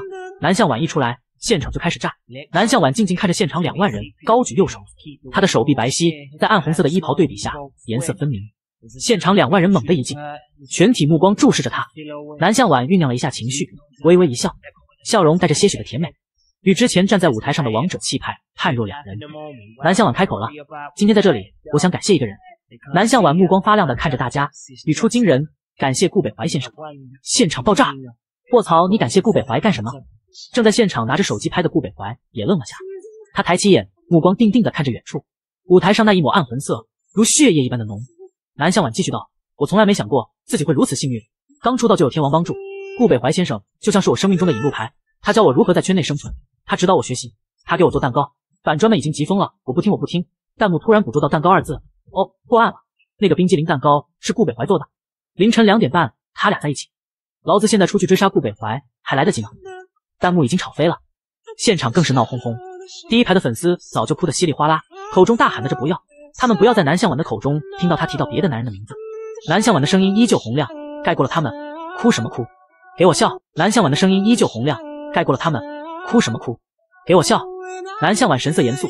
我之所以感谢顾北怀先生，你们应该很明白为什么。四个月期间，我从一个小白成长至如今粉丝两千万，被质疑过，被黑过，也被针对过。顾北怀先生对后辈的提携是业界的楷模，他对我的帮助，我永生难忘，所以感谢。粉丝们集体沉默。是，顾天王真的对南向晚很好很好，好到让他们嫉妒。但是提携后辈什么的拉倒吧，顾天王只帮过你好吗？南向晚，板砖们呜咽。可是他太帅了，我们害怕。南向晚掐着点，粉丝们情绪激动到最高潮，差不多了。南向晚再次举起话筒，过也是国风，你们喜欢国风吗？现场众人哭着喊喜欢。南向晚笑了，好，那下面一首剑舞。轰的一下，舞台最前方的烟火猛地一炸。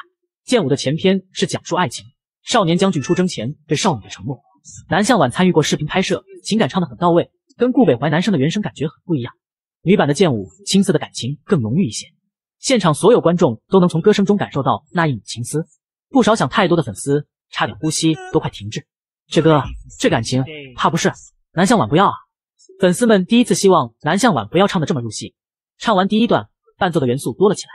原版的视频中这一段正好是女主角被逼着上轿嫁人那一幕，南向晚的声音带上了些许沙哑和凄厉，节奏也快了起来，抵达整首歌的高潮处。在原版视频里，正好是女主角登上城墙，看到了敌军兵临城下。南向晚一抹暗红色的血衣站在舞台中央，整个画面就像是将原版视频的场景再次重现。南向晚一抹暗红色的血衣站在舞台中央，整个画面就像是将原版视频的场景再次重现。他的衣服仿佛被血液浸染成黑，现场两万人的欢呼呐喊淹没了粉丝们的哭声。紫色星空海的场景震撼人心。最后一个高音顿住的刹那，紧接着来到了最后一个段落，南向晚的声音也随之一变，高亢声中带着一丝落寞感。视频是开放式结局，整首歌的结尾也带着一丝意犹未尽，仿佛一切没有真正的结束。将军去了哪里？回战场了吗？女主落下城墙后就下来了吗？所有的一切都在歌声的最后一句中隐藏。南向晚放下话筒的瞬间，现场炸开，无数观众站在那嘶吼。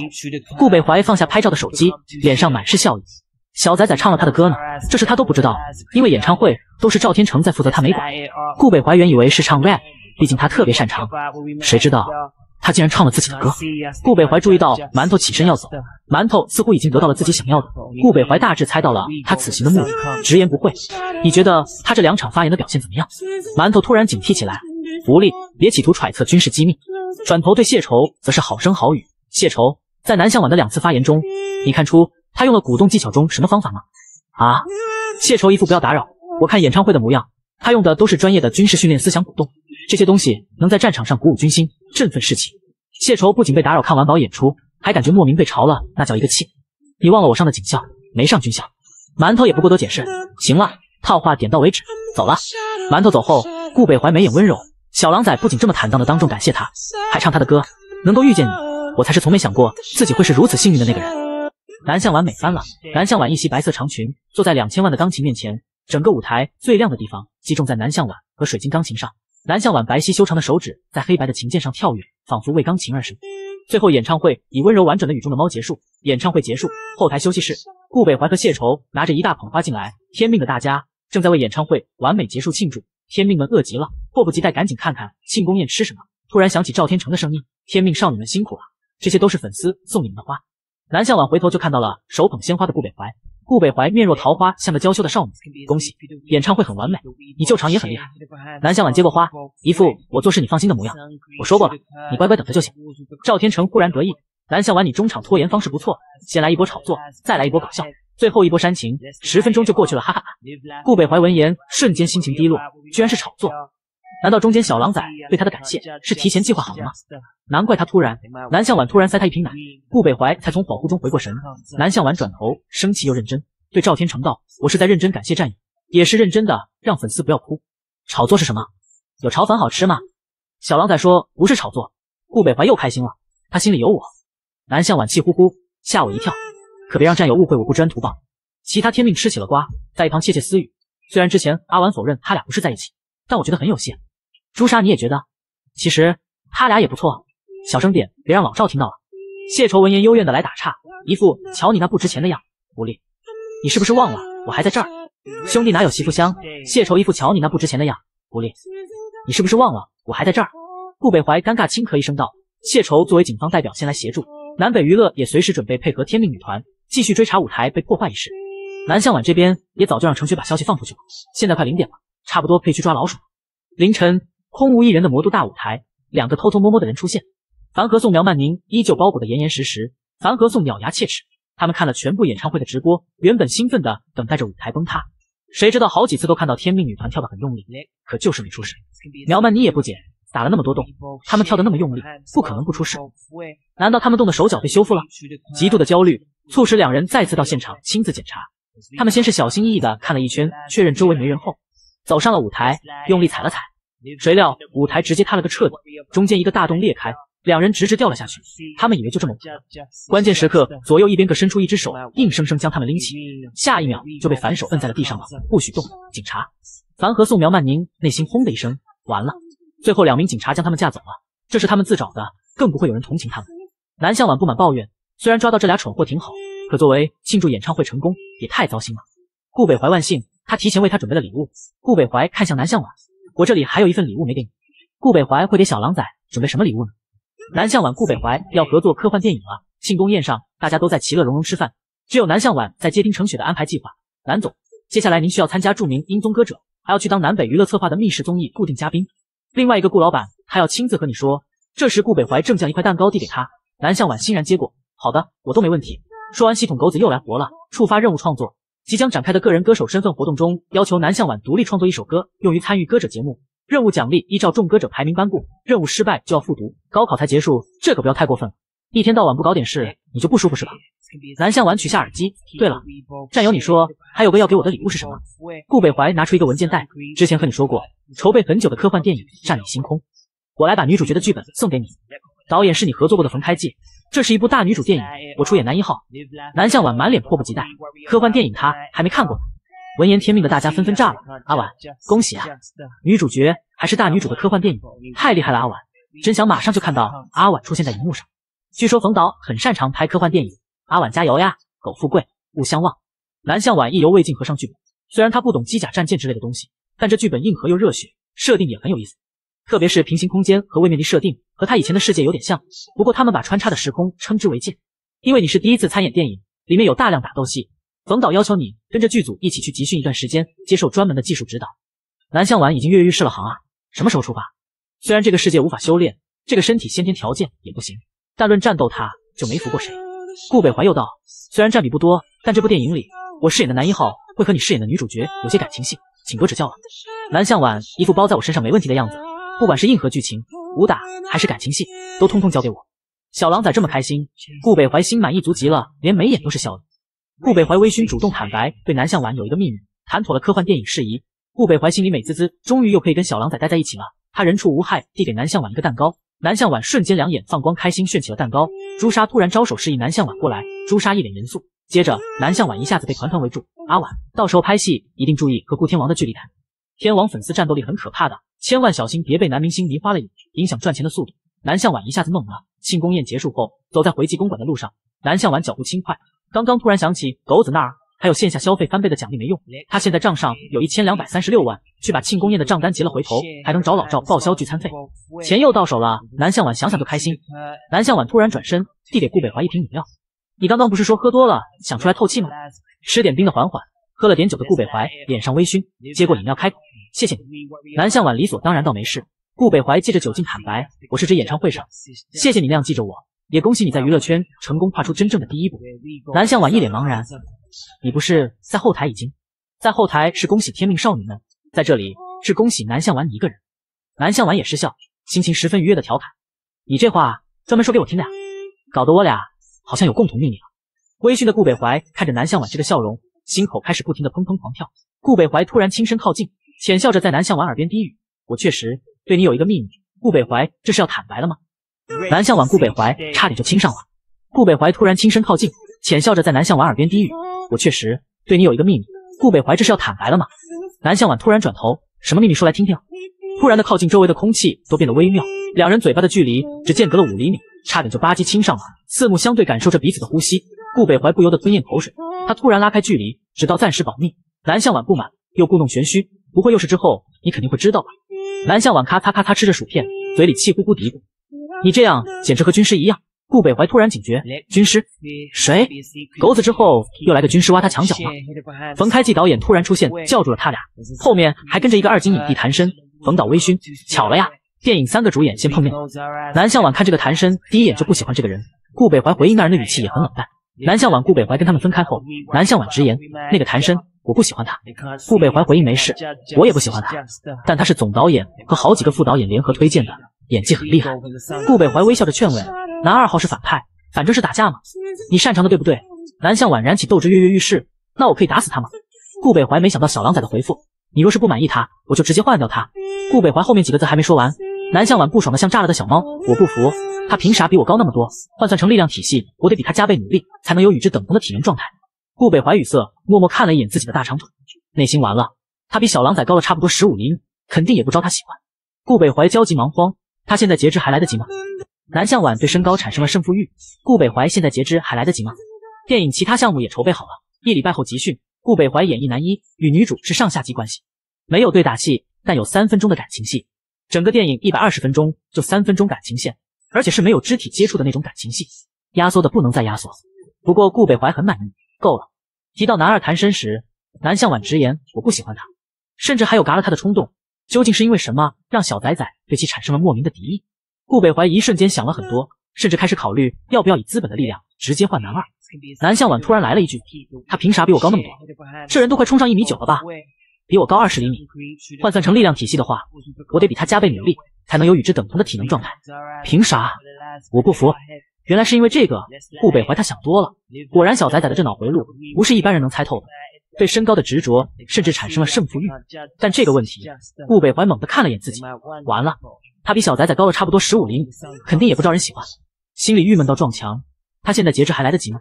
南向晚的讨厌一个人的第一感觉是对的。传闻那个有实力的演员拿过双金影帝奖的谭深人前人后，立马换了一副嘴脸。不知情的小狗还在朝他摇尾巴。此时的谭深眼神阴狠的像是要吃人，心里不服。顾北怀一个头子的下场占什么男一？南向晚一个选秀花瓶，凭什么直接当大电影的女主角？他的魔爪伸向了小狗，挡他路的若能像这狗一样拔了就好了。最终，小狗冷冰冰的躺在了地上。南向晚单手扛三个笨重的行李箱，轻松的跟拎纸片似的。演唱会后，黄石邀请天命少女参加慢综，今天吃什么？播出热度极高。慢综结束后，南朝阳通知忙碌的南向晚家里搬家了，而妈妈薪资突然有任务，暂时已经离家了一段时间，忙才是亲自探班来找南向晚来了。一星期后，南向晚跟着团队来到灵山军区家属小区集训，南向晚兴奋极了。他是不是立刻就可以去刚刚路过的那片训练场操练？助理忙道：“不是，南总要等教官。”程雪麻了生平第一次晕车，冯导找的司机开车怎么那么猛？再看南向晚，他完全没事，早就跑没影了。南向晚看到熟人，哒哒哒礼貌的上前打招呼：“战友，华英老师好。”顾北怀微笑的站着，华英也爽朗的笑着打招呼。华英回之以笑：“好久不见。”顾北怀眉开眼笑：“冯导安排我们这些主演在这里合宿，房间在楼上。”接着接过南向晚手上的行李，主动提议：“我帮你们拿上去。”还没来得及下一步动作，一只手突然出现，拎起了箱子。只见南向晚一下子麻利扛起三个行李箱，轻松的跟拎纸片似的。他一脸骄傲：“我一个人可以。”华英开心的对南向晚笑道：“上面只有我的房间，还有空床，不介意和我住一间吧？”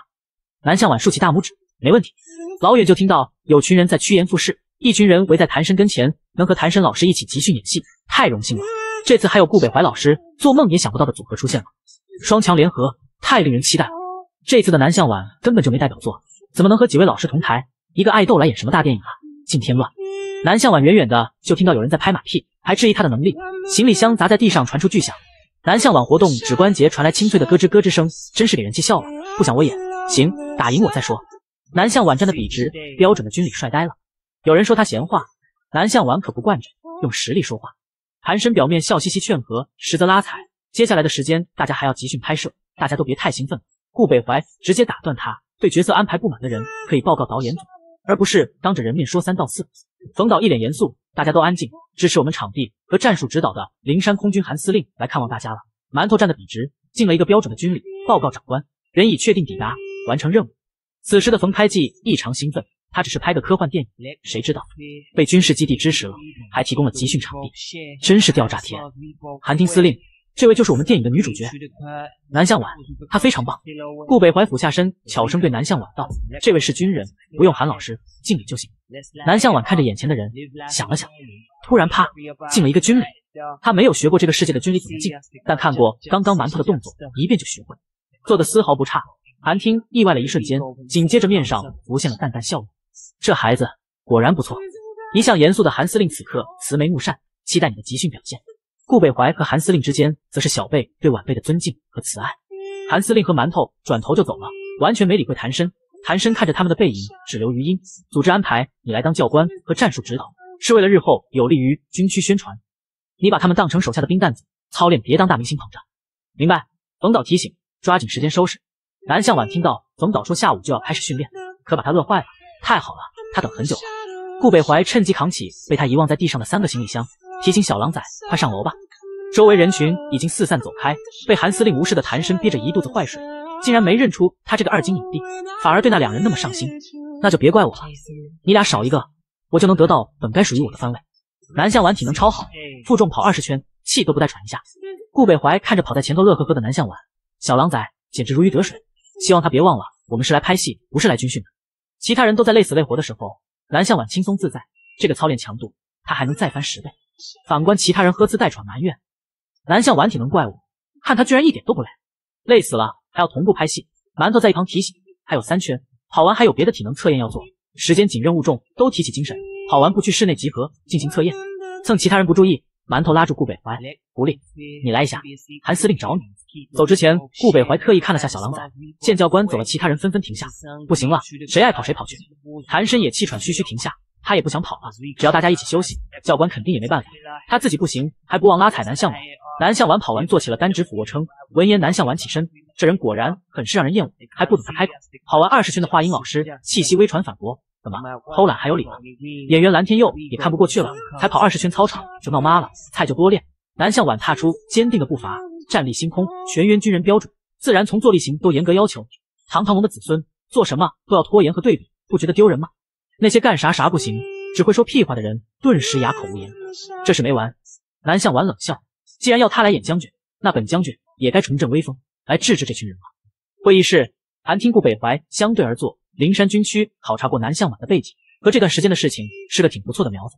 要不是因为他在剧组，灵山军区也不会答应提供支持。但顾北怀了然，我明白的，韩叔叔，这是机密，不能往外说。突然，顾北怀的手机震动了一下。之前小狼崽说不喜欢谭深，他专门调查了那人的背景，谭深经历过于完美，不像正常人。现在得到谢愁的回复，谭深的履历确实和他查的一样没问题。这世上有完美的人吗？没有，只存在伪装成没有性格缺点的人。谢愁提醒你要小心了，一般这种人都很恐怖，而且让人防不胜防，最后不忘调侃狐狸，期待你被人背后捅刀的那天。顾北怀若有所思，虽然暂时没出问题，但必须要防范他突然被刺小狼崽。当南向晚超萨星际联邦少将对上顾北怀痞帅军团参谋长，会擦出什么火花？灵山军区某礼堂，冯导组织饰演一场戏，故事背景是进行银河征战的女主角红鹰少将，发现主舰飞船泰坦上的截击舰少了一艘，恰逢战舰刚遭到不明生怪物袭击，于是召集所有人员突击调查，揪出奸细。冯开季一脸严肃，进组前说过，咱们进度紧张，所以要一边训练一边进行说戏和适应，理解自己与合作对象的角色。角色虽然目前安排好了。但不排除在正式开拍前还会有角色变动的可能，有角色变动的可能。谭深异想天开，也不知是谁给他的勇气。那最后必然是南向晚把主角之位让给他。谭深饰演军团上校尹尊，孤行参谋长，那艘失踪的截击舰就是你开出去的，你究竟给了谁？我有理由怀疑你已经背叛联邦。顾北怀饰演军团参谋长乌行，闻言轻蔑一笑：“我对你无可奉告。”南向晚饰演星际联邦少将红英，南向晚敲击桌子示意安静。南向晚一场戏下来没有暴怒的迹象，周围的员工小声议论：南向晚咋不暴躁愤怒？细品的人才能体会到他不怒自威的将军本军气概。冯导甚是满意，南向晚演得很对，常年征战星河的联邦少将，怎么可能因为奸细就大发雷霆？剧本里可没有写敲桌之类的小动作，都是南向晚自己设计的。他让红英瞬间活了过来。南向晚认真翻阅华英饰演的副官黎白递过来的各战舰的使用记录，顾北怀全场一副散漫纨绔的模样，谭生故作镇定，不明白为什么觉得南向晚身上真的有威压，明明应该被他的演技压过才对。只一会功夫，南向晚已经了然，红唇勾起，尹尊上校留下，其他人散会。我警告过你，不要随意破解权限。南向晚饰演星际联邦少将红英，他让红英瞬间活了过来。华英饰演红英少将的副官黎白长官，这是各战舰的使用记录，包括修理。南向晚认真翻阅，顾北怀饰演军团参谋长乌行，顾北怀一副散漫的模样，谭深饰演军团上校尹尊，谭深故作镇定，不明白为什么觉得南向晚身上真的有威压，明明应该被他的演技压过才对。只一会功夫，南向晚已经了然，红唇勾起，尹尊上校留下，其他人散会。其他人都走出去后，走之前，乌行参谋长痞痞的对红英少将道别，拜了个拜。谈话完，尹尊上校咬牙切齿，最后一个也离开了。敏锐察觉到有人在听墙角。红英少将语气冷冰冰的出来。闻言，乌行参谋长乖乖走了出来。不要生气啊，人家不是故意偷听的。南向晚看到他这副模样，想到了什么，呆愣住了一下，很快转身进入状态，语气冰冷：“我警告过你，不要随意破解权限。”顾北怀察觉他刚刚的眼神好像，很快又调整过来：“不破解就不破解嘛。不过你真要把我驱逐吗？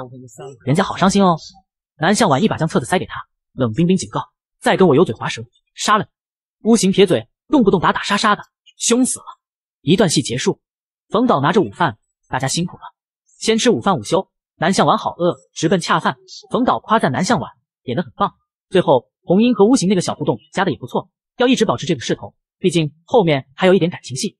不远处的顾北怀一听到感情线就蹙起了眉，小狼崽好像透过他看另外一个人，他伤心了。南向晚找了个偏僻的角落，纳闷自己最近这是怎么了。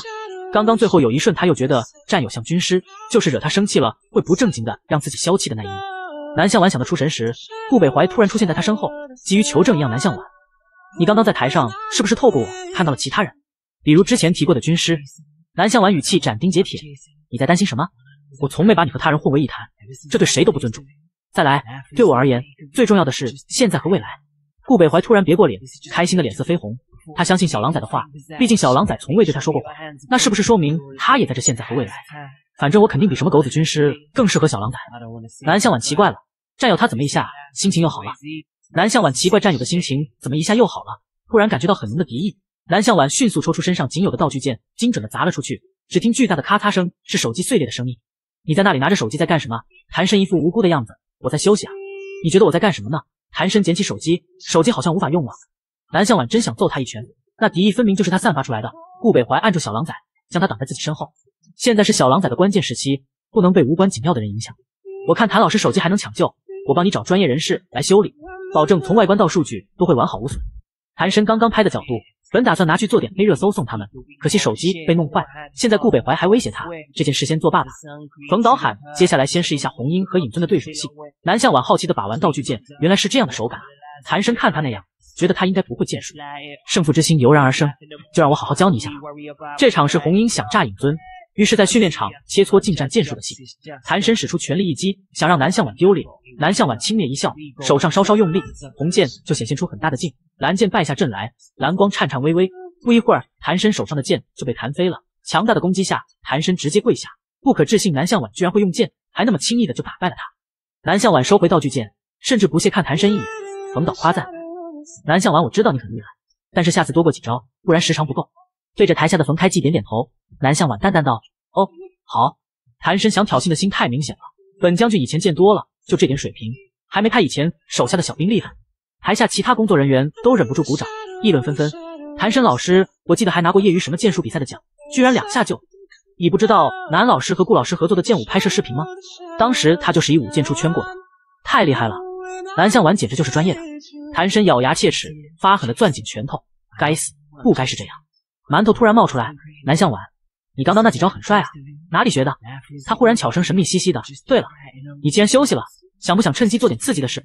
南向晚还没坐过飞机呢，他一来就开挂，直接坐上战斗机。馒头突然冒出来，南向晚，你刚刚那几招很帅啊，哪里学的？他忽然悄声神秘兮兮的。对了，你既然休息了，想不想趁机做点刺激的事？南向晚疑惑什么刺激的事？馒头解释道，灵山军区是空军，又问他想不想飞。南向晚还没坐过飞机呢。而且还是战斗机，他兴奋激动不已，想也不想笃定道：“想，迫不及待就要去换上空军的衣服。”馒头也没想到这么容易就答应了。那我们走，心里想着，看来长官真的很看重他，都让我带他做飞行测试了。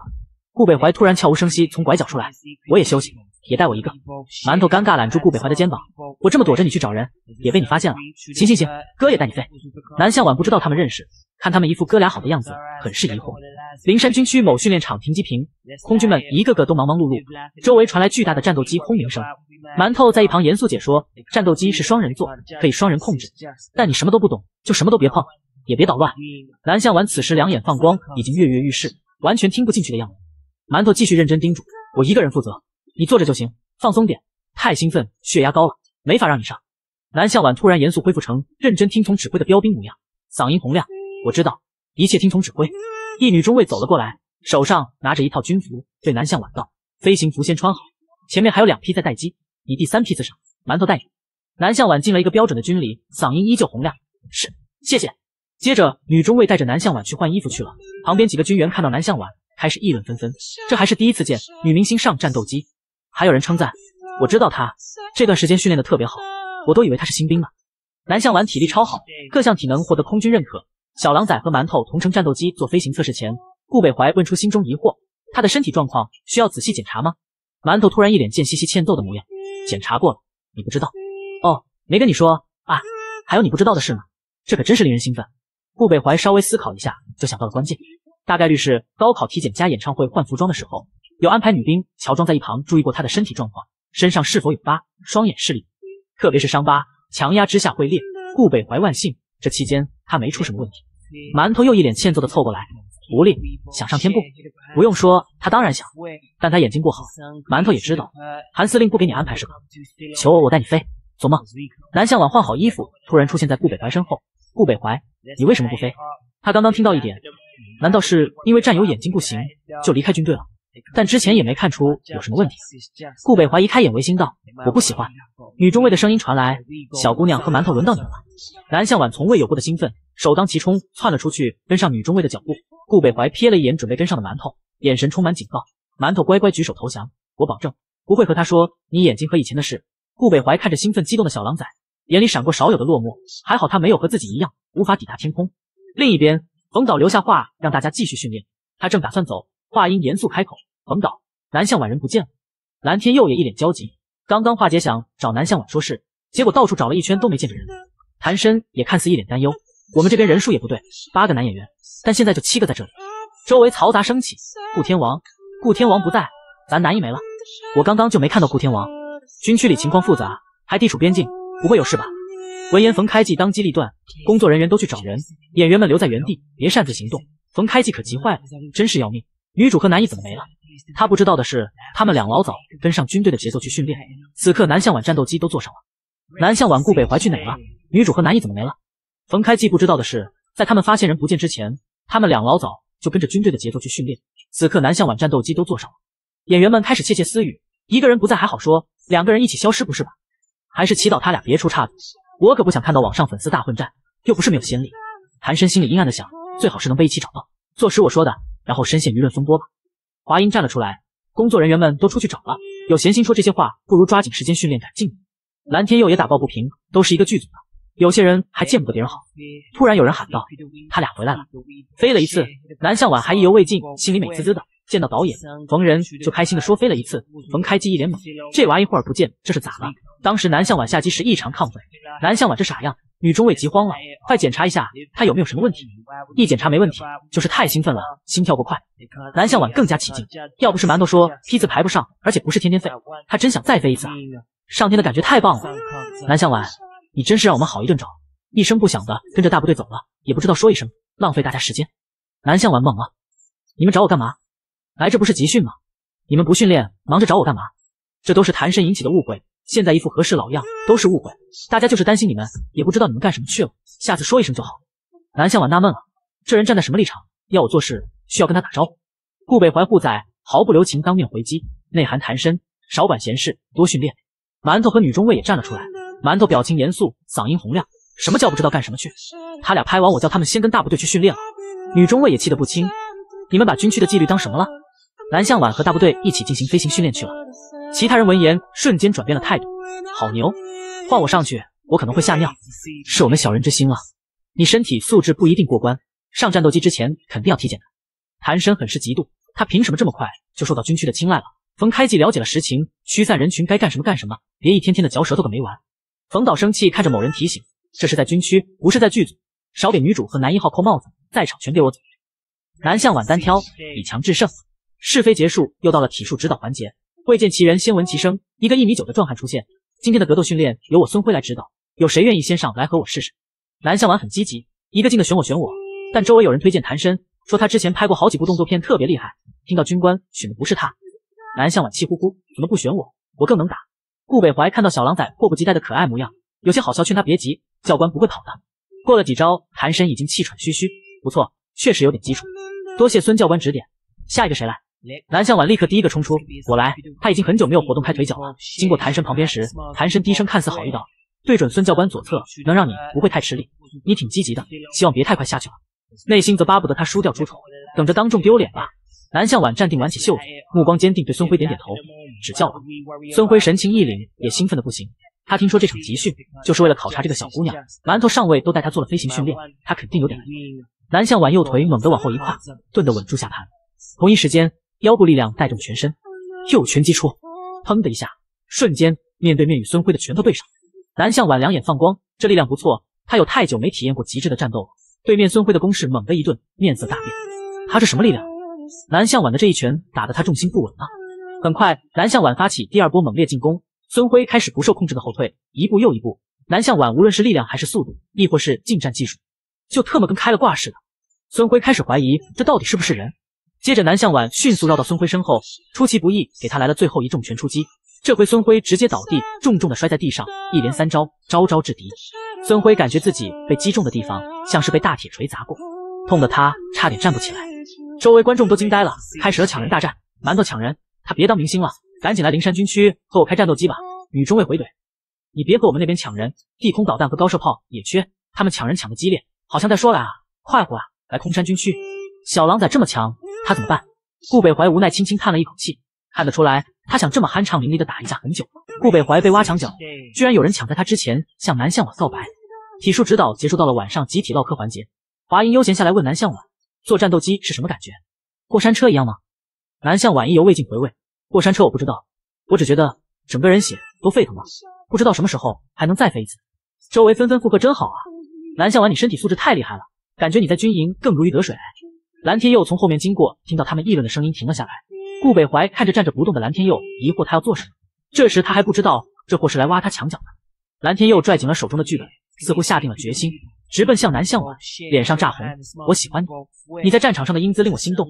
南向晚一脸懵逼看向朝他喊的蓝天佑，其他人三脸震惊，很快切换成吃瓜模式，这把顾北怀气的哟。顾北怀脸色低沉。他刚刚就感觉到那丝不对劲了，居然来挖他墙角。顾北怀突然拽紧蓝天佑的肩膀，语气冰冷警告：“你这样会对南向晚造成困扰。”蓝天佑这才回过神来，慌张解释：“我只是想找他对一下台本。”顾北怀回怼：“你角色没有这句台词。”蓝天佑羞红脸，我这是即兴表演。我觉得红衣少将那样的人，我这个角色对他会有感情的。蓝天佑看向别处，实际是上他被南向晚刚刚和孙教官对打的英姿冲昏头了。对戏这个借口应该没问题吧？顾北怀紧紧拽着蓝天佑的肩膀，仍旧一副警惕挖墙脚的模样。他不信，这家伙分明是在说谎。蓝向晚走到蓝天佑旁边，一把拍住他另一边的肩膀，义正言辞道：“你高考阅读理解是不是零分？你的角色怎么可能和红英有感情戏？”蓝天佑傻了，他磕磕巴巴，这会儿也解释不清楚，妥协了。你就当我是阅读理解零分吧。顾北怀偏过头，忍不住被小狼崽突如其来的话逗笑了。蓝向晚一把抓过蓝天佑手中的剧本，行吧，我来给你讲讲。顾北怀突然插进两人中间。一脸无辜状将他们隔开，我可以旁听吗？当然可以，而且战友你讲题最厉害了。蓝天佑一脸尴尬，事情怎么突然变成了这样？接下来两天的训练时间里，蓝天佑比以往更关注南向晚，原因是这两天蓝天佑和南向晚对了几场戏后，觉得他更帅了。聚餐时间，南向晚喝了一杯掺了气酒的雪碧，一杯倒的南向晚会怎么样？南向晚喝醉秒变回霸气的将军本军。剧组聚餐，南向晚乖乖站在一旁看顾北怀烧烤，烤架上的肉滋滋作响，散发出香味。顾北怀递给他一串大烤肉，南向晚早就迫不及待了，还得是战友烤的肉最好吃了。蓝天佑比以往更关注南向晚，蓝天佑这两天和南向晚对了几场戏，觉得他更帅了。南向晚肯定会口渴，我给他拿杯水。蓝天佑左顾右盼找水，憋着一肚子坏水的谭深早有准备，递过来一杯说是雪碧的饮料。蓝天佑没有多想，道过谢就拿走了。蓝天佑走后，谭深立马换了一副嘴脸。前几天他查了下南向晚，发现他是沾酒必醉，那杯雪碧里掺了点气酒。他要看南向晚出丑，蓝天又脸红羞涩，递给南向晚：“你你在找饮料吗？给雪碧，正好有点热。”南向晚接过饮料，一饮而尽，吨吨吨一杯下肚，南向晚的脸立刻红了大片，整个人直接向后倒。顾北怀眼疾手快，稳稳接住雪碧，也会醉人吗？顾北怀第一反应过来，小狼崽这喝的是酒。一旁的蓝天又一脸懵逼，怎么回事？那杯不是雪碧吗？韩深一口撇清关系，我手里都是雪碧，但你选的那杯可能被别人混了点气泡酒，我也不知道你要给谁。南向晚洪亮的声音响起。安静，军营之中吵吵嚷嚷，成何体统？休息不代表松懈，大家训练的还是太少了。蓝向晚一一指出他们的不足：你耐力不足，需加强长跑；你协调能力不足，多请教教官针对训练；你力量不足，多用器械锻炼。众人不理解，却大为震惊。这就是他传说中的军事化管理粉丝吗？冯导，这些是可以说的吗？冯开季眼里满是赞许。有人能指出来不好吗？自己卷还能带动集体，这很好。谭生还想再说些什么，一只手突然从他背后出现。他还不知道发生了什么，整个人就被一股强劲的力道摔了出去。南向晚严肃霸气十足看着他，别以为我不知道你的问题。谭生慌了，难道他根本没醉？南向晚牛逼，上一秒还在纠正其他人的缺点，下一秒就被摔谭深，直接把他摔成了狗吃屎。谭生故意往南向晚的饮料加料，没看到南向晚出丑，反倒把自己害了。南向晚一脸严肃的正经模样，谭生慌了，下意识以为南向晚没有醉，其他人都没有反应过来，怎怎么回事？打架了吗？南向晚刚才不是还在纠正问题吗？这就直接被摔了。他好强啊！南向晚一脸严肃，别以为我不知道你的问题。他掰着手指头，你耐力不足，力量欠佳，脚步松散，反应迟钝，没一个动作像样的。和孙教官搏击时还欠缺观察力和判断力。你之前真的拍过动作片吗？谭深十分社死的爬起来，沉着脸想发怒，还没等他说完，就被南向晚一声巨大的打嗝声打断了。接着南向晚就醉倒在了顾北怀的怀里。顾北怀扶着已经睡着的南向晚，一脸宠溺。谭深咬牙切齿：顾老师，南向晚还没跟我道歉，你要偏袒他？顾北怀故作惊讶的看向他，谭老师，南向晚也是关心你才说的，其他人都接受良好，怎么就你要他道歉？其他人也开始议论纷纷，众人觉得南向晚之前说的还挺有道理的。谭深不甘心拽紧拳头，憋着一肚子气也要保住自己的人设，怎么会呢？我当然虚心接受建议。不好意思，刚刚我喝了点酒才失态了。顾北怀不跟他废话，看向一旁的华英，华英老师，能麻烦和我一起把南向晚送回去吗？正好你们住一起。谭深看着他们离开的背影疯魔了，绝不能再这样下去。一定要想办法让他俩出点事。其他人散开后，被谭深听到了墙角。冯导，组织这边让我来通知你一声，灵山基地靠近边境的区域最近有情况，你让大家不要随便靠近那边。冯开季神秘道：“是因为那件事吗？我一定通知到位。”谭深扶着隐隐作痛的腰，一脸邪恶。他们说的应该是指最近边境有别国的武装分子活动的小道消息。他知道接下来该怎么做。三天后负重野外训练，其他人都在哀嚎：这个世界疯了！我们是来当兵的，还是来演戏集训的？只有南向晚一脸兴奋，这安排太棒了，他又有得玩了。南向晚野外生存，两分钟组装完成，一把步枪被他玩的贼溜。三天后，体术指导教官孙辉接到临时通知，立刻展开二十四小时负重野外生存训练，物资和装备都准备好了，所有人拿上背包就赶紧上直升机。演员们累趴瘫在地上，疯了，这个世界疯了，我们是来当兵的，还是来演戏集训的？长官，我们害怕。还有人哭着哀嚎，长官，我不想吃虫子。其他人都在哭唧唧的时候，只有南向晚难掩兴奋，一脸期待，迅速接过孙辉手上装满物资和装备的包。前几天学了武器使用和负重越野，今天就来野外生存，这安排简直太棒了。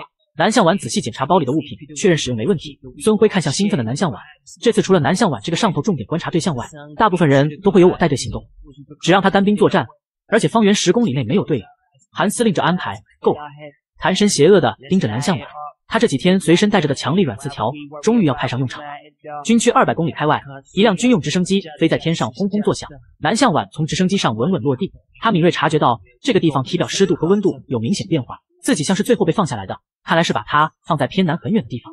南向晚谨慎观察四周，这里没有暗号，也没有人生活过的痕迹。一架无人机全程跟进拍摄，只发出微弱的螺旋声。南向晚警惕地瞥向声音来源，同时放下手中的包，迅速组装步枪，全程动作一气呵成。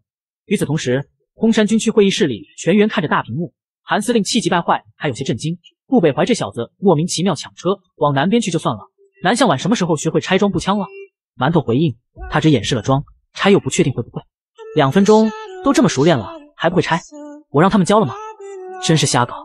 其他军官也回应，还没正式编排，不得一步步学。老韩，你生气就过了，有军方的无人机暗中跟拍，不会有事的。你刚刚还叫这孩子尖兵呢，我相信他不会拿这个做坏事。而且负重标准不是司令您说的要与正常士兵一致吗？您放心，发给他的是空包弹。说完，南向晚那边的画面突然消失了，屏幕滋啦几下全黑屏了。无人机怎么坠毁了？南向晚那边干了什么？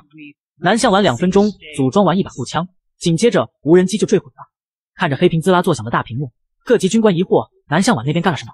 南向晚因为有狗子奖励的镜头感应技能，刚刚觉察到有什么东西在看自己，他也不知具体是啥，只能先打下来看看。南向晚捡起地上的残骸，看清编码。他还以为是什么危险的东西，结果是灵山军区的无人机啊！南向晚心虚虚，随手一扔，他还是当做没看见吧。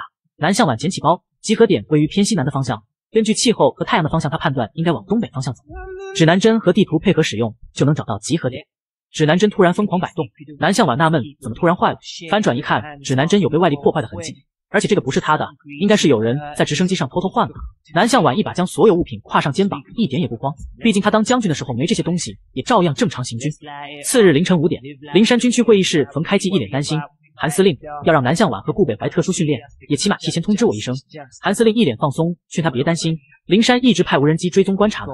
馒头目不转睛盯着屏幕，经过红外线无人机侦察机群地毯式搜寻，已找到南向晚，他和顾北怀都在西南角的位置。两人还相隔了一点距离就能汇合。冯开济忧心的胃痛，你们要是把他俩都搞丢了，我都不知道我会怎么死。韩司令一脸欣慰。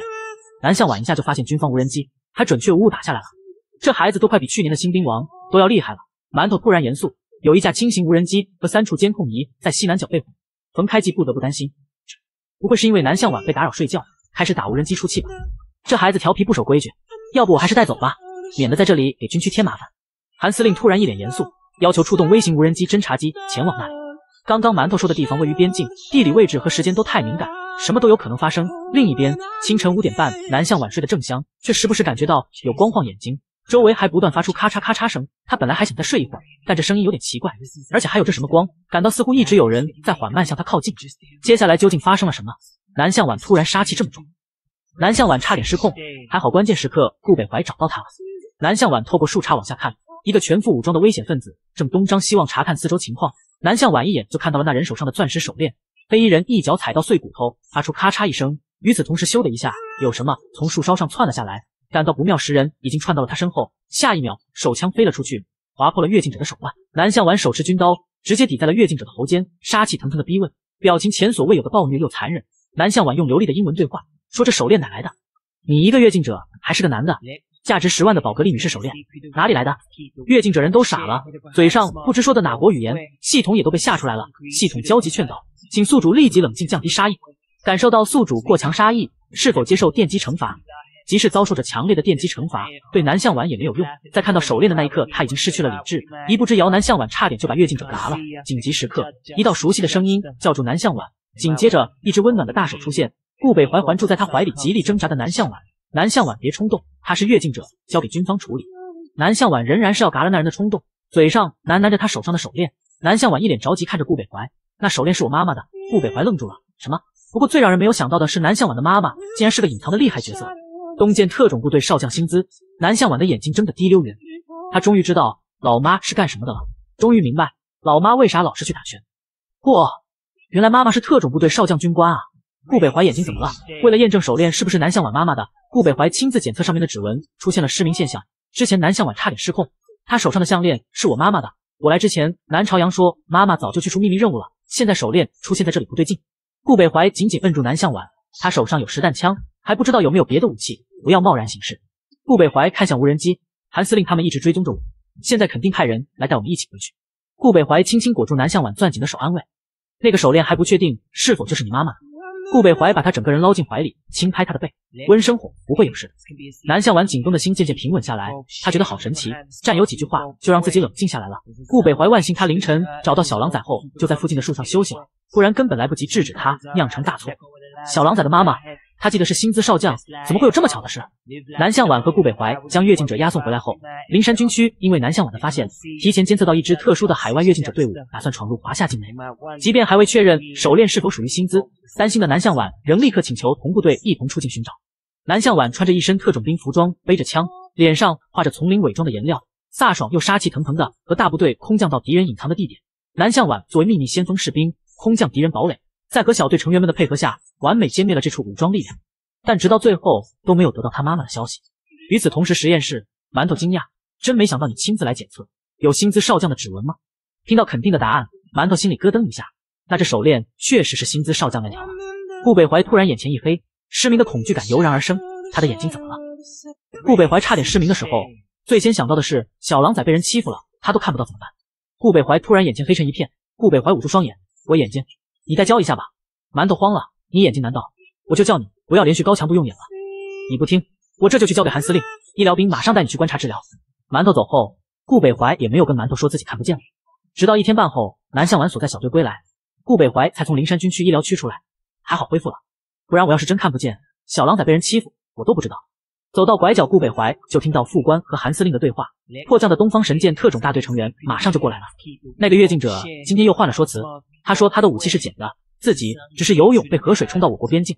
韩司令可不惯着，我去看一眼，再一点信息套不到，就把他扔海里去。南向晚走过来，睁着跟瓜一样横条的眼睛。顾北怀，手链上有我妈妈的指纹吗？他担心着呢。顾北怀内心复杂，怎么跟小狼崽说这件事？索性先不说吧。顾北怀拿出湿巾，脸太脏了，我帮你擦擦。手链上指纹的报告我已经提交上去。顾北怀本来想等他先休息了再说，可他这么着急。突然，一道咆哮声传来：“老娘的手链！你们这群境外恐怖分子也配碰小婉送我的手链？赶紧给老娘交出来！居然敢在我出任务的时候趁乱卷走！”韩司令看着这场面，尴尬轻咳两声，想要劝阻他女儿还在这看着呢，但他们同为少将，论起凶来还是薪资凶。旁边一直有医疗兵在劝：“新少将别冲动，请先包扎伤口，你伤口要裂开了。”南向晚一听这个声音，一个箭步赶到现场，弱弱叫了一声妈。原本还一脸凶神恶煞、胖揍越境者的薪资，在听到宝贝女儿的声音后，整个人僵住了。接着随手一丢，瞬间身上什么装备武器都不见了，一秒切换成平日甜美温柔的妈妈形象。乖乖啊，刚刚那个不是妈妈，你看错了。南向晚内心不，我都看到了。南向晚见到妈妈了，南向晚的妈妈竟是个隐藏的厉害角色，东建特种部队少将薪资，一不小心就在女儿面前暴露了暴躁的一面。她在女儿那甜美温柔的形象啊，就这么没了。乖乖啊，刚刚那个不是妈妈，你看错了。薪资扔掉负重装备后，在医务室包扎伤口。南向晚就在旁边看着医生上药。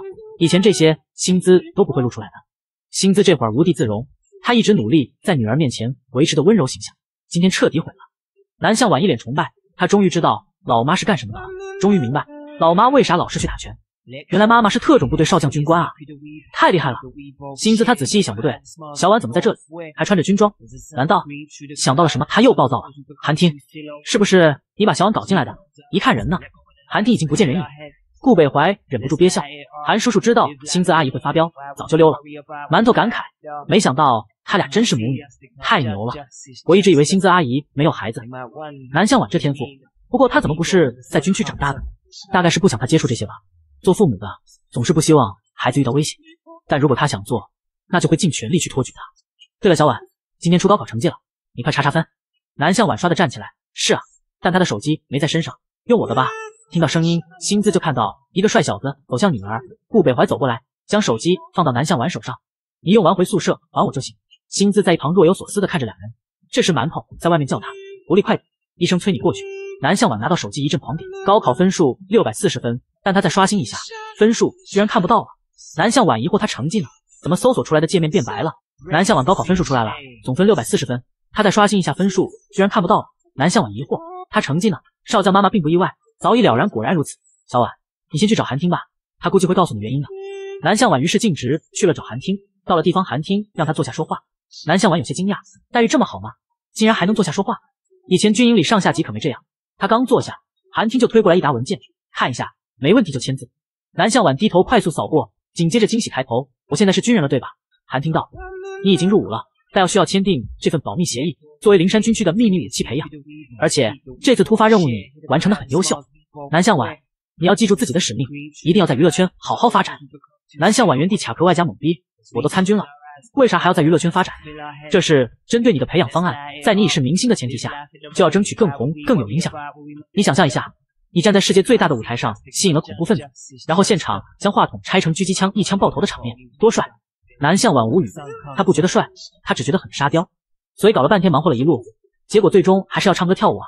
对了，我高考分数查不到，是军区把你的分数屏蔽了，回头国防军官学校会对你进行特招，你将会进入特殊兵种部学习。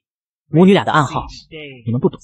一架大型军用直升机贴着宿舍楼而过，声音非常响。南向晚唇角勾起，这个声音和时间肯定是他的少将妈妈。南向晚顾北怀消失几天后回来了，冯开季和众演员们从头至尾就不知道发生了啥。他们失踪两天，让人着急。顾北怀还在医疗处的病房住了一晚上。很快，这一信息迅速在演员中传递，传着传着，开始说顾北怀瞎了。演员们一个个惊吓中，更是害怕剧组出事。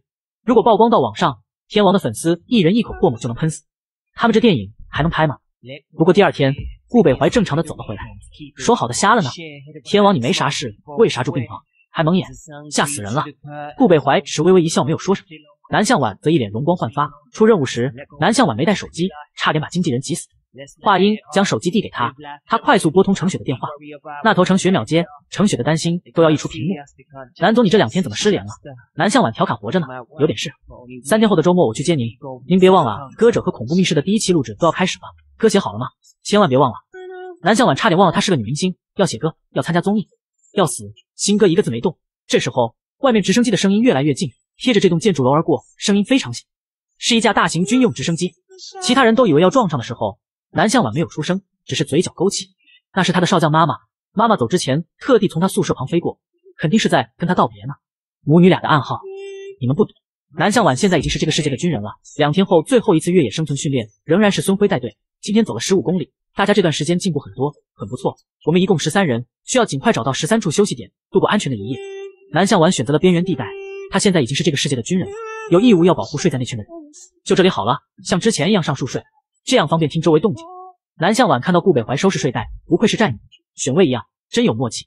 如果遇到危险，我俩是首当其冲，那圈有危险也能第一时间赶到。虽然黑，但他视力和听力双双超绝，一点不影响。只是起身没走两步，南向晚顿住。此时的顾北怀正在往另一个方向走，睁着眼睛，走路速度也不慢。眼前的树干他都避开了，但脚下的树枝和一些明显泥泞，他却一脚踩了下去。南向晚有些惊讶，顾北怀一点都看不见吗？难道他有夜盲症？还是说谭深努力假笑？集训马上要结束了，结果女主和男一一个都没被换，这样下去，他答应进剧组冲最佳男主，成为三金影帝的计划就要落空了。本来计划让南向晚无法拍摄换女主，顾北怀就会跟着走。毕竟经过这些天的观察，他确定顾北怀喜欢南向晚。谭深露出一个阴毒的笑，现在直接让顾北怀无法参与拍摄好了。毕竟他突然住院，暴露了眼睛问题。顾北怀为了确保小狼崽的安全，他的身体在睡袋里。但脑袋和肩膀却靠着树干睡，也就是坐躺姿势，正对着小狼崽方向。一道光通过精心设计的角度，直冲着他而来，晃得顾北怀无法睁眼，眼球一阵阵的刺痛，不断流着眼泪。糟了，他又看不见了！有人对着顾北怀的眼睛出手，南向晚一脚踢飞。谭申趁顾北怀看不见，对他眼睛出手。眼睛虽然看不见，顾北怀敏锐察觉到有人直冲他的眼睛，咻的一下，一个人影从天而降，紧接着突然一声巨响，南向晚一脚踩在了谭深背上，谭深直接摔了个狗啃泥。南向晚眼神犀利，一只脚将他踩在了地上，将谭深的脑袋深深踩在了坑里，让他无论怎么挣扎都爬不起来。一瞬间，谭深想了很多，后路都铺好。谭深此时知道自己完了，但好在他没有动手，他可以辩解自己是起夜迷路。顾北怀紧绷的身体一瞬间放松，他虽然闭着眼无法睁开，但他知道是小狼崽。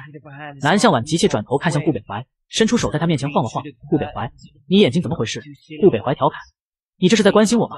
南向晚直率秒答：“是啊，你怎么了？是哪里受伤了？”南向晚急死了，捧起他的脸仔细检查。他庆幸还好发现战友眼睛似乎有问题，就留意了一下，否则伤害他的歹人就得手了。顾北怀的心脏猛地跳漏了一拍，心里暖暖的。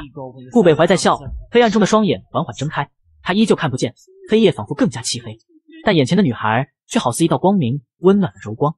此时，谭神只觉得自己快闷死了，他俩却还在谈恋爱。南向晚有些懵逼的看着他，战友到底看不看得见？不管了，先捂着，以防战友被别的情况伤到。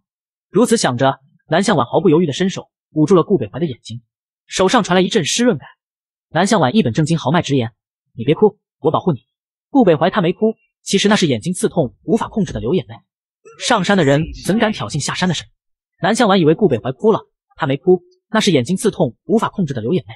顾北怀伸手轻轻握住了捂在自己双眼前的那只手，这手很软，比他的手小好多。这小手究竟是怎么爬树、射击，还能做到单指合体？顾北怀一瞬间脑子里想的东西奇奇怪怪。南向晚一愣，看战友这样，他心里痒痒的，感觉到了不对。南向晚惊恐了。眼前这人浑身散发的感觉好温馨啊，就像是他在面对妈妈时那种想撒娇、想任性的感觉。南向晚猛地就将手收了回来。顾北怀不会把他当妈妈了吧？吓人！他不想给人当妈呀。不明所以的顾北怀有一瞬间的失落，但他不着急，慢慢来。此时被一脚踩在地面的谭深难受至极。顾北怀感受到了地面那人的动静，开口松开他。南向晚皱眉，低头看了眼。眼底瞬间闪过一丝杀意，系统立刻跑出来阻止。南向晚翻了个白眼，不杀就不杀。他松开，下一秒弹身猛地弹起，开始飞奔。南向晚压根没打算追，要不是狗子拦着，这垃圾还能活？顾北怀说他没事，让南向晚去睡。南向晚点头，战友那么聪明，战斗力又强，他不用特别担心。不过以防万一，回到睡袋处，南向晚还是将睡袋的方向调了个位置，对准顾北怀方位，有事就能第一时间冲过去。毕竟战友眼睛不好是硬伤。顾北怀在原地静静待了会儿。紧接着眨了下眼睛，他笑得出来吧？谭深，隐藏在远处的谭深心中一个咯噔，但他依旧想搏一搏。于是他走出来，开始装傻充愣。谭深非常紧张，顾北怀现在究竟看不看得见？还有南向晚看到他了，但为什么没反应？没有喊人来揭穿他？这两人到底在想什么？谭深无法理解这种心境，无比忐忑。顾北怀转身，眼神平静。你不过是一个上山的人，怎敢挑衅下山的神？谭深一瞬间瞳孔剧烈收缩，心脏狂跳。这话什么意思？